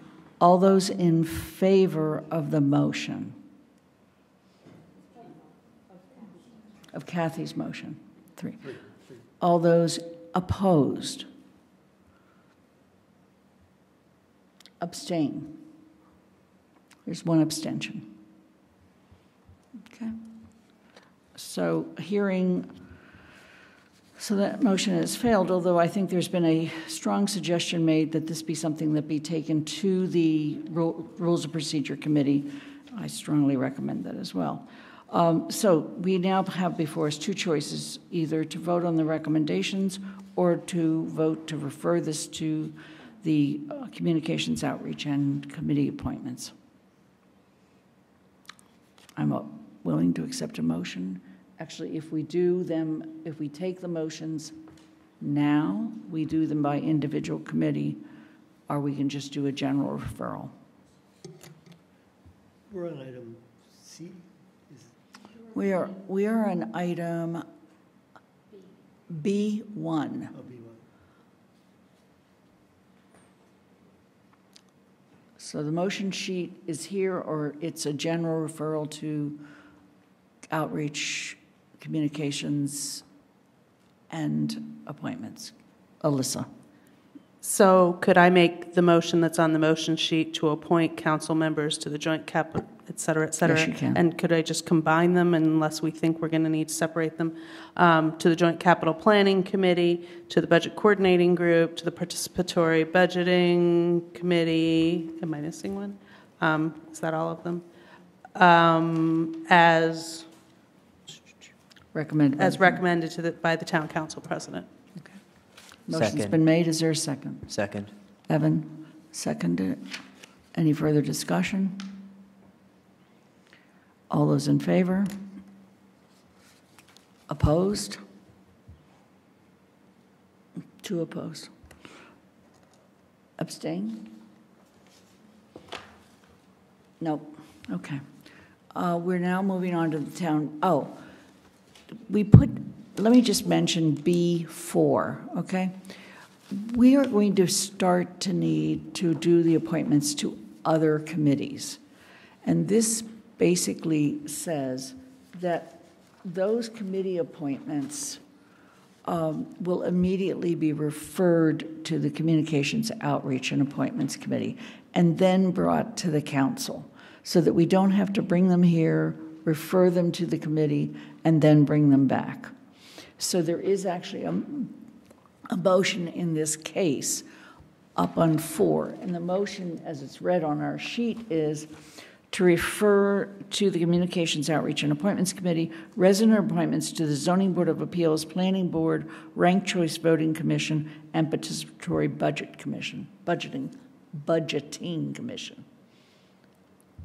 Alisa? Could we just clarify and say all resident appointments rather than, I mean, because there aren't any right now, right? But what we're saying is any future ones as they come in, is that what we're trying to do? Yes. So it- we don't have to have a separate vote here, as you just said.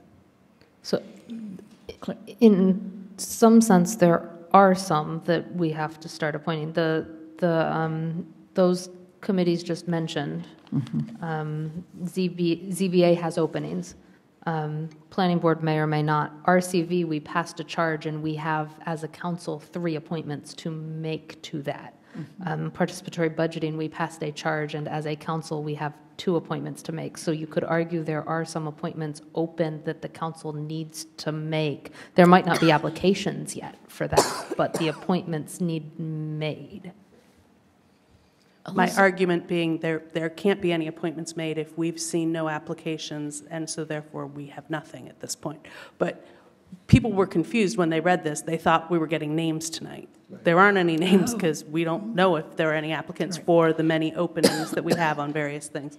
But what, I guess I'm not too red, wedded to the words, but I don't know if we need to insert a word, or maybe it's just fine as it is. It's basically any and all resident appointments to these boards so that as those gatherings of applicants magically appear, they will be immediately referred to the appointments group, and it will not have to come back here first.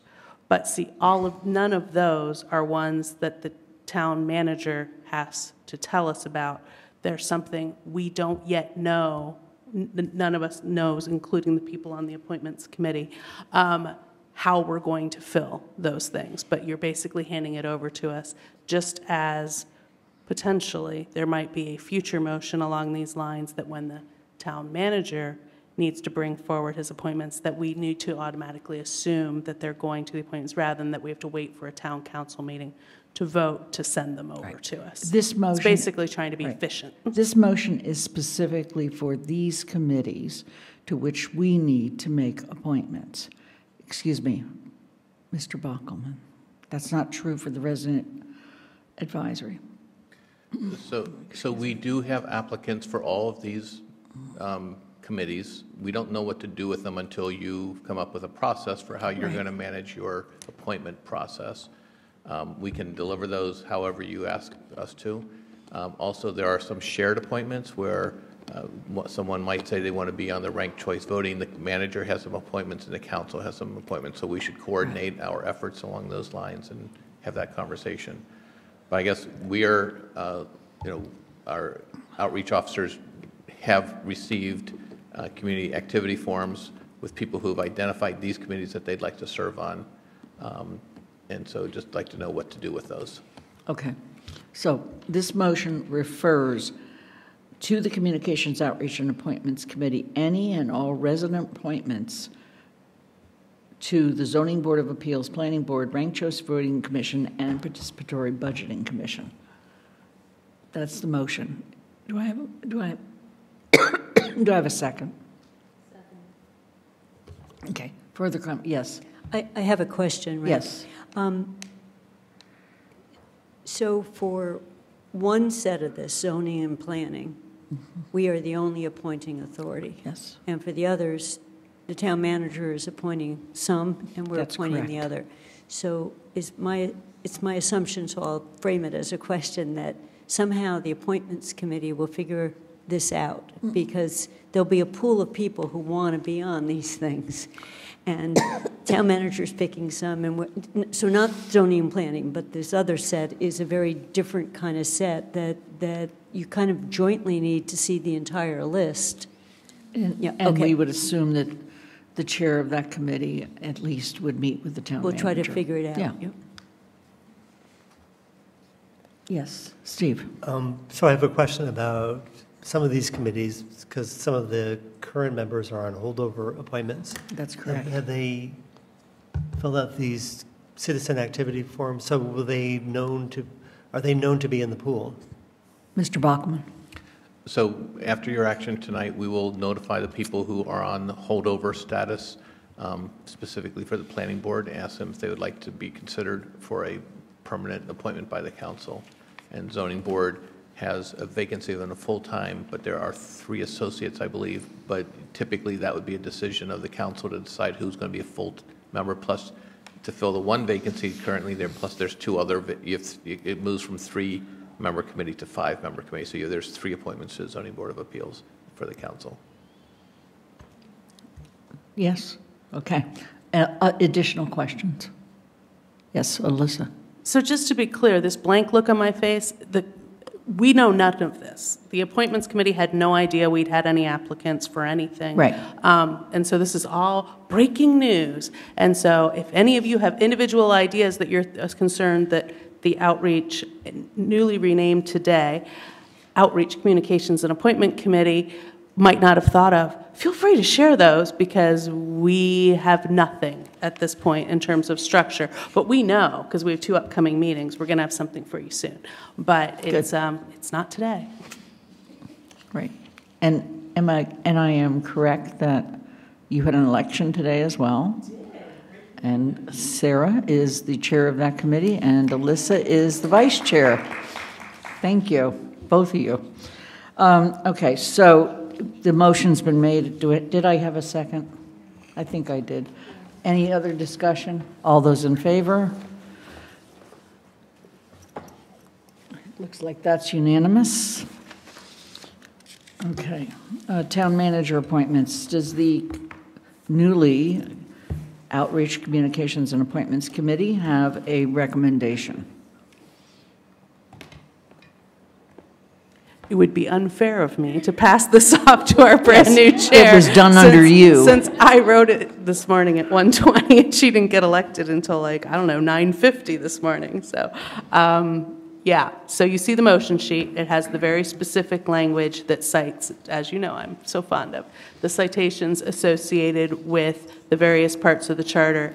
And the thing that was the nice little tricky part about this one is that although it's normally the 30 days on committee appointments, it said 60 days of when we took office is when we have to confirm these. And we've all talked before about the fact that the Board of License Commissioners is going to need to do some work because the town manager's been covering that position up until now, and they've got to get trained, et cetera, et cetera.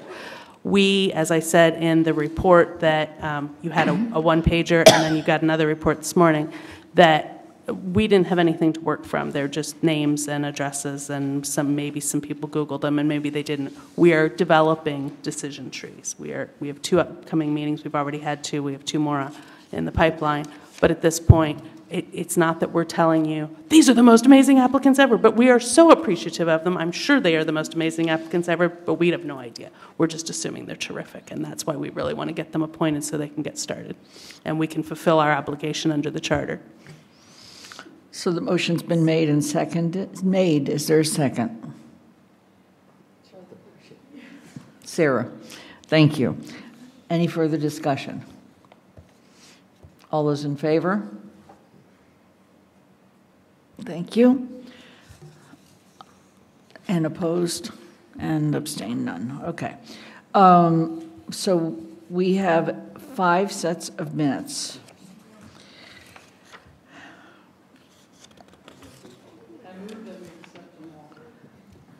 I second that motion. As amended. Except as amended. They've all had amendments. They've all been, Yeah. we moved that they be accepted as amended, and there's a second? Cathy? Are there any other questions, comments? All those in favor? All opposed? No, it's all unanimous, thank you. And we have, um, on our agenda, we're moving to any more committee reports? Finance Committee. Finance Committee? I think the Finance Committee has been sent to you in writing and it was available for the public in the back of the room today. And uh, it's not to be discussed tonight. It's an item that's going to be discussed in the first week in February. That's it. Any other committee reports beyond what you've already spoken about earlier today? I want to just say how thankful I am that all of these committees are up and running, and you are running, because you're doing a lot of work. Public comment. Is there anybody who would like to make a comment? Please, and thank you for your patience. Uh, Do I need to make this hot? It is. Okay. Uh, My name is Peter Tripp. Um, Do I customarily provide my address or any? I'm an Amherst resident. Thank you. Um, And this is the second meeting I've attended. Uh, My public comment is that if you guys were planning for poor open access and visibility, you couldn't have come up with a better way to do this. Uh, The live stream this evening has been audio only since the start, and I informed Amherst Media, and they were aware of it, but fixed nothing. The live stream never returned from your executive session that was scheduled mid-meeting, off agenda. Your executive session ran long, I don't know what you did, that's none of my business at this point. Um, The, obviously, you guys running long and figuring out process is none of my business. Um, You just approved minutes that aren't in the packet. Um, 15 and 16 aren't posted online, maybe your packet has them, but um, they aren't part of the public record, and Um, um, it's fine. They It's- are. Uh, I just looked online just right now. Um, in, on the public packet that I saw, there was, they were not posted. Um, this is a kind of a, I'm happy to see recent minutes showing up. Um, you guys have been really late at approving even draft minutes or posting draft minutes. So seeing uh, five, I'm hopeful that uh, subsequent meeting approvals, uh, minutes approvals will occur in the meeting following, um, or at least the presentation of draft minutes. I'm, again, excited to see that, but it's a little scary to see um, five meetings worth of minutes where no one has had any comment on them. I assume none of you read them, because if you didn't notice, they weren't posted That's- online. I mean, that's, I We actually are not supposed to comment I- back to you. Um, But that's my sort of, if you all approve that unanimously, likely you don't actually know what you approved. Um, And since you've scheduled public comment after all items on the agenda, there was no opportunity for me to make any of these comments and bring them to your attention prior to anything, as well as you've cleared the House so that anyone who wanted to comment on any of the other items, notably um, the superintendent's uh, presentation for a large school thing, also is just impossible to do by anyone who can't be here at 12:01 a.m. um, for a meeting that started at 6:30. Um, So uh, I appreciate you guys trying to work this out in the time, but um, I I expect more, and that's about it. Thank you for your comment.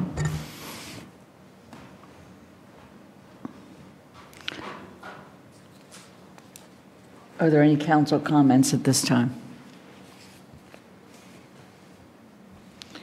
We did list a couple of additional uh, meetings on our agenda. For the time being, I'd like you to continue to hold Tuesday, February 12th, but we may not need it.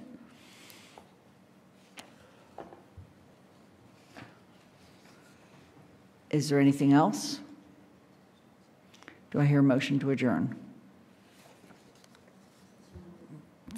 A second? All those in favor?